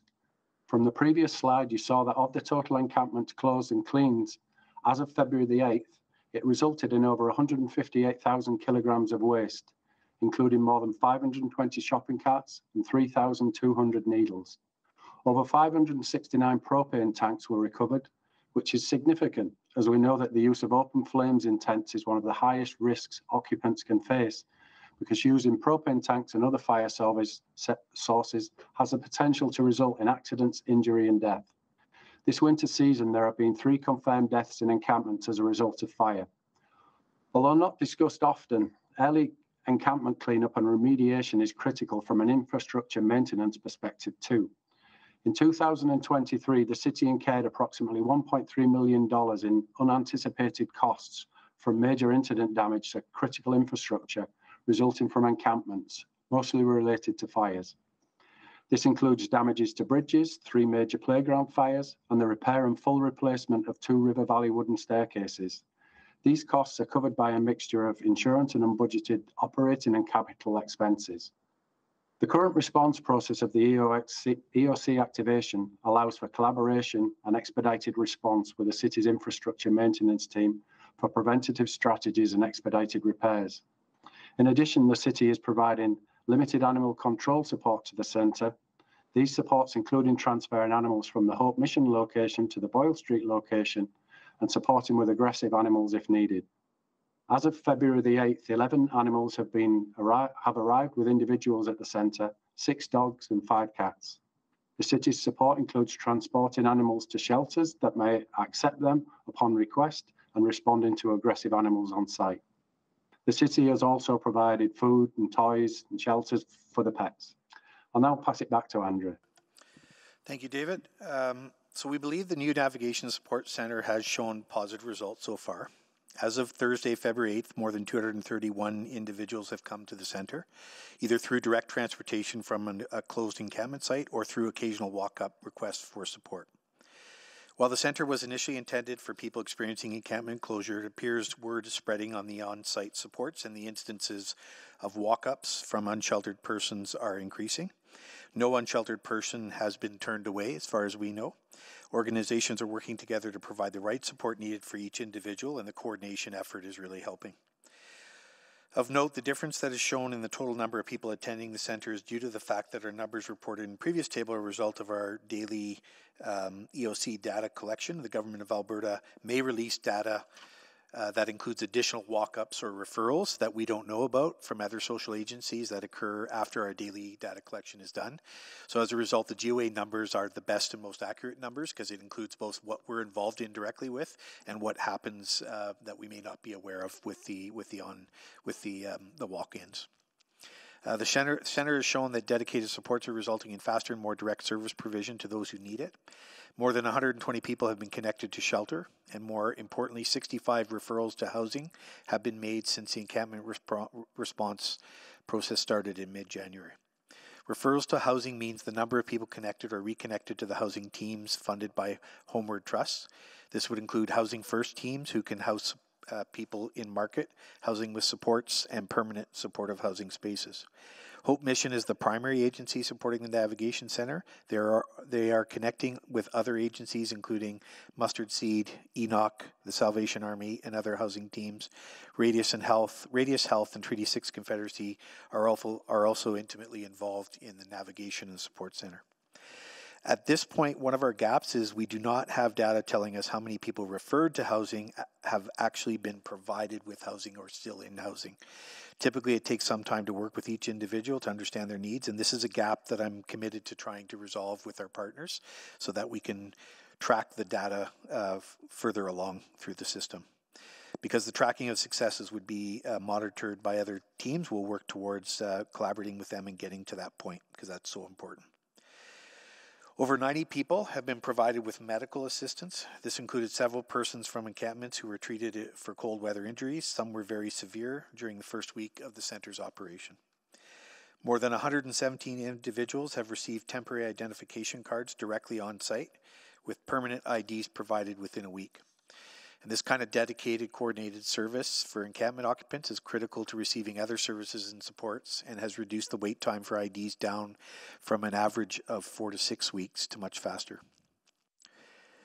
In addition, uh, over 80 individuals have been provided with transportation from the Navigation Center to other locations, most often a shelter of their choice, but also includes detox centers, friends, or families. Transportation outside the city to anywhere in Canada is also being offered, but to date, no one has yet uh, taken up that offer. The GOA is committed to reviewing the center and supporting a encampment response process after 30 days of operations to determine ongoing service provisions, and we'll definitely update council on that. And I have personally suggested that we need to continue this on for a period of time, so we, we have made that formal request. Uh, as the mayor, the mayor has discussed previously, he's convened two meetings with social services leaders who support people with lived experience. Uh, although she is not here today, Jennifer Flamin and the Edmonton Police Service attended both meetings to support the conversation. In the first conversation, the city team did review the process for the eight high risk sites, which have been updated to explicitly include confirmation of sufficient shelter capacity, oversight from the Deputy City Manager, Community Services for specific conditions, notifications to City Council, closure notifications to uh, residents and to social service agencies. In the second conversation, uh, Edmonton Police Service shared early insights about how the new four path process was working. Some of the agencies in the conversation are also part of the center and spoke to the success of having so many supports in one location to facilitate immediate uh, access to identification, health services, and housing. Although there is much work to do, there was a sense of relief that the pressures were starting to ease, as well as a sense of integration and shared purpose. This collaborative community team has identified the following opportunities for improvement, which we're committed to um, following through on. Reviewing the processes and decisions considering and considering lived experience. For instance, this is ensuring that extreme weather warming buses are operating at the most relevant windows for people as they are leaving facilities. Specifically related to the sector capacity, the groups are looking for continued communication from the city Edmonton and Edmonton Police Service to let them know when they should anticipate demand spikes so they can staff accordingly. And within the sector, they are looking for better data management processes to understand and communicate real capacity for shelters and other temporary accommodations, as well as the status of those shelters as they relate to our minimum shelter standards. Continued focus on supporting youth and other user groups who have needs that are not adequately addressed by the existing shelter system. Several of the agencies spoke to the concern that youth are the hardest to track through the system, as they tend to be more mobile between various forms of hopelessness, including couch surfing, shelters, and sleeping rough. Differing intake requirements for, for standard shelters and finally, mainstream shelters, Indigenous led shelters prefer to take smaller, more comprehensive intake volumes to allow them to work one on one with folks on their specific needs. And this means that they cannot take necessarily high volume referrals. In partnership with Homeward Trust, we are working through all of this feedback, and where possible, we're also including the feedback in our advocacy efforts with the Government of Alberta and the Government of Canada as they contemplate their next steps to support houseless Edmontonians. The mayor committed to facilitating one more conversation with the extended group once the Navigation Support Center was operational for a period of time. And this will allow another opportunity for social service leaders to provide their insights on the approach and gather any lessons learned for future extreme weather events. Homeward Trust will determine how their existing conversation tables can be leveraged as well to keep this collaborative team connected as we continue to support Edmontonians transitioning away from encampments into more stable forms of housing. So that completes our formal presentation, and we'd be happy to take any questions you have as you continue the discussion. Thank you. Thank you. Thank you so much for the presentation. Now we will open the conversation for uh, uh, questions. I'm just looking at uh, just um, So this is needed to be, uh, this is for information, right? So we need a motion on the floor. Can someone move that uh, we move to receive for information? If there's subsequents, we can deal with that later. So, so moved. Okay, thank you. Because we need a motion on the Second. floor to uh, start the discussion. Okay, Councillor Stevenson, go. Ahead. Sorry, Councillor Wright, go ahead, please. Thank you. Um, I'm just wondering, Andre, um, the, we were promised, I think, what was it, 17, 1800 shelter spaces by November 1st. Are those all in place now? Yeah, the, the 1,700 shelter spaces minimum are in place. Um, and uh, I'm just looking for the number. Um, we, as of February 12th, we had, wait a second, yeah. Um, so I actually I need to defer to Christel on this one okay. to make sure because I want to make sure we get this right. Christel, are are we there yet? Yeah. yes, I'm here. no, are there um, are the shelter spaces in place yet? Yes, that's correct. Funding for all 1,700 spaces has been provided to all of the operators. Uh, there's still one facility that is waiting to get uh, become operational, but it should be imminent. Currently, there's um, 1,559 total open. 1559. Oh, I thought that was a number that we heard back in December. So no further movement, even with these new ones, like the no, there has, there has, yeah, there has been some movement for sure because in uh, December, Enoch Shelter was only open for ten, and now they're up to eighty. Okay. Um, okay. Yeah. So most of most of the capacity that's planned for this winter has come online now, um, like with the exception of a couple um, that are not fully okay. up. Okay, so still, also- still not where we needed to be at November 1st. Okay, um, and then I'm just wondering, the need to have this separate site, you know, I mean, Boyle and Bissell and, you know, other agencies have been working with people. They've got the data, they've established relationships with individuals. Uh, You know, and I know Alberta Supports already has like people in C5 Hub, so why couldn't they be doing that same thing and providing those supports within the existing agencies that are there? I think I think that's a good question, Counselor, and I you know I I, I think what we're seeing in this uh, support center is more different agencies involved, more Indigenous um, uh, like Enoch involved in sort of receiving people. We're seeing a better coordination effort. So I, I don't know the answer to your question. Why were we not seeing that before? And I don't want to make a speculate on, on, on that as to why, but I and and I think the partners have been doing a good job. But I but what we're finding is this effort is more coordinated. I would say. Yeah, I'm just wondering why they couldn't coordinate it within existing. Um, Okay, my other question is in regards to um, the safety concerns, uh, Deputy Chief, maybe. I'm wondering if, if some of the, the pressure to, to close some of these high-risk encampments got, got to be more high risk um, when people found out that they were going to be moved? Like, Um, like with the, you know, with the booby traps and that that have been mentioned. Like, were they in place before they were notified that they were going to be moved, or were they were they put in place after?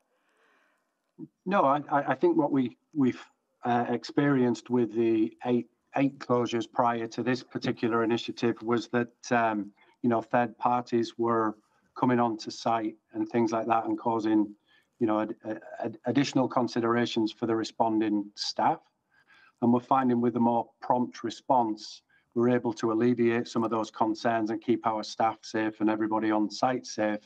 And it, and it seems to be working well, Councillor. Okay. Um, and then I had one other question. My time's running out. Oh no. Um, oh, the the total waste going to the landfills. I know in your on the slide here it said 158,000. Um, you know, can we? What, could some of that have been diverted if if people were allowed to stay there in the encampments? Like because they're just you know they're going out and finding more tents and that um, setting back up again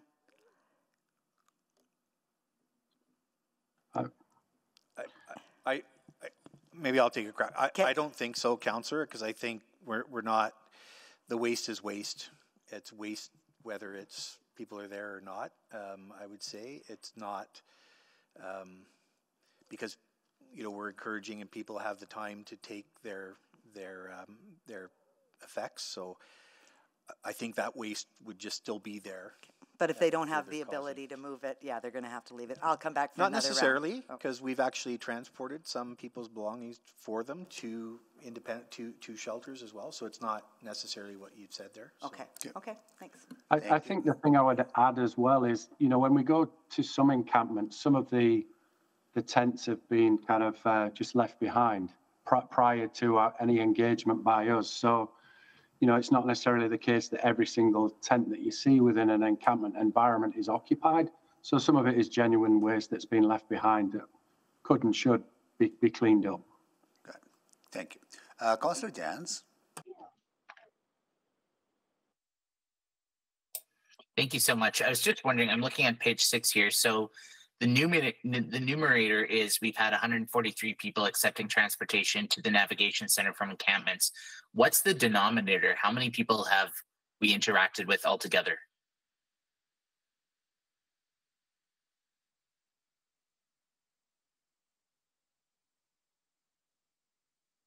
I'll take that one. So as of um, the situation report we had on February the 12th, we'd engaged with 271 occupants um, in total. That's at February the 12th, so a little ahead of um, kind of maybe the, when this slide deck was created. Um, so yeah, in total 271. So uh, as the slides said, you know, just we're, we're experiencing, and this has been fairly consistent. Approximately just over 50% of the people that we engage with are taking up, up the offer of um, transportation to the navigation centre. And Yeah, just, I'll just add, Counselor, as of today, uh, it's two hundred and eighty-two is the, uh, denominator and one fifty-two is the numerator. Right. Um, eh, this is anecdote, but just from my personal experience, it seems like I'm seeing more folks in the transit centers, and I'm certainly seeing more folks on the south side. Do we have a sense of the other 48% where they're going? Are they? Are we seeing an increase in, um, in particular, a couple of the other LRT stations I can think of are hotspots, and I can think of a transit center as well. And this David, is what I've just seen firsthand. David, can Um, you speak to that?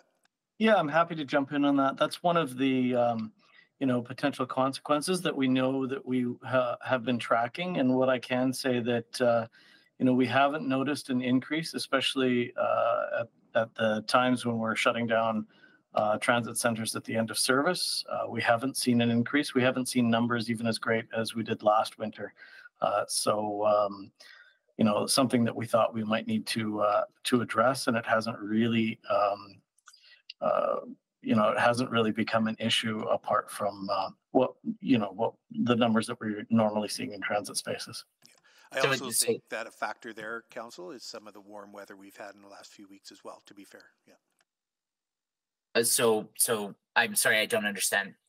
It, so, well, I'll, I'll come back. I'll come back to that. Thank you. Thank you for answering that. The um, just with regards to warrants and the other pathway, how many people have been either arrested or detained or or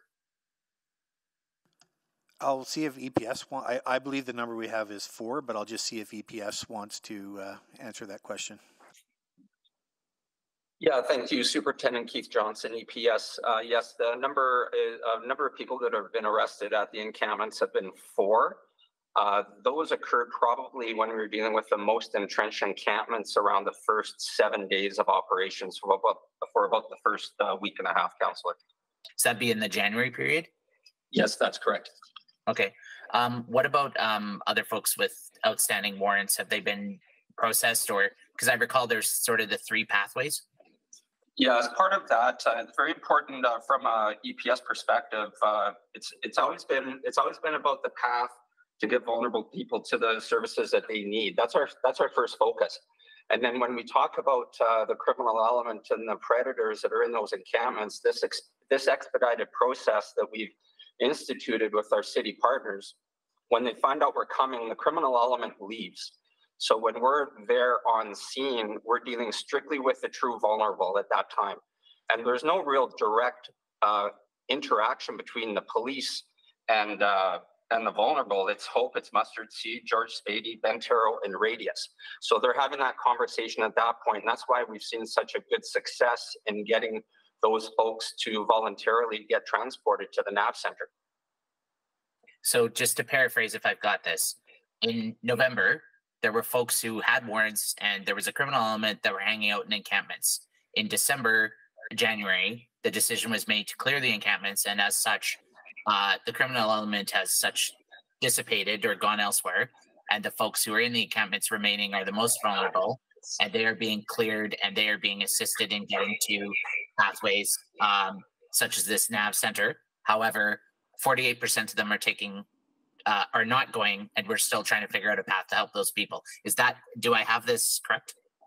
Well, from the from the criminal element piece is that yeah, we they are leaving. We're seeing some congregations. Uh, it was just noted here on the weekend that uh, there's been a lot more congregations, a little bit more on street corners in front of the convenience, certain convenience stores, where in the past is that uh, these convenience stores have been uh, targeted by our HSOC members because they are selling uh, weapons. Uh, either it's bear sprays, machetes, uh, contraband tobacco. So uh, the positive aspect of it as part of looking forward is, is that uh, now that criminal element, those predators are a lot more visible. Uh, the intel documents that I receive on a weekly basis, I'm getting more and more names uh, that we're able to uh, send to our HSOC and our downtown beats specifically, as well as our south side, uh, that they can keep a lookout for these folks with serious, serious violent warrants attached to them. Okay. Thank you, Thank Councillor Janz. Uh, Councillor Sel- uh, Stevenson? Yes, thank you. Thank you very much for the report. And there, there is a lot that's encouraging in this. So, uh, you know, really want to start off by acknowledging that. And um, did did want to get a bit of clarity though, just in terms of some of the timelines that we're talking about. So, Mr. Corbould, you talked about some of the tensions around uh, minimum notice. Um, I, I'm just struggling to understand what our notice period is and how much time we're providing for folks. Um, it, it was mentioned that there's about a 6.6 day lag uh, from registration to evaluation. How quickly are our encampments being removed, uh, or what, what's the notice period that they're receiving? Yeah, so the notice period is very different from what the, when we did the encampments of doing the few, the few days. We're not providing that advanced notice in the same way we did before, which is proving more effective because we're still allowing people all the time they need to, to collect their things. But um, as I indicated, that was a safety issue for staff in many ways. So, yeah, I'll just see if somebody wants to um, advise exactly what notice is being given, maybe perhaps from EPS?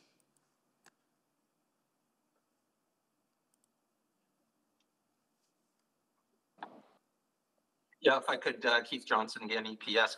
Yeah, if we can speak about the process, the, the 48, 48 hours notice is, is something that has really created a positive impact. Uh, the, you know, we know through the 17,000 complaints from 2023 that Edmontonians do not want encampments. But we also know that Edmontonians want us to deal with these encampments in a very compassionate way. So with the 200 plus, uh, 200 and I believe 61 uh, nav center that's uh, that have gone to the nav center uh, since the uh, since this project has started are 261 that would not have attended. Uh, there would be much less people accessing supports. So moving forward is is that this is nothing but a positive, uh, a positive initiative because again we're focusing purely on ensuring the vulnerable people are getting access to services and on a secondary level, decrease in crime and disorder. I can speak that we've seen a marked decrease sure. in the number of occurrences in the past month. Yep. And then lastly is identifying gaps in services as well. Yep. Yeah, thank you for that. So just just to clarify, so encampments are being provided 48 hours notice before they're removed? No. No. No, no, just just to clarify that we're we, have reduced that time frame because, as, as uh, my colleagues have indicated, because of the concerns around staff safety, and typically now it's same day notification. So we're giving people ample time to collect their belongings and being provided with totes to gather together those belongings, and then those are transported with the individuals to the navigation centre. Um, so we're trying to strike a balance between staff safety and allowing people time to gather their belongings together and then being offered transportation to the centre. Okay, well that that provides clarity. I'm wondering, um, maybe to both EPS and then to our city teams as well. Uh, what do your teams do if they come across an encampment that hasn't yet uh, been been assessed?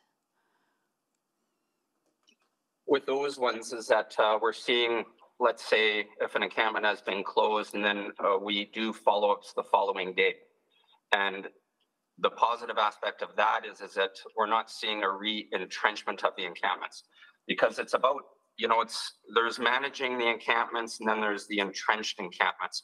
And that's where uh, the whole initiative, the expedited process of closing the encampments, uh, if we're able to reduce the entrenchments, that allows us to a uh, deal with the, uh, the the violent piece, the violence piece that has been occurred in the past, the less fires, uh, the less stolen property, um, the assaults, the human trafficking. I mean, I, I could go on and on. Mm-hmm. Uh, but the aspect of that is, is that we do have them encouraging them to uh, uh, to pack up and go to a place where they can uh, access services. We're seeing that now in a few uh, instances where you'll see an encamp, or sorry, you'll see a tent, not an encampment, but you'll see a tent, maybe in a back alley. It's late at night, where uh, someone is there sleeping, but following up the next morning, 9 a.m., uh, that individual uh, is packing up the tent, uh, cleaning, and then moving on to uh, what we hope to be uh, one of the day spaces where they can where they can access, you know, all the services that they require. that's a marked behavior that we've seen. Thank you. I'm just running out of time, but I'll come back just to, to understand that difference between encampments and, and individual tents. Thank you. Thank you, Councillor Knack. Uh, thanks, Mayor Sohi. Uh, well, actually, maybe I'll I'll ask a little bit about that. I just wanted to to get a sense, uh, similar to Councillor Janz. I, I um, was out door knocking over the weekend and, and held a community town hall uh, about a week and a half ago in, in the West End community.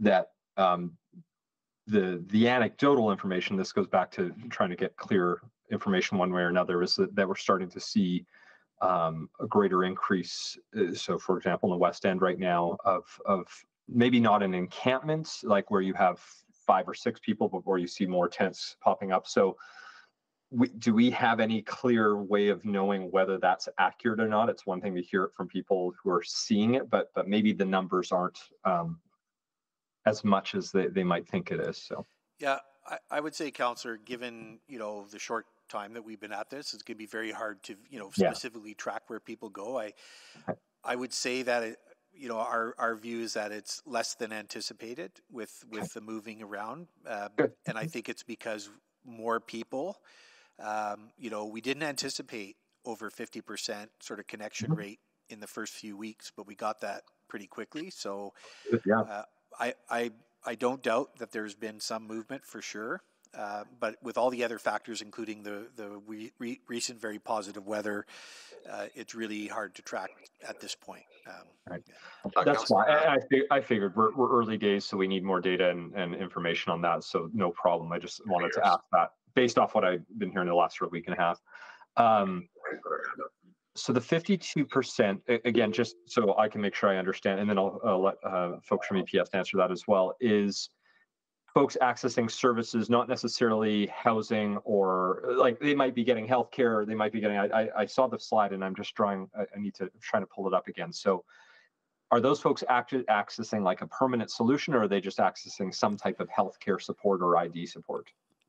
Yeah, I mean, it depends on the different individuals, and um, and I think, like I said, one of the ga- the data gaps for us that we need to close, I think, with the help of Homeward Trust and others, is what happens after the referral. So 65 as of Feb- February 8th were referred to housing. What I can't tell you is how many of those 65 are actually in housing this morning, and have they successfully transitioned? That's a gap for us that we we are very committed to to uh, to building and understanding what's happening with those folks. Which, uh, but but we're not there yet. Understandable. Again, yeah, that's fair. That's that's good. Um, just uh, wanting to remind myself, I, I know the with the provincial funding to get us, and we'll be at that 1700 very soon, as as we heard from Ms. Kjenner uh, recently. Um, are all of those 1700 now completely permanent? Just to do, or, or what what number will be permanent on an ongoing basis here? Um, I don't. Has the province told us that yet? I don't think we know that for sure. I I definitely believe that, and I've said this before publicly. Once we once we build the 1700 spaces, once they're operational, once we get used to them, unless we start solving the homelessness issue, I think it's going to be very difficult for those spaces to be taken away. Taken away. I mean, the reality is, as you know, there was a, there was an imbalance, and I think um, again, much credit to the data chase all, all our teams did. We we finally got agreement and clarity on the actual data, and as a result of that, the um, the province stood up their shelter spaces. So I think, Councillor Knack, that as long as we maintain accurate data and we continue to talk with the province about what the actual data is, I, I don't see they would reduce those spaces. But it's not a guarantee, and we we definitely have to make sure we're continuing to have those conversations. The fact is, those spaces are being used, and so I don't see why we would reduce them as long as they continue to be used. Okay, great. Uh, the last question I, I had, and sorry, I might have to come back around because I know EPS wanted to answer, but uh, just to jump in is, um, so let's assume, because I know we had our, our report, 1,400 to 1,700 permanent supportive housing units required. Um, how many spaces are open today? So somebody goes to the reception center looking to get into a recovery bed, looking to get into a supportive housing unit. We, we touched on the, the number of folks looking for referrals. How many spaces are open today? Do, do we have that information from the province? Uh, you know, I know there's a shortfall overall, but but I'm curious if if 50 people showed up to the reception center today, would they all have? Are there enough spaces that they could go into recovery bed or housing, or are we are we waiting to address that backlog right now as well?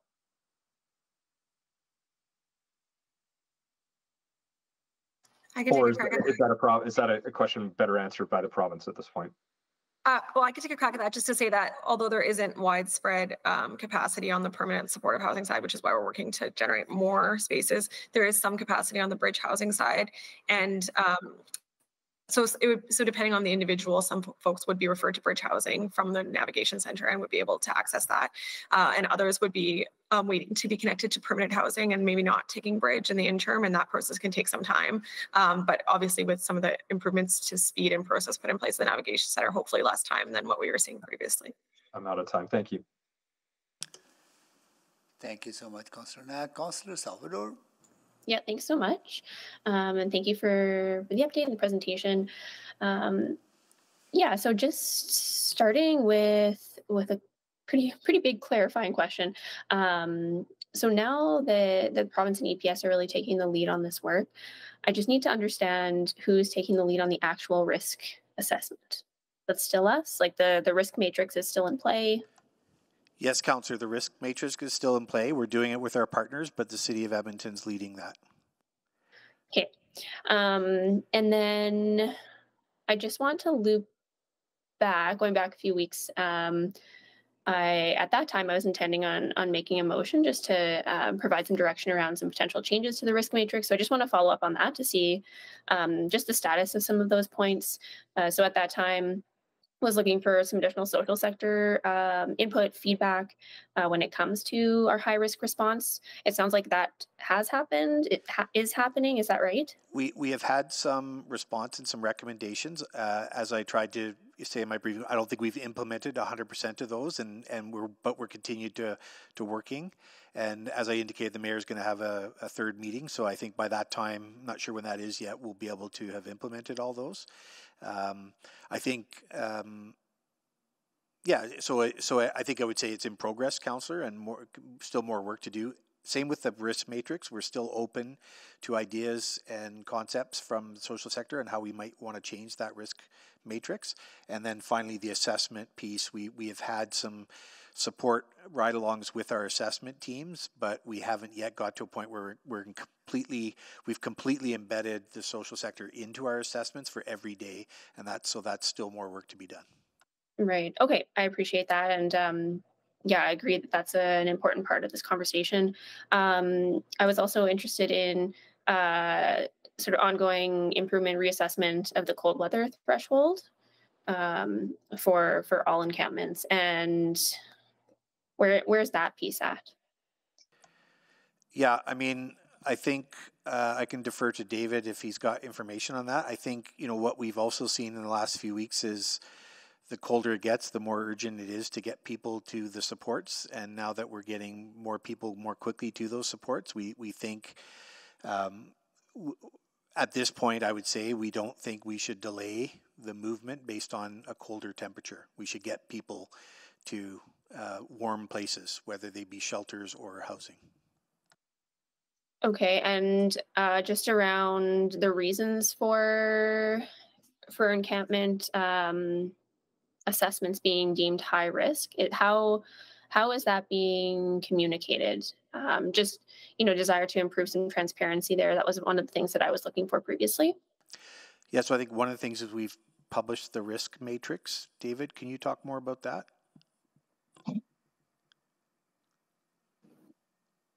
Lazenby or Jones? Sorry, Jones, I thought, but yeah. in your Uh, acting capacity as DCM of Community Services. Yeah, you bet. Um, so we are we are continually, as Andre said, we are continually taking feedback on that risk assessment, that risk matrix, um, and uh, certainly uh, evaluating things that came up through the lawsuit as well. Um, but uh, with respect to any changes, that's going to be, you know, it'll take some time. Um, so, sorry, can you repeat exactly what you're that's that's that's helpful. That's good. And I'm just looking at my time, so I do want to ask a slightly different question with my remaining minute. Um, yeah, switching gears a bit. So the Indigenous-led transition space, the EOI, that's uh, that's been advanced for I think it was four projects. I I just need some additional detail. Like what what can you share about those four projects? I know um, they were they were in bullet points high level here, but uh, yeah, what what else can you tell us?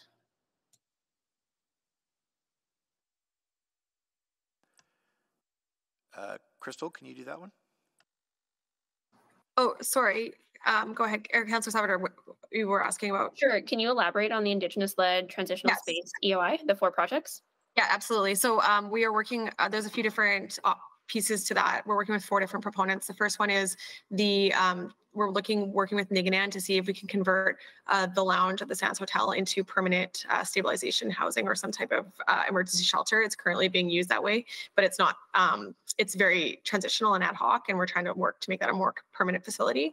Uh, another piece that we're working with is on uh, the a potential outdoor solution or a solution that would inco- incorporate some type of um, you know like a tiny home or sort of a, a different type of solution um, that's incorporates a land-based component. And that's being um, worked on uh, a program that's being worked on with uh, an architect that we've retained and, the, and a bunch of groups that came forward in that EOI as per council's request that we include that component to it. So we're working on a program for that right now and there will be a report on that completed shortly. Uh, the third component is there is a, another group of stakeholders that's come forward to support designing a program for an, a purpose-built Indigenous-led shelter. And so we're working with them to um, come up, just started that, starting that work now, do the program for a building so that, that would inform things like location choice or costing and that sort, and that sort of information. Um, and then the last one is just continuing to keep a, a line open with Enoch because uh, they were the fourth proponent that had submitted and they're working on the shelter at Coliseum Inn and we're just um, there to support them in terms of seeing you know how that process goes and seeing what their future might be in terms of shelter delivery if they want to um, continue in that arrangement or go in or move into a different direction. But either way we have a line open with them that we're uh, you know engaged in communicating with them to see how we can be supportive. Okay thanks thank you council salvador councilor rice can you take the chair please uh, yes. Thank you. I'll just follow up on that, Christel. So what, so what, what are the kind of timelines on, uh, on, on figuring out these four proposals? Um, so we are planning to come back with a report uh, to council or committee later this year. Um, I'd say like mid this year, so towards the summertime. Like I said, we just are, we have a draft report from the outdoor component, and now the same architect has been retained to do the program on the purpose-built shelter piece. So we need some time for that process to go through that process. Uh, we had hired an Indigenous architect to do that. And so we're hoping to be back um, around summertime this year with that report um, with more information. And we also have a third uh, consultant that's working on the costing and planning for the Niginan stabilization piece. So that is work is well underway as well, but it just mm-hmm. needs some time got to it. complete. And so we're hoping to be back um, in spring, late to summer this year. Okay, got it. Uh, on the, I think we also had, uh, uh, I think our goal to house close to 1,000, no, 100 people uh, as part of encampment uh, clearing that we committed to earlier on, right? So how are we doing on that? Uh, uh, well, yeah. So, or, so we had the Project 100, which was a partnership with Bissell and Homeward Trust, where we were seeing if we could house 100 people from encampments through the summer. Yeah. And uh, Bissell did hit that target. Uh, it was slightly later than uh, than targeted, but um, I think it was towards the beginning of October they completed the permanent housing of 100 people out of encampments uh, so we, over so, the summer. So we met that target. That's that's great. So uh, uh, is there is that target kind of continuing? I know we said housing 100. Now that was done by October. Now we're here in uh, in February. We are still clearing encampments. Navigation center is absolutely. Uh, uh, producing results and a very good addition, and we appreciate that. So, so are we kind of like how shouldn't be setting more targets of housing people part of this uh, uh, this effort? Yeah, so the goal with the the Project 100 was to really focus um, everyone's collective efforts on this mm-hmm. target so that we could identify um, gaps and challenges to that process and then work systematically to target them. And so there was, um, yeah, quite a bit of learnings from from the pro- from the project. Uh, I think it's always good to have a goal because that helps to you know um, highlight. Uh, yeah, what, whether what, you're meeting expectations yep. or not. Um, so I think I, for sure the housing teams all have monthly goals, um, but I would expect that the sector will do something similar to this again in the future okay. uh, because it's, it's, part of the regular continuous improvement processes that um, Homeward Trust. And what I would suggest, Mayor, is the goal should be the the people that were were are getting to the center for supports, the 231 people who uh, that we have so far, that should be our target. Mm-hmm. 100% of the people that get to yeah. that navigation center, uh, that should be the target for people who get Every, into housing. Every, so making sure everyone is get get support to permanent long-term support for housing, correct, addictions recovery, and all that, right? Yeah. So you know, we we know we've done 65 referrals out of the 231. So I think I would argue that we need to up the game, and yeah. we, that the referrals we need to do more referrals to the. But again, people have a choice. Yeah. We can't force them to be referred. No, you can't. Yeah. Uh, just two EPS. Thank you so much for uh, for your work. Um, did I understand you correctly, or maybe I misunderstood, when you go out there, engagement, engage with encampment residents before they're asked to move. You said you said hope, mustard seed, and radius are there, or or did I understand, uh, did I understand you correctly or not? Uh, thank you, Mr. Mayor. Yes, uh, there are help navigators uh, that are at the uh, encampments when they're being uh, disassembled at that time. So with our help navigators, that is uh, Hope Mustard Seed, Spady, Bent Arrow, and Radius. Okay. So they're there with EPS. They are there. We're we're essentially behind them, but yes. Okay, I think that's very important information. That is not like I did not know that. I uh, I think it's very important information to uh, to communicate that it's uh, that social supports are there when people are being uh, you know asked to leave or you know go to a navigation center. That's correct, Mr. Mayor. I mean, this goes right back to when Chief McFee first arrived on the formation of the uh, Community Safety and Wellbeing Bureau. Our navigators uh, play an integral integral part in the uh, in our bureau. Everything from uh, an encampment issue all the way up to our uh, integrated offender management and our prolific offenders as well. Uh, they're very, very valuable uh, to our organization. Okay, thank you so much for that. Uh, I will, sorry, I will take the chair back and cons- go to Councillor Rutherford. Thank you, Mayor Sohi. Um, I guess just on this conversation, you know, since December and January and, and in reflecting um, for me, I think about that report in April 2023 where we approved the encamp- encampment approach. And two key outcomes were discussed in that encampment approach.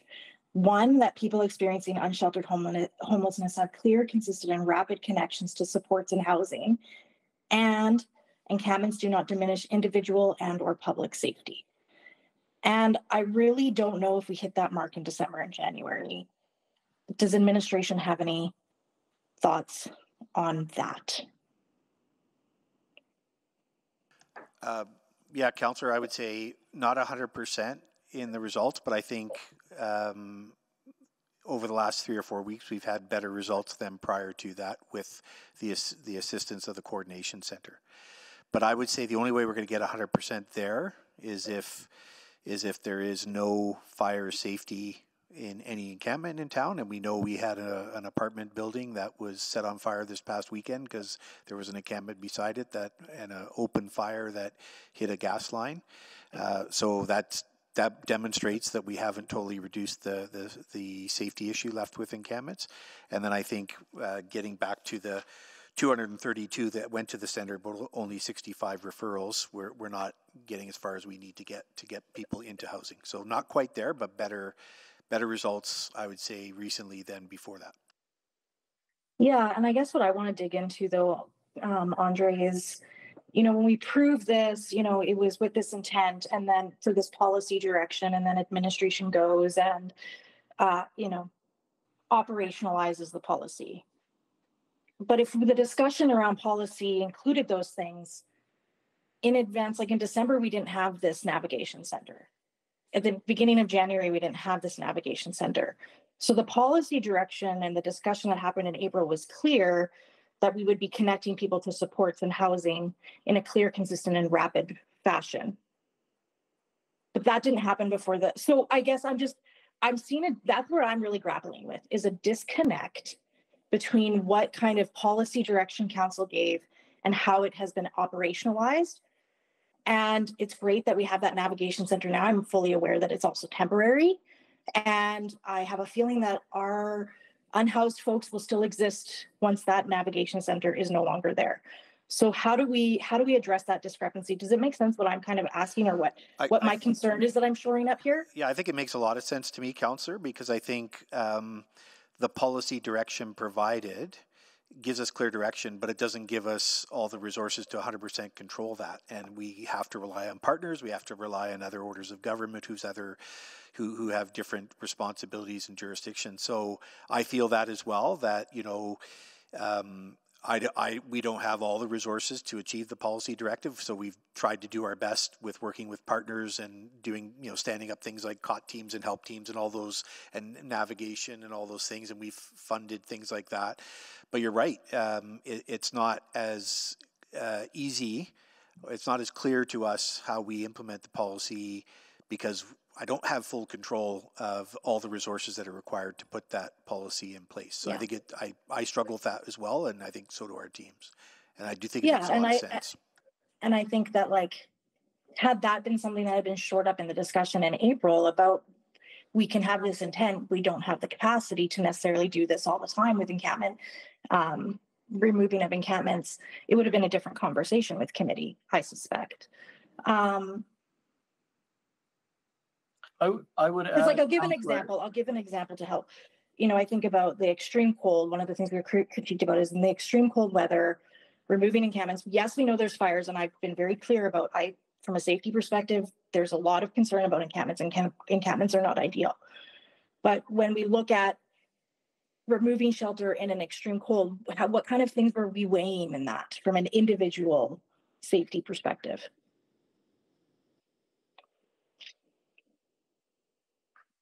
Well, I, I would say what's mostly driving where we're going is wanting to prevent people from getting frostbite and you know some of the Mhm. injury, some of the extreme injuries we've seen. Um, so getting them to a warm place first of all, right? Okay, I'm out of time. Thank you so much. I think David, you want to, David You want to Yeah, add something? yeah. If, if, if I may just uh, respond to the, the councillor's comments there around safety, I, I think uh, Jennifer Flaman shared this statistic, and it depends what homeless number you use, whether it's 3,000 or 1,500. But somebody in an encampment is at least 111 times more likely to die in a fire based on last year's fire fatality statistics that we've sadly experienced. Um, so, you know, the vulnerabilities that they face is significantly more than other Edmontonians. So, you know, I can't look any of you in the eye and say we just can let these things continue when somebody is 111 times more likely to die in a fire than other people. It's just, it's just wrong. And, we, you know, we're trying to do something about it. And it's certainly not a perfect outcome, but neither is somebody being 111 times more likely to die in a fire. And nobody's life is worth any more or any less than anyone else's. So we have to kind of value everyone and try and do something about it. And that's what we're trying to do. Thank you. Thank you, David. Uh, Council Salvador, can you, uh, sorry, uh, Rutherford, can you move the second round, please? Sure, I'll move uh, second round on this item. Second. Here's second by Council Salvador, please vote.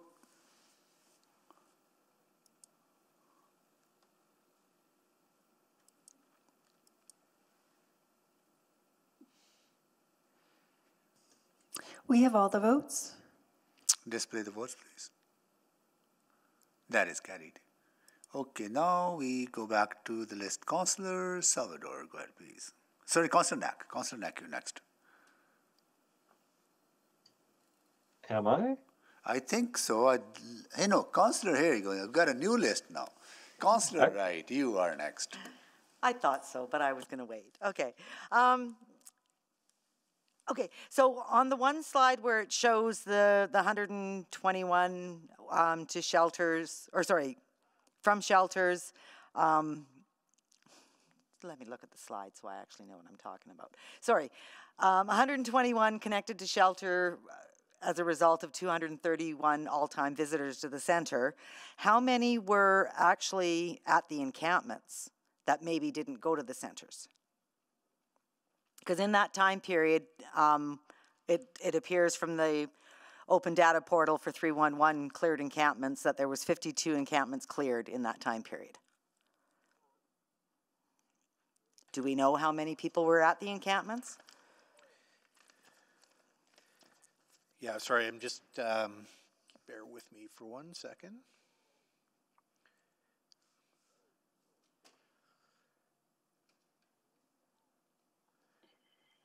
Yeah, it's, uh, Andre, I think uh, if you want, I can take that. So my, my statistics, the ones I'm looking at, Councillor, are, are a little bit more current than the slide. So I'm looking at as a um,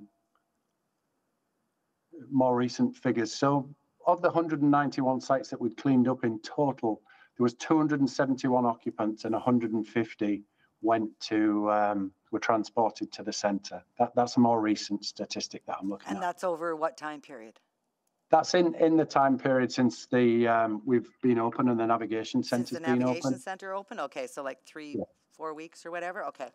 Yeah, Um, and then there's a higher number that have gone to the navigation center that didn't come from encampments that were walk-ins, so. Okay, and that's included in that 231 is not just encampments, but walk-ins and drop-offs? No, the two thirty-one is encampments. There's Okay. a higher number that have gone to the navigation center. As of this, today, it was up to two ninety-two that had been to the nav center, but that's encampments plus walk-ins. Okay, and these aren't individual unique numbers, right? So a person could have walked in, gotten a referral to housing, gotten basic health care, gotten ID and all that, right? We just can't add those up that, Correct. yeah, okay. Just wanted to double check that. And then, um, Mr. Jones, I had, um, tried to get some information and I can see how difficult it would be, um, as to the number of encampments that were cleared and re-cleared and re-cleared. Um, and going through the, um, um, the open data portal, um, to try to get that information, from December first to February seventh, um, it looks like there was about eighteen hundred and twenty-seven encampments, uh, that were reported to three-one-one, and hundred and seventy-seven of them were set for cleanup. So just going by the, the, um, the latitude and longitude of the different, um, encampments, one, that- one that concerns me is in McCauley, 108th Ave between 96th and 95th Street. There was a total of eight times cleared in that two-month period, or just over two-month period. So like, and I know we've, we've fenced off some of them, like the one at the top of Rowland Road. But aren't we just, aren't we just kind of throwing good money after bad if we keep spending money to clear the encampment and it just crops up again and we clear it and it crops up again? Well, I, think part of the strategy that we've had, going back before this new um, uh, EOC activation, has been to make sure that we don't get uh, large entrenched encampments, uh, because we know that as as soon as that happens, um, they become harder to manage. Uh, there's uh, you know criminal element that comes into them, all kinds of other safety issues that compound, uh, and so by keeping things moving, we actually uh, have avoided uh, some of the ones that historically we've had in the past. Uh, so that's been part of it. Um, and again, you know, we know that there are some areas, especially in the center core, that regardless of how many times we clean them up, it's just access to all the other uh, facilities, services, et cetera, around that makes them, uh, you know, a unique spot uh, that, that tends to attract uh, re-encampment. Okay. Uh, I- we I do just- have. I just want to, just, I just have a few seconds left. Um, you said we want to keep them moving, but, but isn't our goal really to house people? Yes, of course it is. Uh, what I'm suggesting is that we don't want to have large entrenched encampments uh, on account of all of the other risks that are involved. So it's a balancing between, um, you know, uh, the the risk assessment that we have and connecting people to um, appropriate resources. The navigation center is a great uh, op- opportunity for us because it allows us to immediately hand people over to, or you know, if they're willing to go, to have people uh, accessing all the supports that otherwise we're waiting for people to go out to encampments and connect with folks, and uh, you know that process takes longer. My time's up. Thank you, Councillor Wright. Councillor Janz? Thank you. I just wanted to get a little clarity here. So it sounds like the risk assessment has sort of been set aside while we proceed in this path, and the the decisions to kill encampments are effectively being decided by either the fire department or the police department. Do I understand that correctly? No, you don't, Counselor. The risk assessment is being followed, absolutely. Um, and then the decisions on which encampments on what day is a joint decision that the city, fire, and police are involved together in. So if okay, if we're sort of accepting that no encampment is safe, are we prioritizing removal of encampment then based on uh, fire hazard or or what? I'm just trying to get a, a sense of that. Or It's, it's, it's based on the, the comprehensive risk assessment, which has fire as one of the top uh, risks for sure. Uh, but it's all in that risk matrix. And so it's all those things put together. Okay, because I'm really concerned about our drought conditions, and I'd like to have another conversation about if we're properly looking at fire hazard in the river valley. So I'm I, appreciate the update there. Yeah. Um, yeah. Uh, curious about um, the ICC. How many folks are headed to the ICC? Path two. I'll see if EPS want to answer that.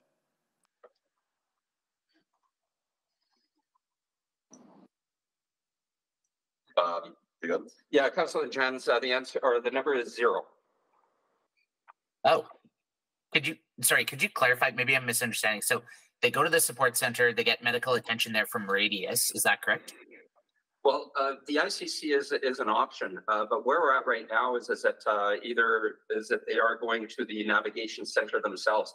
The ICC prior to the expedited uh, closure of the encampments is where uh, we would take uh, folks that were say severely intoxicated, that we would arrest them for you know, we call it a 115-2. So where they go, rather than being taken to our detention management unit up in Northwest, we bring them to our old cells downstairs in order for them. And once they're stabilized, is that they are uh, they are uh, released, and then they are met by uh, two Radius Health uh, navigators. So they would have a conversation at that time, and then uh, again, the conversation is trying to get them to utilize uh, services voluntarily. Okay, so you could still go to the ICC if you were picked up for a 115.2 on say 118 Ave or something like that, but you wouldn't end most definitely, and as a matter of fact, that's what we would. Uh, we almost want to prioritize uh, that location uh, versus the uh, detention management unit uh, up in Northwest, uh, because we're finding that it's just more beneficial for in order to access those services once they're released. Okay. Um, that that's helpful. Um, so I just want to go back to transit again. What are what are we hearing from ATU or from because just talking to drivers and talking to others, it does seem like things have gotten a lot worse in the in the last month or so. Um, I'm I'm again this may be my anecdote, but I would really appreciate some data about how many people were we're we're dealing with. I mean, I I just saw at the University Transit Center and others. I don't want to name names, but um, it does seem like there's a lot more desperation around. I'm not sure if do we have any stats or even the number of riders on the bus I've seen. For sure, uh, counselor. So I met with inspectors on Friday and did a walkabout, and I've heard from riders. And I chatted with Steve from ATU this morning definitely seeing an increase. While I appreciate David saying at lockup it's improved, that's great.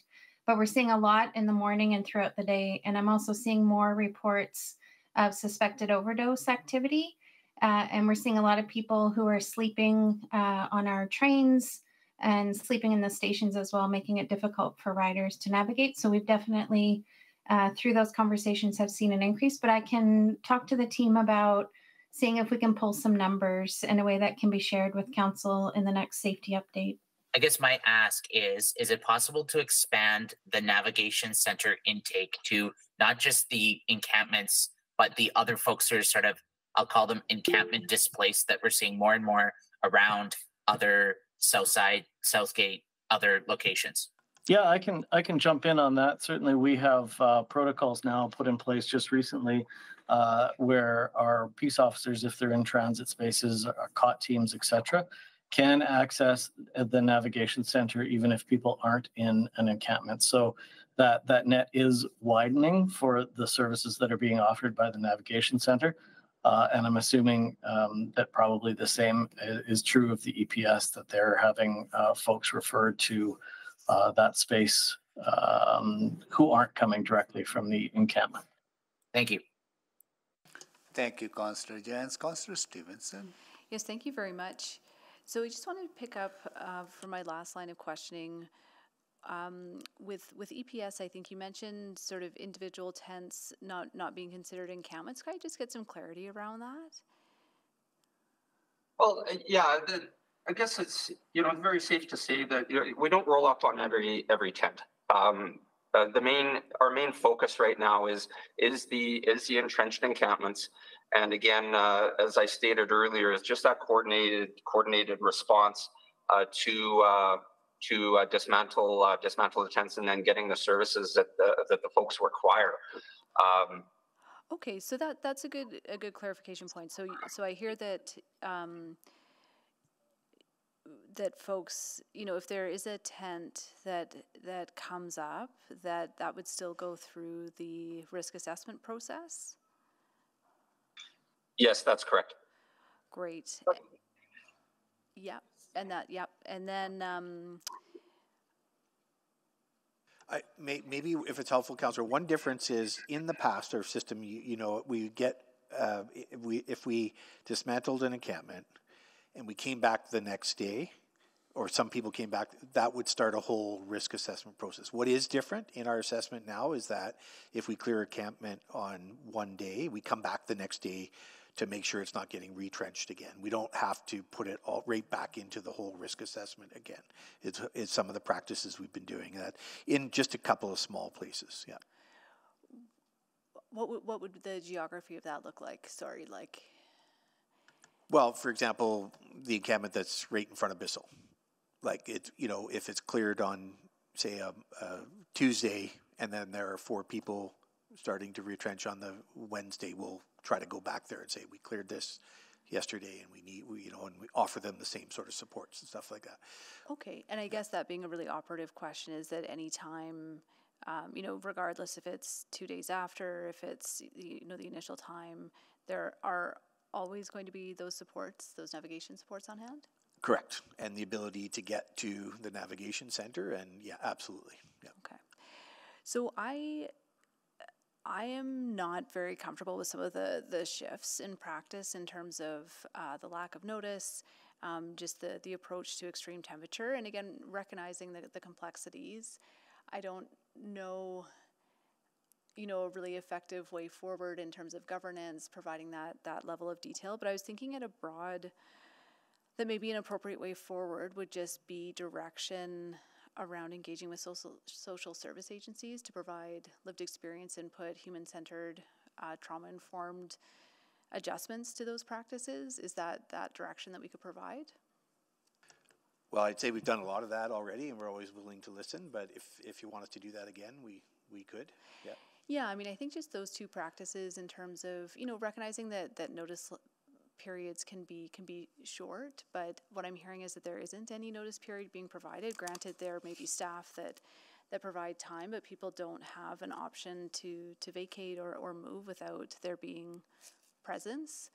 Um, and I think I think just in terms of the extreme temperature, again, there's I think there's some important perspectives that I don't know are are being incorporated into the policy. The question being, though, if we do provide that direction to have that engagement, would you be open to adjustments in those those aspects? Well, we'll follow the will and the direction of council.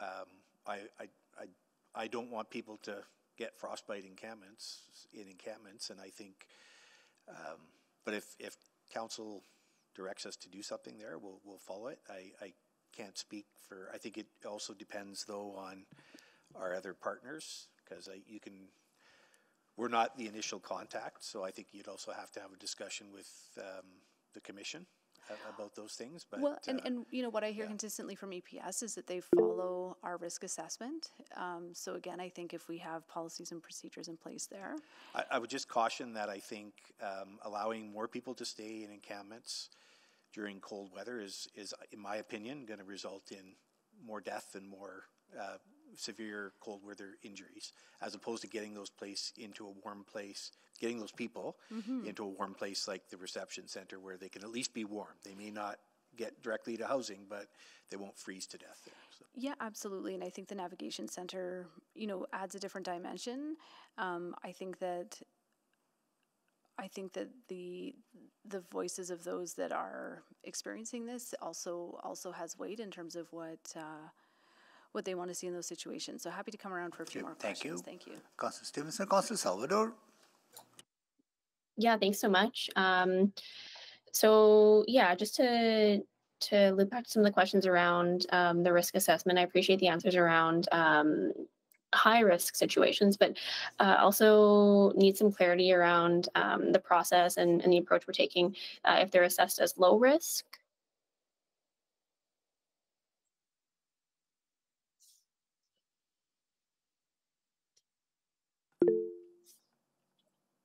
Go ahead, Troy. I'm happy to answer that. So the process remains the same. Uh, we look at a housing focused response with connection to our partnering agencies to try and assist those people uh, to get into housing in an expedited fashion. And so how does that how does that interact with the navigation center now for for low risk encampments? Well, like we're are those doing- individuals um like even for low risk are we is there a process in place that essentially uh, dismantles that camp at that time or is it a a longer process Well, it depends on the circumstance. If it's within an area where we have high activity, then obviously one of the biggest challenges we have is with recidivism. We know that people are willing to wait us out, go across the street from a site closure, then reoccupy it within a very per- short period of time. So we're trying to focus on those sites and get them closed as quickly as possible, regardless if they're high risk or low risk. One of the things we factor though in our risk assessment is the amount of site occupations, which actually encourages to be within that high risk setting.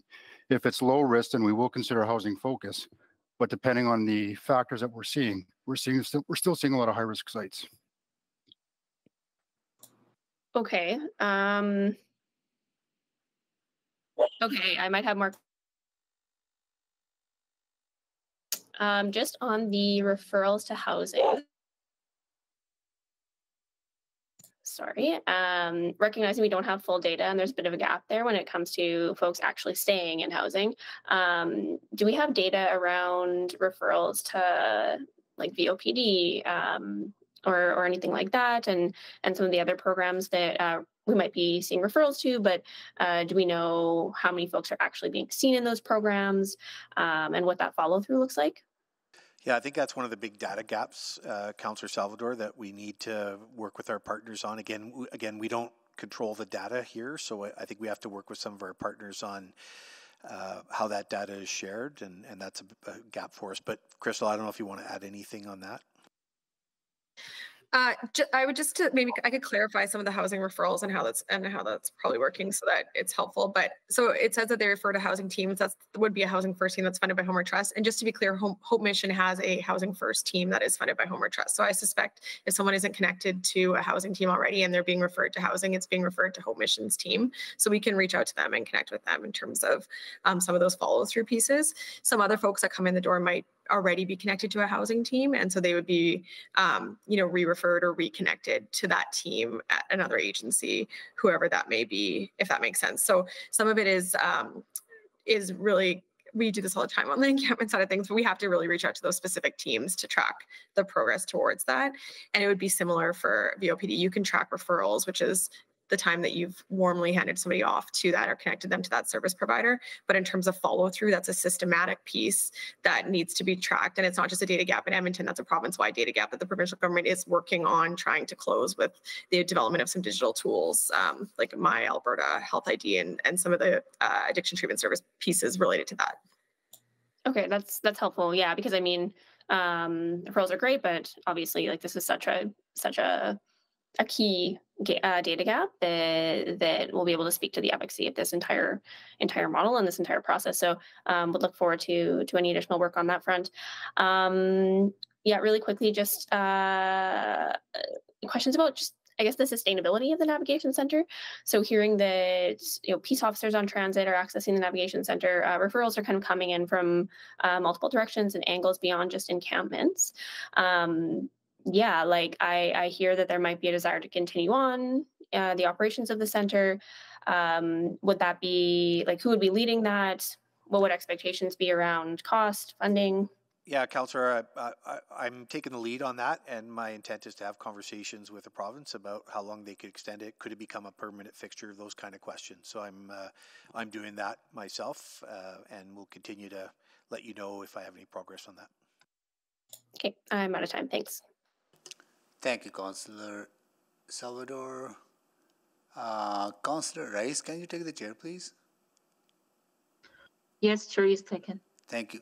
So I would like to better understand, Andre. I know we don't have the data yet, and uh, you know, and navigation center is uh, is absolutely producing promising uh, uh, results so far. Looking at the how many people are using uh, and accessing services, but I would like to understand that 231 people that were connected to our navigation center. I'm looking at the data that was presented in the in the slide. Uh, I, how many of them are actually staying out of houselessness?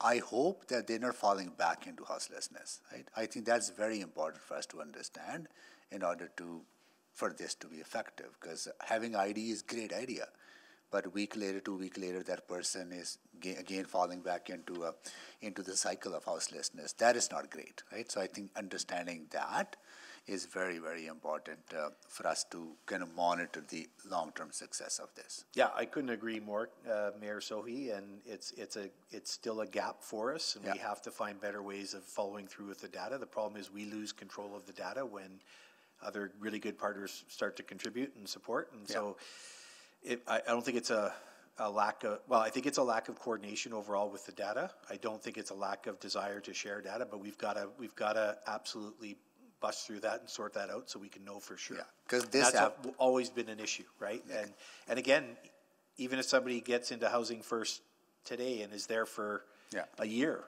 yeah.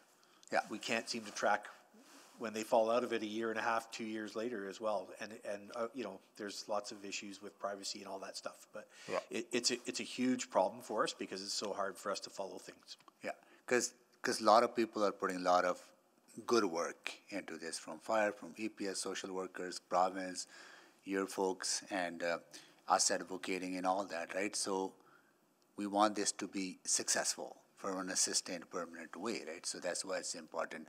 I would also like to better understand, maybe this is a question to EPS, the 48% of the um, encampment occupants where are they going? Like 52% go to the navigation center. Where are the rest going? Do we know? Do we have any sense? No. We hear from ETS some might be going to the transit centers and uh, and riding around LRT stations and all that. But do we have a sense from uh, from your perspective where where those people are going? Uh, Nook here. Thank you very much, Mr. Mayor.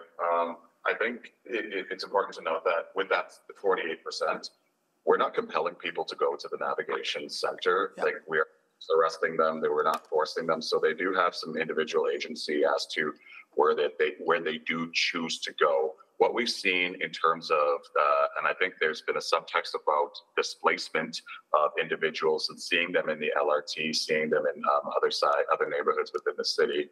Um, this has been something that has been taking place before the navigation center, probably through some of the high risk encampment team work. But what we've seen, and I think you've gotten a presentation about this, is this displacement is also from uh, gangs. And it's also from the gangs that, um, as you've heard us speak about it, there's been academic uh, research done interviewing folks who are houseless within Edmonton, houseless in the downtown, and those who use drugs, and speaking about their migration patterns. And they've been leaving the downtown due to the lack of safety within um, uh, the the particular area. So mm. when we're having, and we actually do connect with those folks with our social navigators and our partners from different agency, and to get them to the navigation center, we're really trying to propel those people who are willing and able and ready in that moment to connect there. We still do have to fill that gap of the other 48% in terms of tracking them and hopefully coming into contact with them again. But our priority is now that we have folks who are wanting these services, ensuring that we can get them to that center right away. Mm-hmm. I think that's a good point because I think there were some uh, articles published based on conversation with the people who were camping in more suburban community that were actually leaving downtown congested areas for their own safety as well, right? Because they wanted to be away from uh, congregate places and criminal activity. That's what you're referring to? Uh, this is to EPS. Like I, I don't know who is answering my question because I see can't see you, right? Uh, yeah, sorry. Uh, yes, that is what I was referring to. That that research there, getting the perspective of those who were living uh, rough or being were houseless within downtown, moving because of fear of um, uh, the the predators within um, some of the these areas. Yeah, got it. Okay. Thank you. Uh, I will move the second round, third round. Sorry. Second. Another additional round. I'll move the additional round.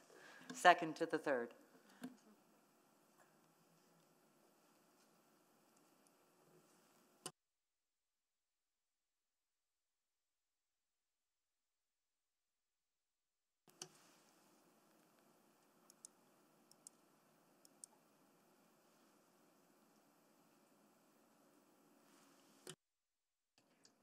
We have all the votes.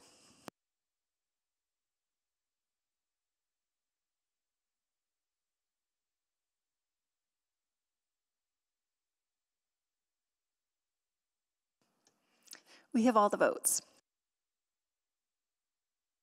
Okay, I will take the chair back. Uh, we'll go to Councillor Stevenson. Yes, thank you. Um, so just just following up. So in terms of that feedback from social service agencies, uh, Mr. Corbould, I think you did mention there was going to be a third meeting with those agencies.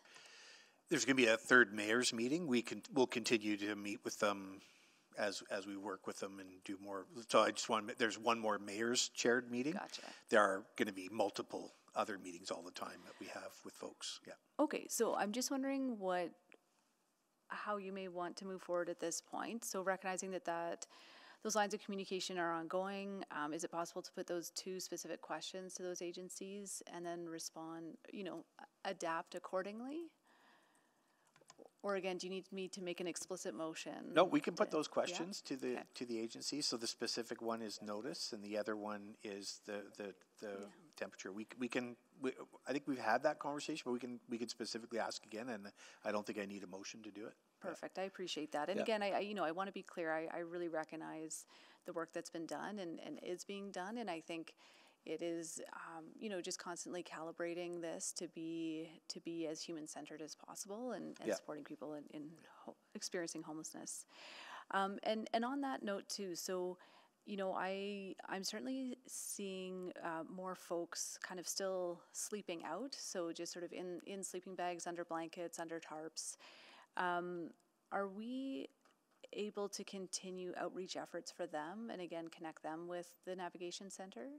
Yeah, absolutely, and I think uh, the EPS do this with their help teams as well. So I, you know, certainly, um, and if we can get the navigation center to be more permanent in, in nature, Mhm. then I think we could, you know, eventually maybe we'll be in a position where most of the most of the uh, navigation to the navigation center is not coming from encampments, but coming from other places. So Absolutely. I, you know, the bottom line is the the navigation center has not refused anybody who comes forward and presents themselves. And I'll just see if EPS want to add. If that's Please, yeah. Uh, uh, Thank you, sir. Uh, From the EPS perspective, we've also increased, uh, I guess, uh, the capacity within our organization to be referring to the navigation center. So whether it be patrol, our beats, our help teams, when we are finding folks that we believe that would be good candidates, we want to make sure that they have that offer. So it's not just going to be any high risk encampment team that is going to be the only avenue or pathway for an individual to come to that navigation center. We're ensuring that um, if our patrol members do see someone, whether they would be sleeping rough or um, they do come across someone that would be best served by getting access to those services, that they are uh, promptly referred and the navigation center is uh, set up and structured for that. Great, thank you so much. Just going to try to wrap up in my last two minutes, but appreciate hearing that. Um, and and on that, you know, I'm I you know was really pleased to have a chance to to visit the navigation center. Wondering if there's opportunities to get some of the other other agencies and mutual aid organizations into the navigation center, just so they have full information and can also help help spread the word. Yeah, well, certainly some of them are part of the operation, but yeah, we, I'm sure we can uh, help um, orchestrate that. We obviously want to not disrupt it, but we can, I'm sure we can find ways of doing that. Great. Well, and I appreciate the comments earlier about strengthening some of the data collection. I think, you know, we've sort of set up this system through coordinated access and just ensuring that we're, we're using that as much as possible with the navigation center. Um, this is actually Mayor Sohi's idea. I have to give him credit from our tour. But um, would it be possible to have city presence at the navigation center, recognizing we can provide some of the low income transit passes, uh, leisure access program? Has that been contemplated? Uh, I don't know, but we can look into that and we'll, we'll take that away. I, I don't see why not if we can't, if there's things that are required there that we can provide, absolutely. Great. And then just wondering in terms of the shelter capacity, um, wondering if we're still getting sort of regular updates on those statistics and also if there's a breakdown of capacity by site, just so we can see some of those trends in terms of, you know, where where people are choosing to to go to when they have different shelter options. Uh, we can certainly ask for that information from the province, yeah. Great. I think I think again there's there's um, data is always a hard thing to collect, but I think it really helps to inform our response and, and share, you know, demonstrate what interventions are the most helpful. I think that's it. Thank you, Mr. Mayor. Thank you, Councillor Stevenson. Councillor Janz. Thank you. So I just want to be clear on this for when we meet with the premier or government next. So I'm looking at page nine. So uh, right now we're batting 52% or so in terms of getting people into a pathway to care. And we want to increase that. The three gaps identified were the youth, the diversity of intake process, aka bringing people in from the trains or other other means stations, and then working better with some of the other partners in there. I guess I'm wondering, um, what other asks do we have? I think I heard something like we still aren't at the 1,700 beds. We need to close that gap. There's a couple hundred there. Uh, this has got to be taxing on police resources, I'm sure. Fire, I'm sure, is getting anxious about the summer drought season, the spring drought. But what are the other asks that council should be taking forward to the premier? Anyone can answer. Um, I, think we should probably take that, I mean, with respect to this encampments, counselor, or, because we have, you know, in general, I guess in general, like I'm wondering, because I've I've heard there's still, I think I heard today there was a three or four week wait time for housing. So even if we get somebody into the NAV center to match them with an actual bedroom, it's still three weeks. Is that right? Or is it six weeks? Yeah, so typical housing processes can take 59 days from the point of getting accepted onto Housing First team. And part of that is just due to um, staff, like the capacity of those teams, and also as well um, the ability of market uh, rents are within the right price bracket that can be afforded by the Housing First teams. I, I think, Councillor, best thing for us to do is take that request and, and sort of do some work on it, and and we can advise council what what the priority. I don't want to just answer that in the moment. I think we need to clarify some priorities and, and get back to you with what that ask should look like. Yeah, I would I would like to have a better understanding as well about the risk assessment conversation. Like I again for the third time, I'm very nervous about the drought in the spring in the River Valley, and that we're sitting on a giant tinderbox here. And uh, I know other councillors have flagged this as well too. So um, maybe we need to. Oh, I see. Uh, well, you may. I'll, I'll just start with that. I did speak with the fire chief last week on this, and uh, of course, we were starting to go through, go down that road of conversation when we were in our emergency management meeting. And uh, I know the fire chief is um, taking different perspectives on the risk. We're looking at different options for how we might mitigate the risk, given the increased uh, fire um, threat that we're we're facing because of the drought, including you know like you know maybe we need some of our own sort of wildfire like resources that we need to have on standby. So i know the fire chief is putting a plan together. I'm not going to ask uh, deputy fire chief lazenby to lay that out because we don't have it yet but we're working on uh, special mitigation and contingencies for this summer given the risk. Love it. Um, yeah okay well well yeah i really appreciate the presentation. This was very very helpful and and thank you for uh, thank you for sharing this Thank you, Councillor Janz. Councillor Wright. Thank you. So um, the Navigation Center takes walk-ins, right? So should Bissell and Boyle and other agencies then just referring individ be referring individuals to there for the faster service, quicker ID, better access to housing? I, I mean, yes, uh, yeah, they they can, but if they're if they can do those things as well, I think that's good as well. Well, the uh, ID takes four to six weeks through the application process that Bissell and Boyle have to undergo, but they can get it within a week from the from the navigation center. And if that's what what they need to get connected to financial supports and housing and that, and then I'm just also wondering then how do we direct how do they how do people get there? Because it is kind of away from the, sort of the central services. Yeah, just yeah, from EPS, uh, counselor, yeah, we, we would encourage uh, Bissell and Boyle uh, to give referrals to the navigation center and to provide transportation to the navigation center. Um, if there's any assistance in the meantime, we can work through that. I don't uh, think Bissell and Boyle have their own transportation services. I know Hope Mission's got vans. Mm -hmm. Is there any others? Does Boyle have? Okay. I, I think we can work with them, Counselor. I mean, we can, that's a, question that we could take to Bissell and Boyle and talk to them how about, you know, do they, do they want to do that? Can we help? Because again, we're providing some of the transportation to the navigation center through contracted services through the EPS. Maybe we can find a way to, to drop by them. So we- we'll have that chat with them and find out um, if that's what they want. The other thing I think is worth doing is, is you know, can we find a way of getting the the more speedy ID? How can we help Bissell and Boyle get some of those things done Oh, faster I- I- on site? I think that's the ideal answer, but they've been trying for years to, Well, to get first I've- that, so. First I've heard of it, so we can look into that as well. Okay, awesome. Okay, that's all I wanted to know. Thanks. I- I know that, sorry, last summer when we had our, our shelter at Jasper Place Wellness Center, or sorry, last winter, uh, they had done a- some great work with one of the local registry agents where they were sort of fast tracking ID. So I'm sure there's ways we can help Bissell and Boyle do that, and we'll, we'll get on top of that. Okay. Thank you, Councillor Wright. So that concludes the questions. Uh, thank you, everyone, to uh, the entire delegation from fire, from EPS, and city for being part of this conversation and the work you are leading. So thank you so much. So that concludes the questions now. Uh, we have a motion on the floor. I don't know if anyone wants to speak. Uh, if not, oh, Councillor Stevenson, go ahead, please. Huh? Yeah, quickly, you know, if you want, we could finish the agenda. Thank you. Uh, no, I really appreciate the conversation today, and um, you know, there there is a lot to be uh, encouraged by. Um, you know, the opening of the navigation center, I, I truly think is is uh, a game changer in many ways, and certainly a really really important piece of the puzzle that that we've been missing up until now.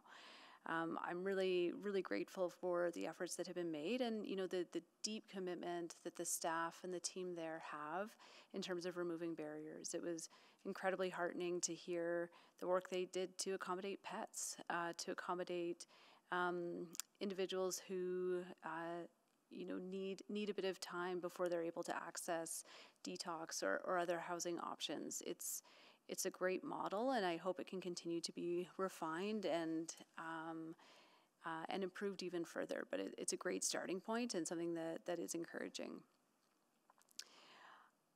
I I we also had a chance today to talk about a lot of the tensions that I think continue to exist in our encampment response and ones that that I feel. Um, you know, again, I think I think all parties are approaching this work um, you know, very intentionally and and again with the the desire to support and and help individuals. So I was really pleased to hear the confirmation that no individual tents or encampments are being removed without first going through the risk matrix assessment. That's that's a really critical uh, piece. Um, and I did also hear, though, that, that residents aren't receiving any notice before being removed, and that uh, we plan to continue removing structures um, in extreme weather, even if people are not wishing to access some of the services on offer. So I, I truly understand those approaches. Um, I, I know that there is no, no perfect answer, no, no right answer. Um, but I'm reflecting a lot on, or the reason I think this is important is that the choices we make in those moments uh, impact individuals' own journeys and the likelihood of them exiting homelessness. Um, the degree to which we can provide a human centered and trauma informed response when when encampments are being removed, I think is really critical to the the long term success not only of our efforts but for in those individuals' lives. I do think that those with lived experience and and uh, you know organizations that work closely with those populations have really valuable insights that we can learn from um, and continue to to tweak and, and improve our processes. Um, again, very encouraged um, by some of the shifts we're seeing. Very encouraged by the the diversity of shelter spaces that are being brought on. Um, again, not not the long term fix, but a critical critical element in the short term as we work to build out our our housing capacity. Um, and, and housing on the full spectrum uh, treatment, supportive housing, affordable housing. Um, so thank you to all of the partners who were involved um, and to all the city staff who are, who are helping with this work. Thank you. Thank you, Councillor Stevenson. And uh, before I go to Councillor uh, Wright, quickly also want to uh, convey my appreciation to uh, to everyone who has been part of this uh, this work, from our city staff to uh, fire rescue and EPS, social workers, people from Hope, Mustard, Radius, and others, right? So, uh, Hope Mission and uh, Boyle, you know, the people that are living on our streets, living in encampments, are not there by choice. They're driven into those situations by the circumstances that society has created uh, that push them into uh, into houselessness because of the ongoing uh, not investing enough in uh, helping people deal with their intergenerational trauma or uh, uh, many other issues that people do face because those are the reason that people get in are pushed into in, into this in these these situations.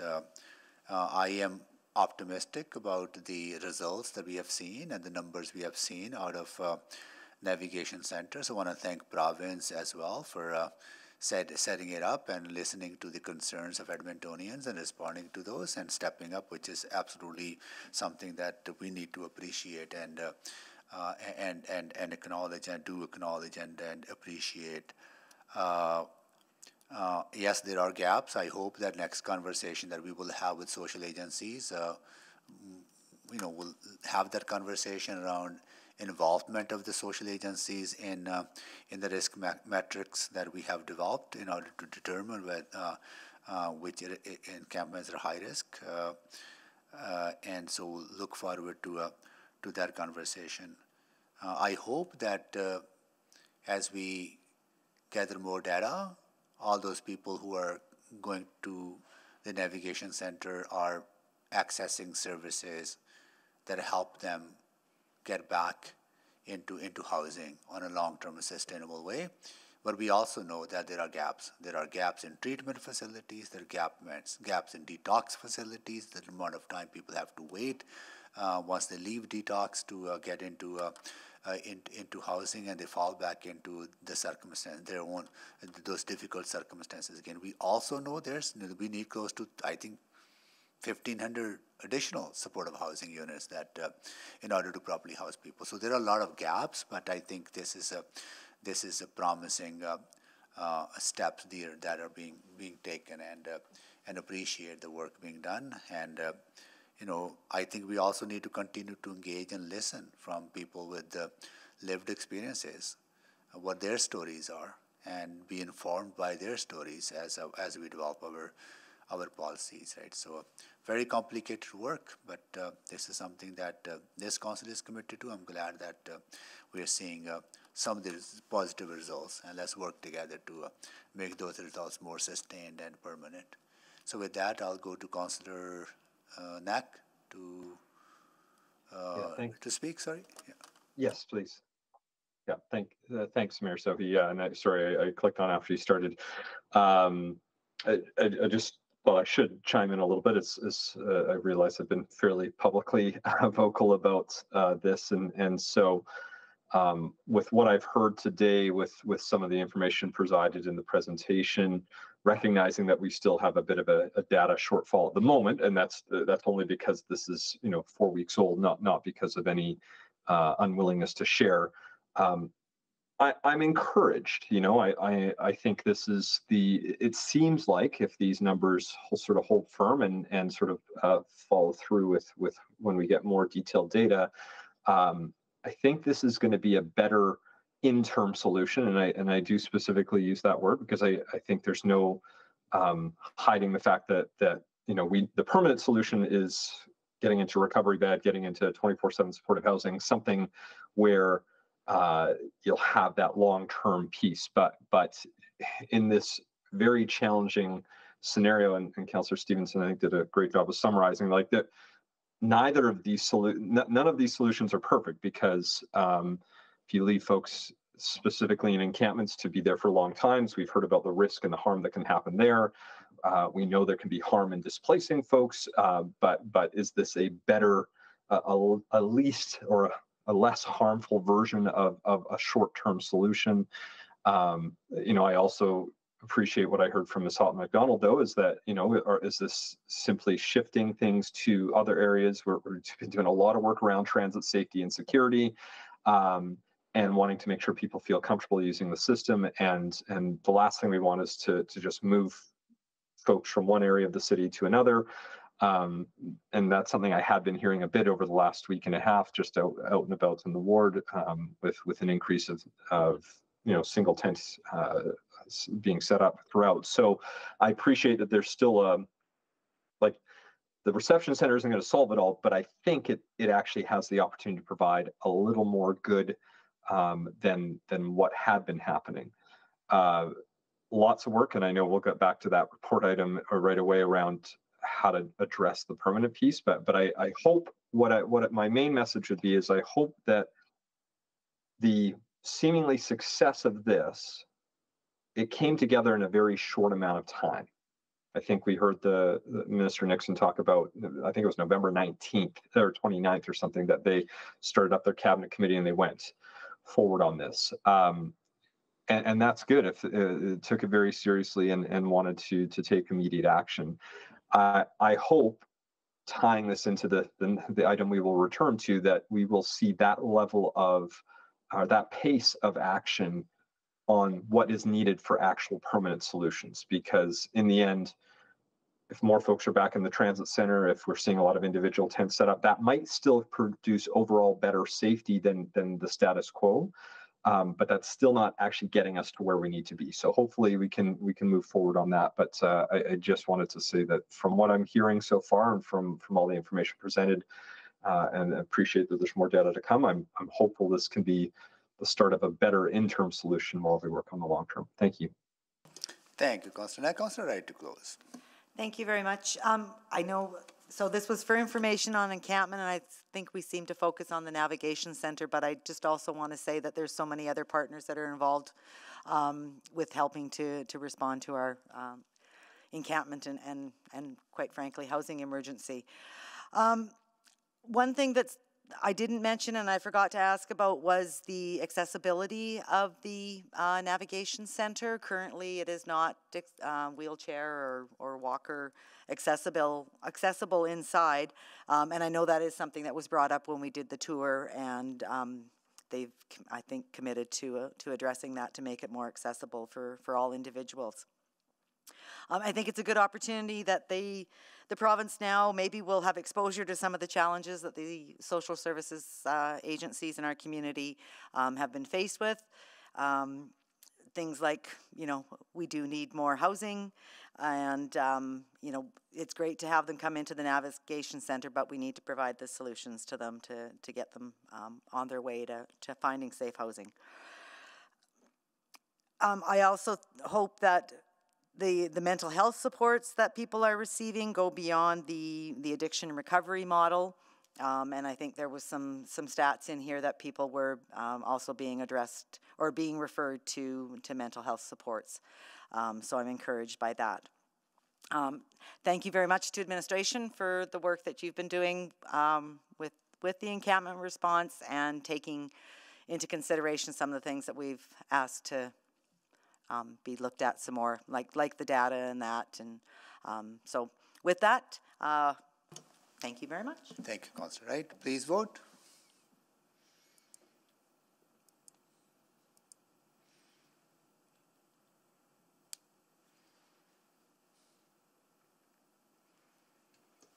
We have all the votes.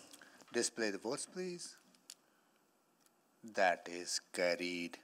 So on the bylaws that I exempted 6.4 sorry 4.4 or 4.5 i got the answers uh, the clarification i needed uh, from administration already right? So i don't need to uh, i don't have more questions on that. Does anyone else have any questions? If not we can bring it forward and pass it for oh uh, uh, put, put, put, put for vote? Yeah we need to bring it forward right Yes. Can someone move that we bring forward four I'll move. Thank you. Second? Uh, Please vote.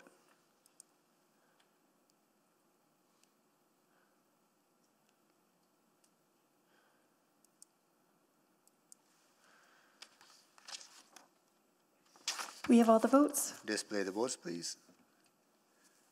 That is carried. Councillor Cartmell, you want to move those? Uh, Four, five, four, four, four, four, four, five? Uh, yeah, Mayor Sohi, I can do that. I will move first reading of items four point four and four point five. Thank you. Second. Uh, Councillor Salvador seconded. Go- Councillor Rice? Okay, hard to Yeah. Okay, Councillor Rice seconded. Okay, all right. Okay, please vote.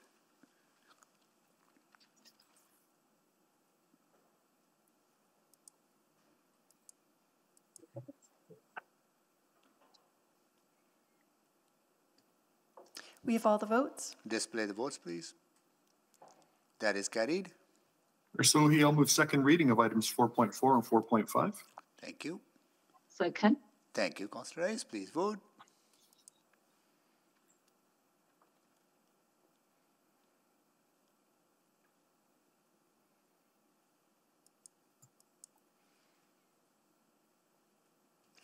We have all the votes.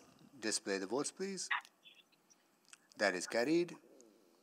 Mayor Sohi, I'll move consideration of third reading of items three, four point four and four point five. Second. Please vote.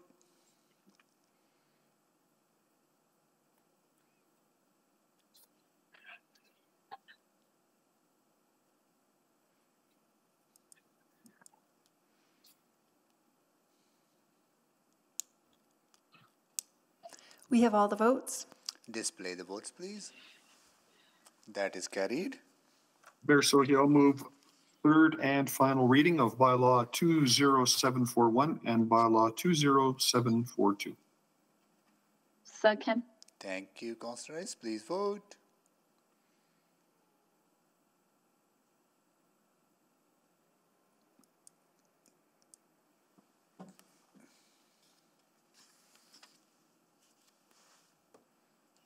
We have all the votes. Display the votes, please.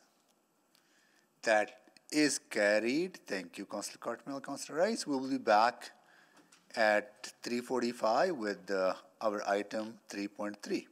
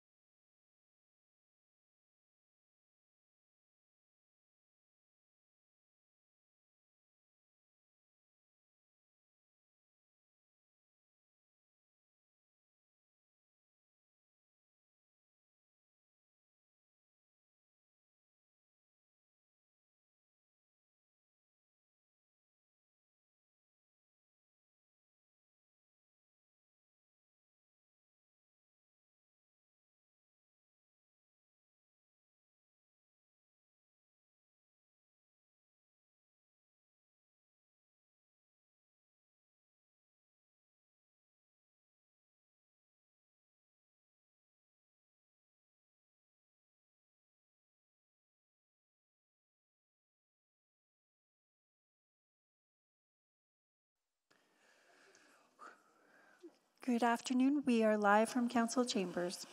All right, we are back. Would like to call this meeting back to order. Do a roll call of council colleagues. Councillor Wright, Good afternoon.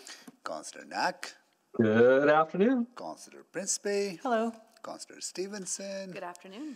Councillor Paquette, Good afternoon. Councillor Tang, Councillor Hamilton, Good afternoon. Councillor Rutherford, Hello. Councillor Salvador, Hello. Councillor Cartmell, Good afternoon. Councillor Rice, Good afternoon. and Councillor Janz. Good afternoon. All right, we're back on three point three. And Councillor Salvador, you're next to ask questions. Great. Uh, thank you so much. So yeah, I just wanted to to loop back to some of the items under the direct investments um, opportunity, and um, yeah, I picked up the one on the one around developing a thousand units on the spectrum of housing solutions, uh, each in Blatchford and Exhibition Lands. Uh, I guess that one is very exciting to me. Um, but just to, to clarify, I mean, would that be sort of above and beyond the 16% affordable housing target that we already have established there? Just curious what the thinking was there, because I think there's a lot of potential.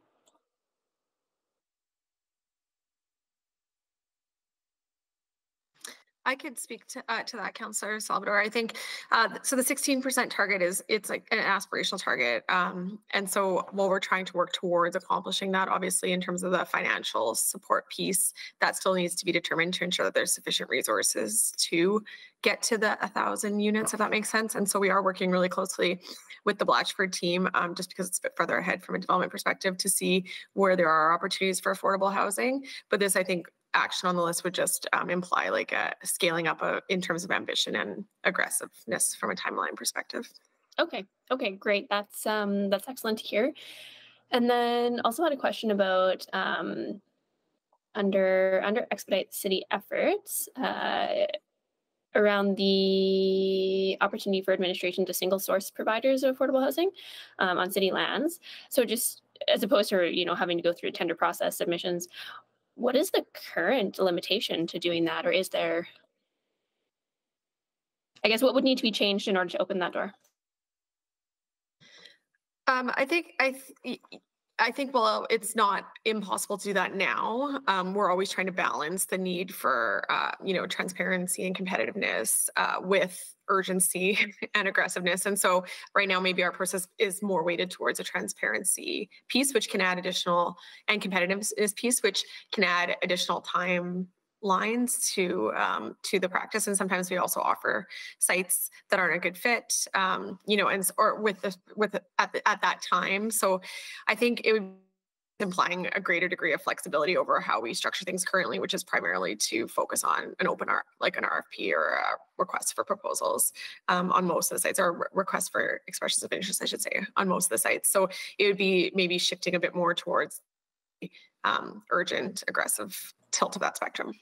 Okay, that makes uh, a lot of sense, and totally respect um, the need for for transparency and sort of um, how we've typically leaned a little bit further in that direction. But I, I think this is a lever that would be um, really exciting to push on uh, for folks who are and providers who are just ready to go um, immediately if we're uh, intending to move with some urgency here. Great. Um, and then I think the last one I wanted to ask about, I think it sort of crosses over both on the expediting city efforts, but uh, red tape reduction and reducing costs for providers. I'm thinking about um, like kind of a catalog of pre-approved designs. I, I think that's a fascinating idea. I know other jurisdictions have uh, have played with that. Have we ever done anything in that realm? I'm thinking like even basement suites, garden suites, or would this be kind of a new direction that would be exploring?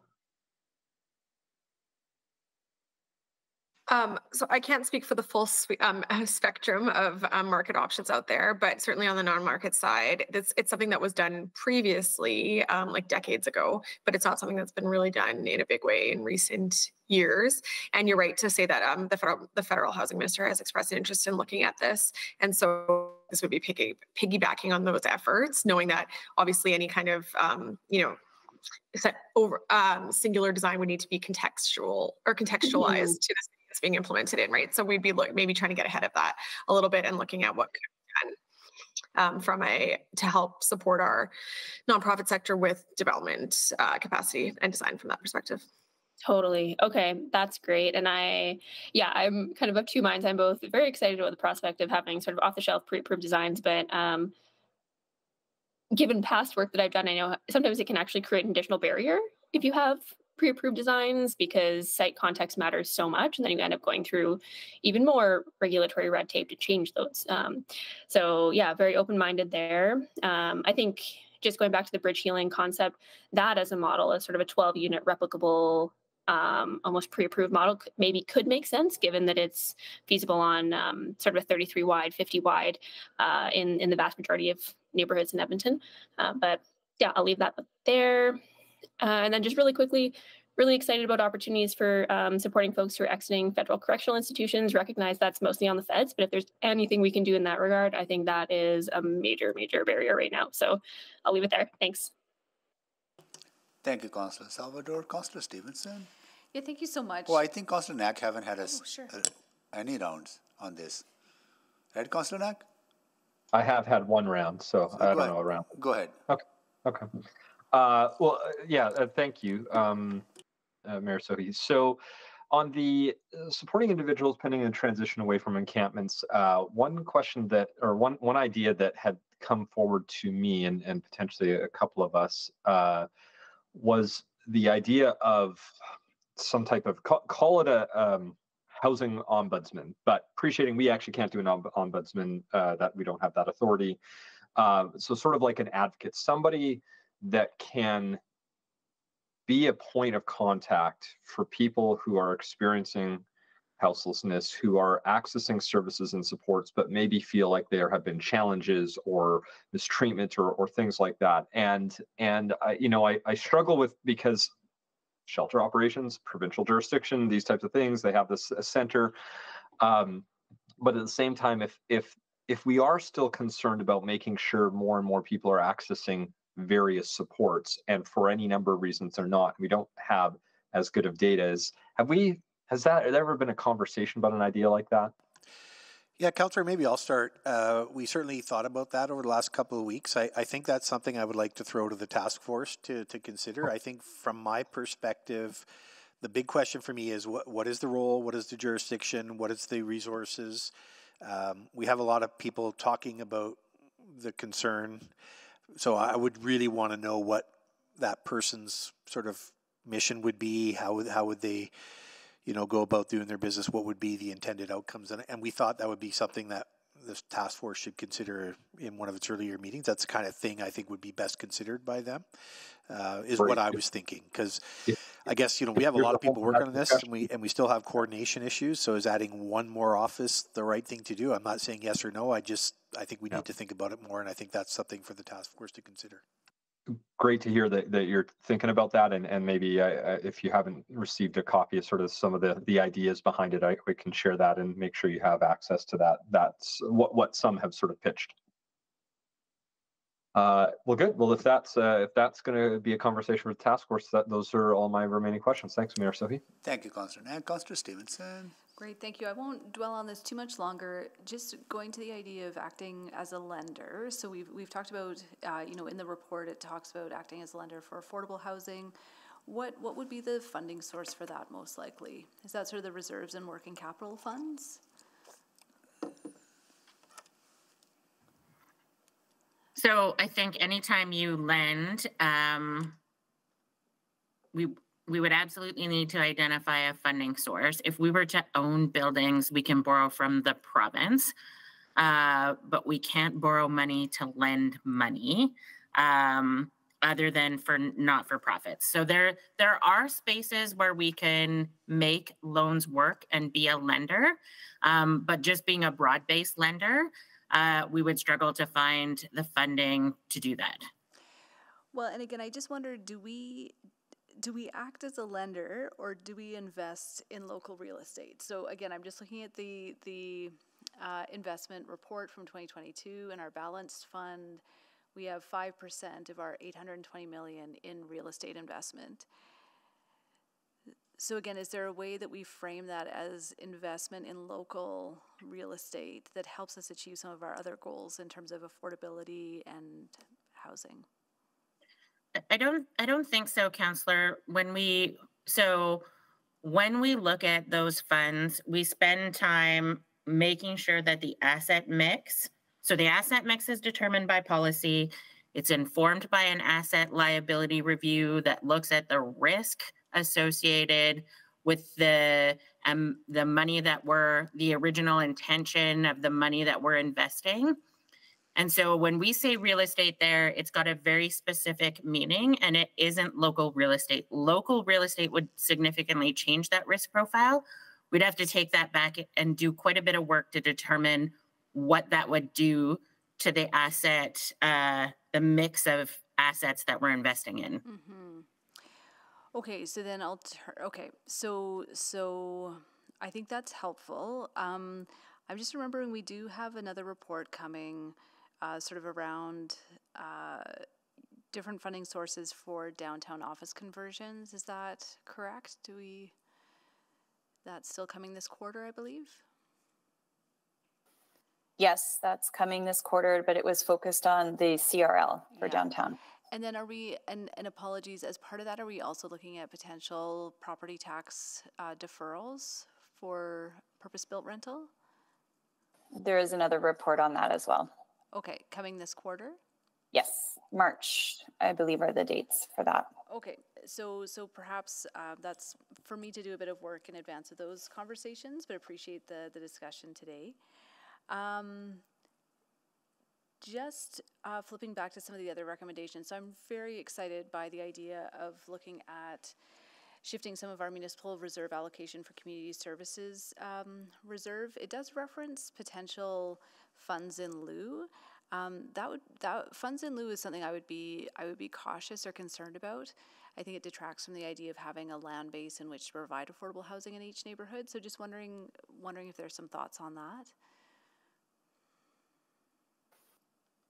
I'll start, and Christel, if there's more to add, feel free to add to that. I think um, there we were just exploring options um, and identifying different ways to deal with um, whether it be land or or um, budget that we can acquire to focus on housing.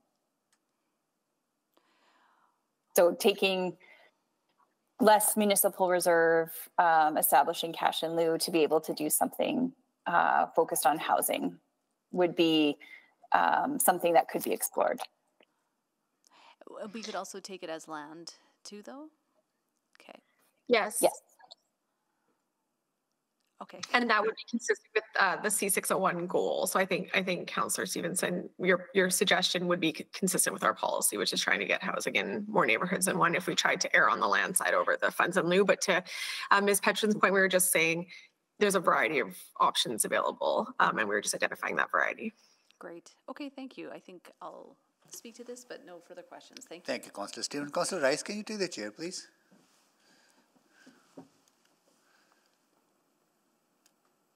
Councillor Rice? Oh, sorry, my, my Mac. Yes, yeah, chair is taken. Thank you. Uh, one big barrier, Andre, for affordable housing, social housing, is just depend on support from private sector, sorry, non-profit, but also three orders of government. And funding doesn't align at the same time, right? It takes years and years sometimes to put the funding together, then it significantly delays the project. Uh, would conversation uh, uh, under all these 48 actions that you have identified is are we going to have that conversation or opportunity for that conversation with other funder, funders? Like how do we funding does come right? It's not that it doesn't come but it takes a lot of time for it to come it through right? So maybe conversation around uh, uh, streamlining that process where you know all parties are aligned at the same time you go ahead and do it right I think that would be great, Mayor Sohi, and uh, I, I don't think we should give up on that. Um, but yeah, it's a it has been a significant challenge to align three orders of government into making decisions at the same time and in the same budgets and Yeah. um, some of that's just the nature of you know different financial years, different budget commitments, different times to announce budgets, Yeah. and and then politics. But uh, yes, that I, would be. I think initiating helpful. conversation, because I think all parties are interested in reducing red tape, right? And, uh, you know, funding is allocated to certain, under certain portfolios, but the application process itself is just too cumbersome sometimes that it gets, And and I would say the exact same it holds true for transit funding. Yes, And yeah. infrastructure funding and road funding and you know when we, when when we do, for example, a rescoping of of LRT, it can take us six to eight months to get confirmation from the other partners that that's okay to do, right? Yeah. So, yeah, it's tough and uh, it applies to all forms of funding, I would say. yeah, yeah, it does, and something that we should actually initiate some conversations around. Yeah, that's the only, only question I had remaining. Uh, Thank you for this, really appreciate it. Uh, I will take the chair back. Okay. And I'll go to Councillor Rutherford.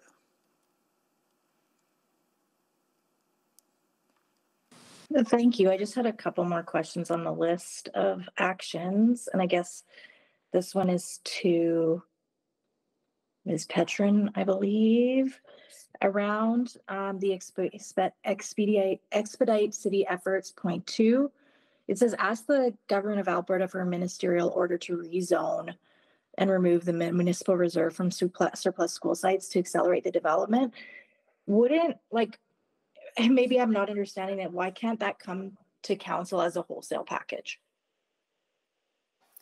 Councillor Rutherford, that's definitely an option. That's how we would normally do that process. Um, again, some of these ideas, we're just looking to see how we could move very quickly.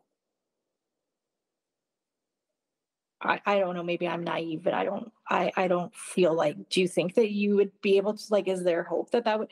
I just, I don't want you to try to do a ministerial order and at the same time, we're not working towards that coming to a public hearing, nor do I want to remove the ability for people to speak. The, the public hearing and, and rezoning are, are an important democratic process. So whether we do it wholes- wholesale or not, I don't, I don't know, like, Yeah, maybe I'll just pipe in, uh, Councillor Rutherford, because I, you know, I debated myself on this one. Th- this is, I think, a good example of the ideas that are going to come forward when we declare an emergency. Like a ministerial order is is an often a routine thing that we do in emergencies for for public safety and for other things. So the reason we throw it on threw it on the list is because of the the declaration of emergency and you know we and we we chatted a lot about that declaration at the time and and and it's very clear that it is considered an emergency and so those are the kind of ideas that you wouldn't get if if without that declaration and and we had other ideas too that were even you know bolder than that but but they were not going to make sense so that's the reason we added it to the list and i'm happy to yeah i hope that helps. But you're right it doesn't mean it's easy and doesn't mean it doesn't create other complications if you act that way. Yeah, well, and I mean, I guess like between the declaration and now, have we talked to the province? Is there any desire to do a ministerial order? uh, i i have not had the conversation but i think you know if it's something we can explore And it's it's been done in the past for what it's worth, Councillor Rutherford. and and maybe yeah, it I, only I applies guess to I guess specific when I looked at the overall list, a my overall impression was one like there's a lot of things in that list that we've already explored. Am I am I going crazy or is that the case? And maybe this is to Ms. Kjenner. Um, I think maybe Councillor Rutherford, the feeling is that your feeling is like there is no silver bullet or one single action, you know, that's going to create a overnight dramatic shift. A lot of the actions on that list reflect an expand, like an expansion and a building upon of like a lot of the good fundamentals that we already have in place, and that just reflects the reality that it it's decades to get into this um, situation on a housing front, and it's going to take us a significant amount of time to get out. So we can go as quickly as and aggressively as possible, but it's still, you know, is going to take some time to um, address address the situation that council's declared an emergency around. Mm-hmm. But like even like for example, like the lending, like am I no seriously, like am I going crazy or did that not come back as a report about why that wasn't viable? I don't think we've, I, not since I've been in this, in this role, at least not so, not recently, have we looked at lending. I could be wrong. See, see Stacey put her, her camera on, but I, I don't think we've done it specifically on affordable housing at least. Yeah, I would say we haven't done it specifically on affordable housing, although we've often talked um, and we've answered a lot of questions about lending and the appropriateness of lending in certain situations. Okay, and so then administration's going to go away, take with this list. Are there any that you're removing based on the conversation today? Because there was a few that counselors did highlight, or, or or are you going to explore all of them still? Every everything in that list. I, th- I think the one I heard loud and clearly to take off this list was the one related to uh, reviewing sort of recent decisions uh, for sort of core service type work that was done. So uh, that it's pretty clear to me that there was not a lot of appetite for that one, Counselor. So I wouldn't. And will there will the task force have an opportunity to review the next iteration of once these have been flushed out a little bit more? Because I just feel like that might be a more appropriate location to have a more comprehensive conversation. That certainly, I would see a role of the task force as soon as we have it um, uh, made, and quite frankly, as soon as we have a counselor rep, I think we would include the counselor rep on all those conversations before we come back to council for sure. Yeah. Okay, thank you. Thank you, Councillor Rutherford. So that concludes the questions on this item. All right, so we have motion on the floor now to speak.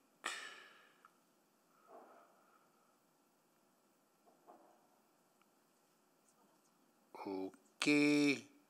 Uh, all right. Councillor Stevenson, you move the motion, right? So you're the mover, right? So uh, uh, before I go to you, uh, I'll give chair to Councillor Rice.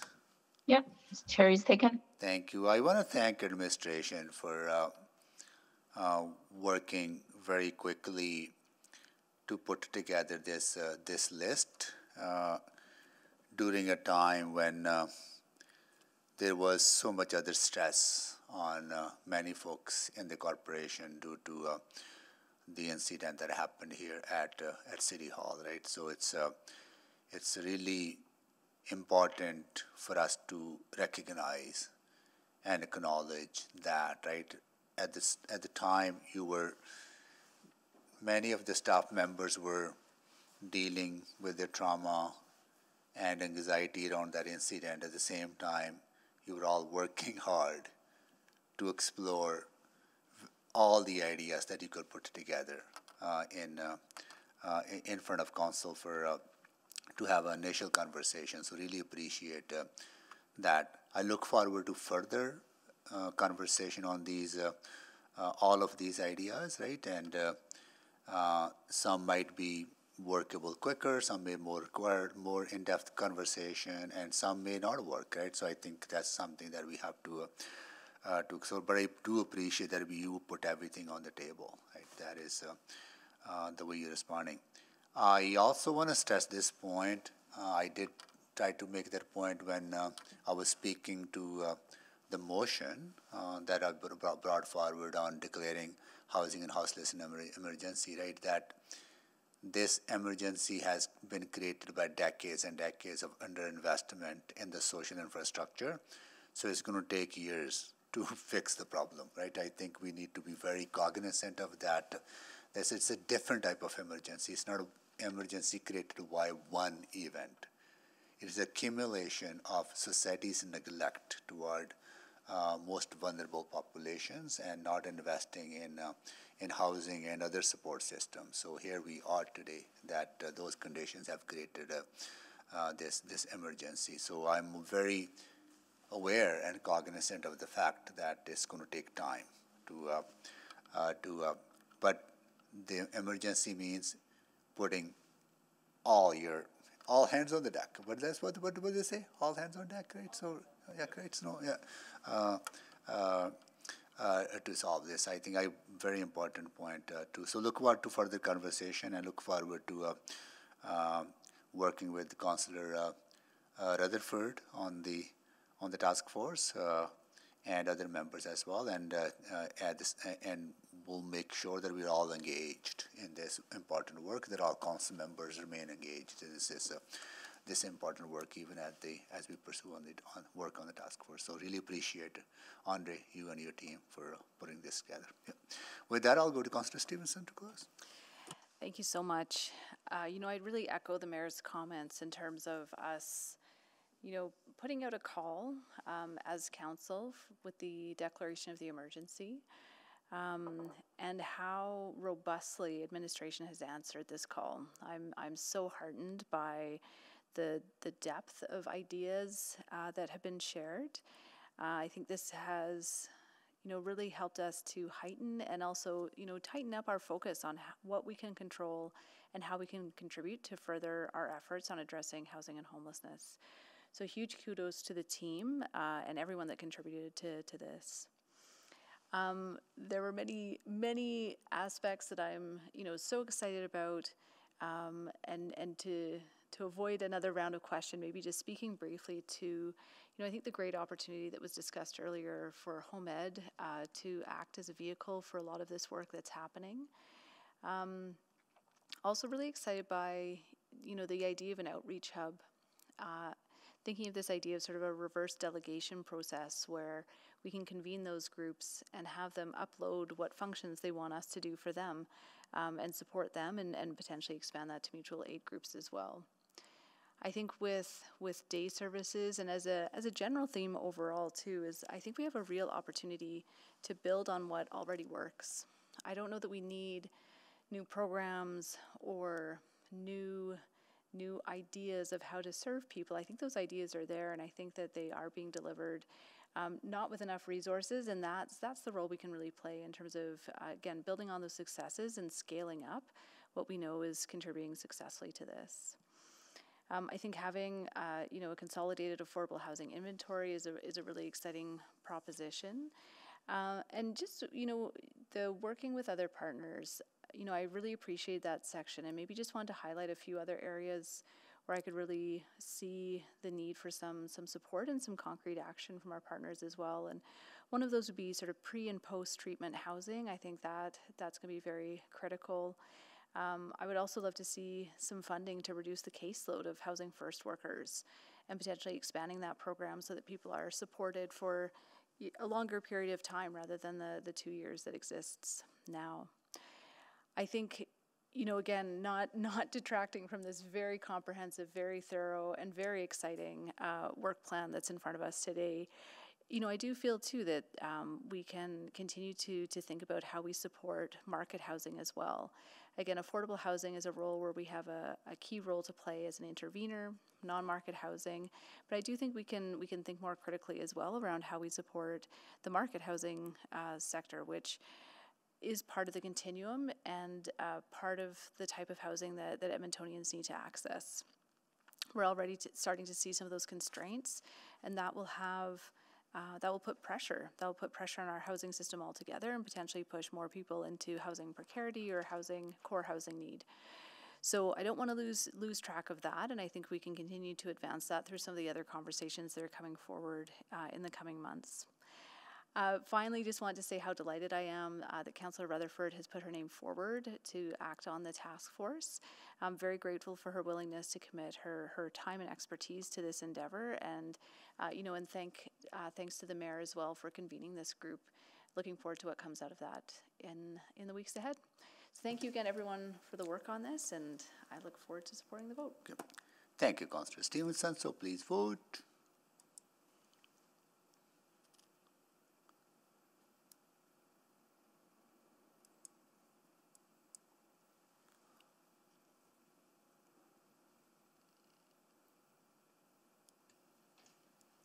We're just waiting on, oh, we have all 12 votes. Display the votes, please. That is uh, carried. Okay. Uh,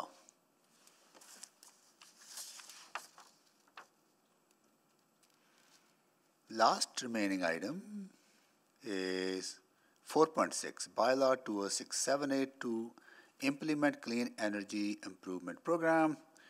this was exempted because Councillor Salvador had a subsequent, right? For. Right. Okay. Uh, just give me one second.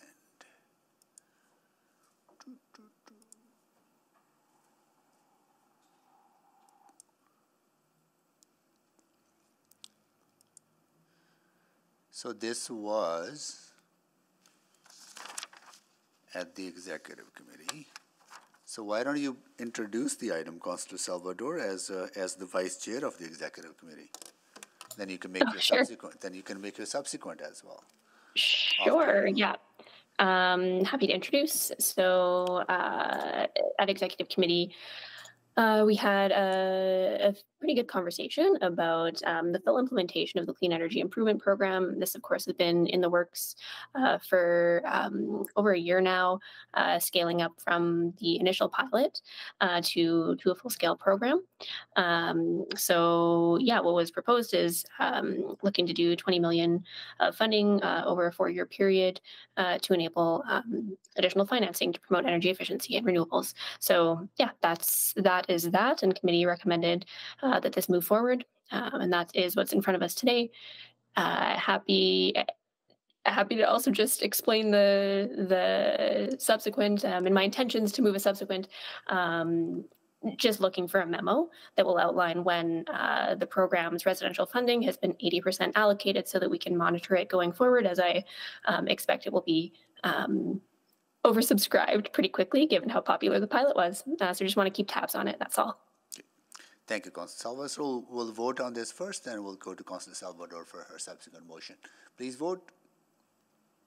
Oh, sorry, anyone to speak? Sorry, sorry, skipping, sk- skipping up step. Anyone to speak to the motion? Seeing none, so please vote. Uh, excuse me, Mayor Sohi, we, we're just trying to confirm what we're on. We would recommend we move, somebody move first reading. um, Oh, there yes. vote on Oh, yeah, of course, Then of there's a recommendation about attachment three um, that also needs to be moved. And then we could deal with the subsequent. Oh, yeah, this is a bylaw, sorry. Sure, I can move first reading of item 4.6. All second? Second. Okay, please vote. Councillor Stevenson moved, I seconded.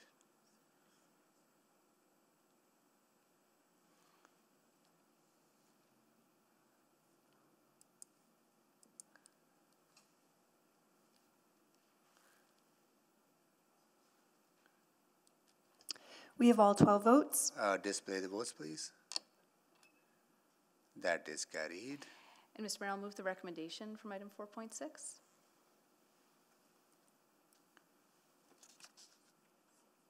Okay, I'll second. Okay, please vote.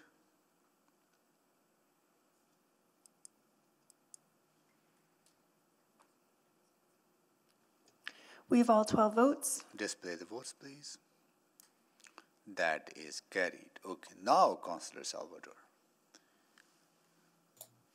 Perfect. Um, so I will move that administration provide a memo outlining when the clean energy improvement program's residential funding has been 80% allocated. Second. Okay, Councillor Stevenson seconded. You already made the introduction. Any questions? Seeing none. Anyone to speak? Seeing none. Councillor Salvador to close. Nothing further. Okay, please vote.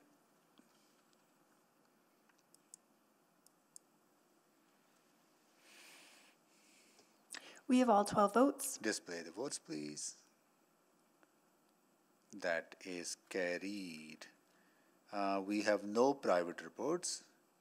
We have no motions pending, and we are adjourned at 4:20.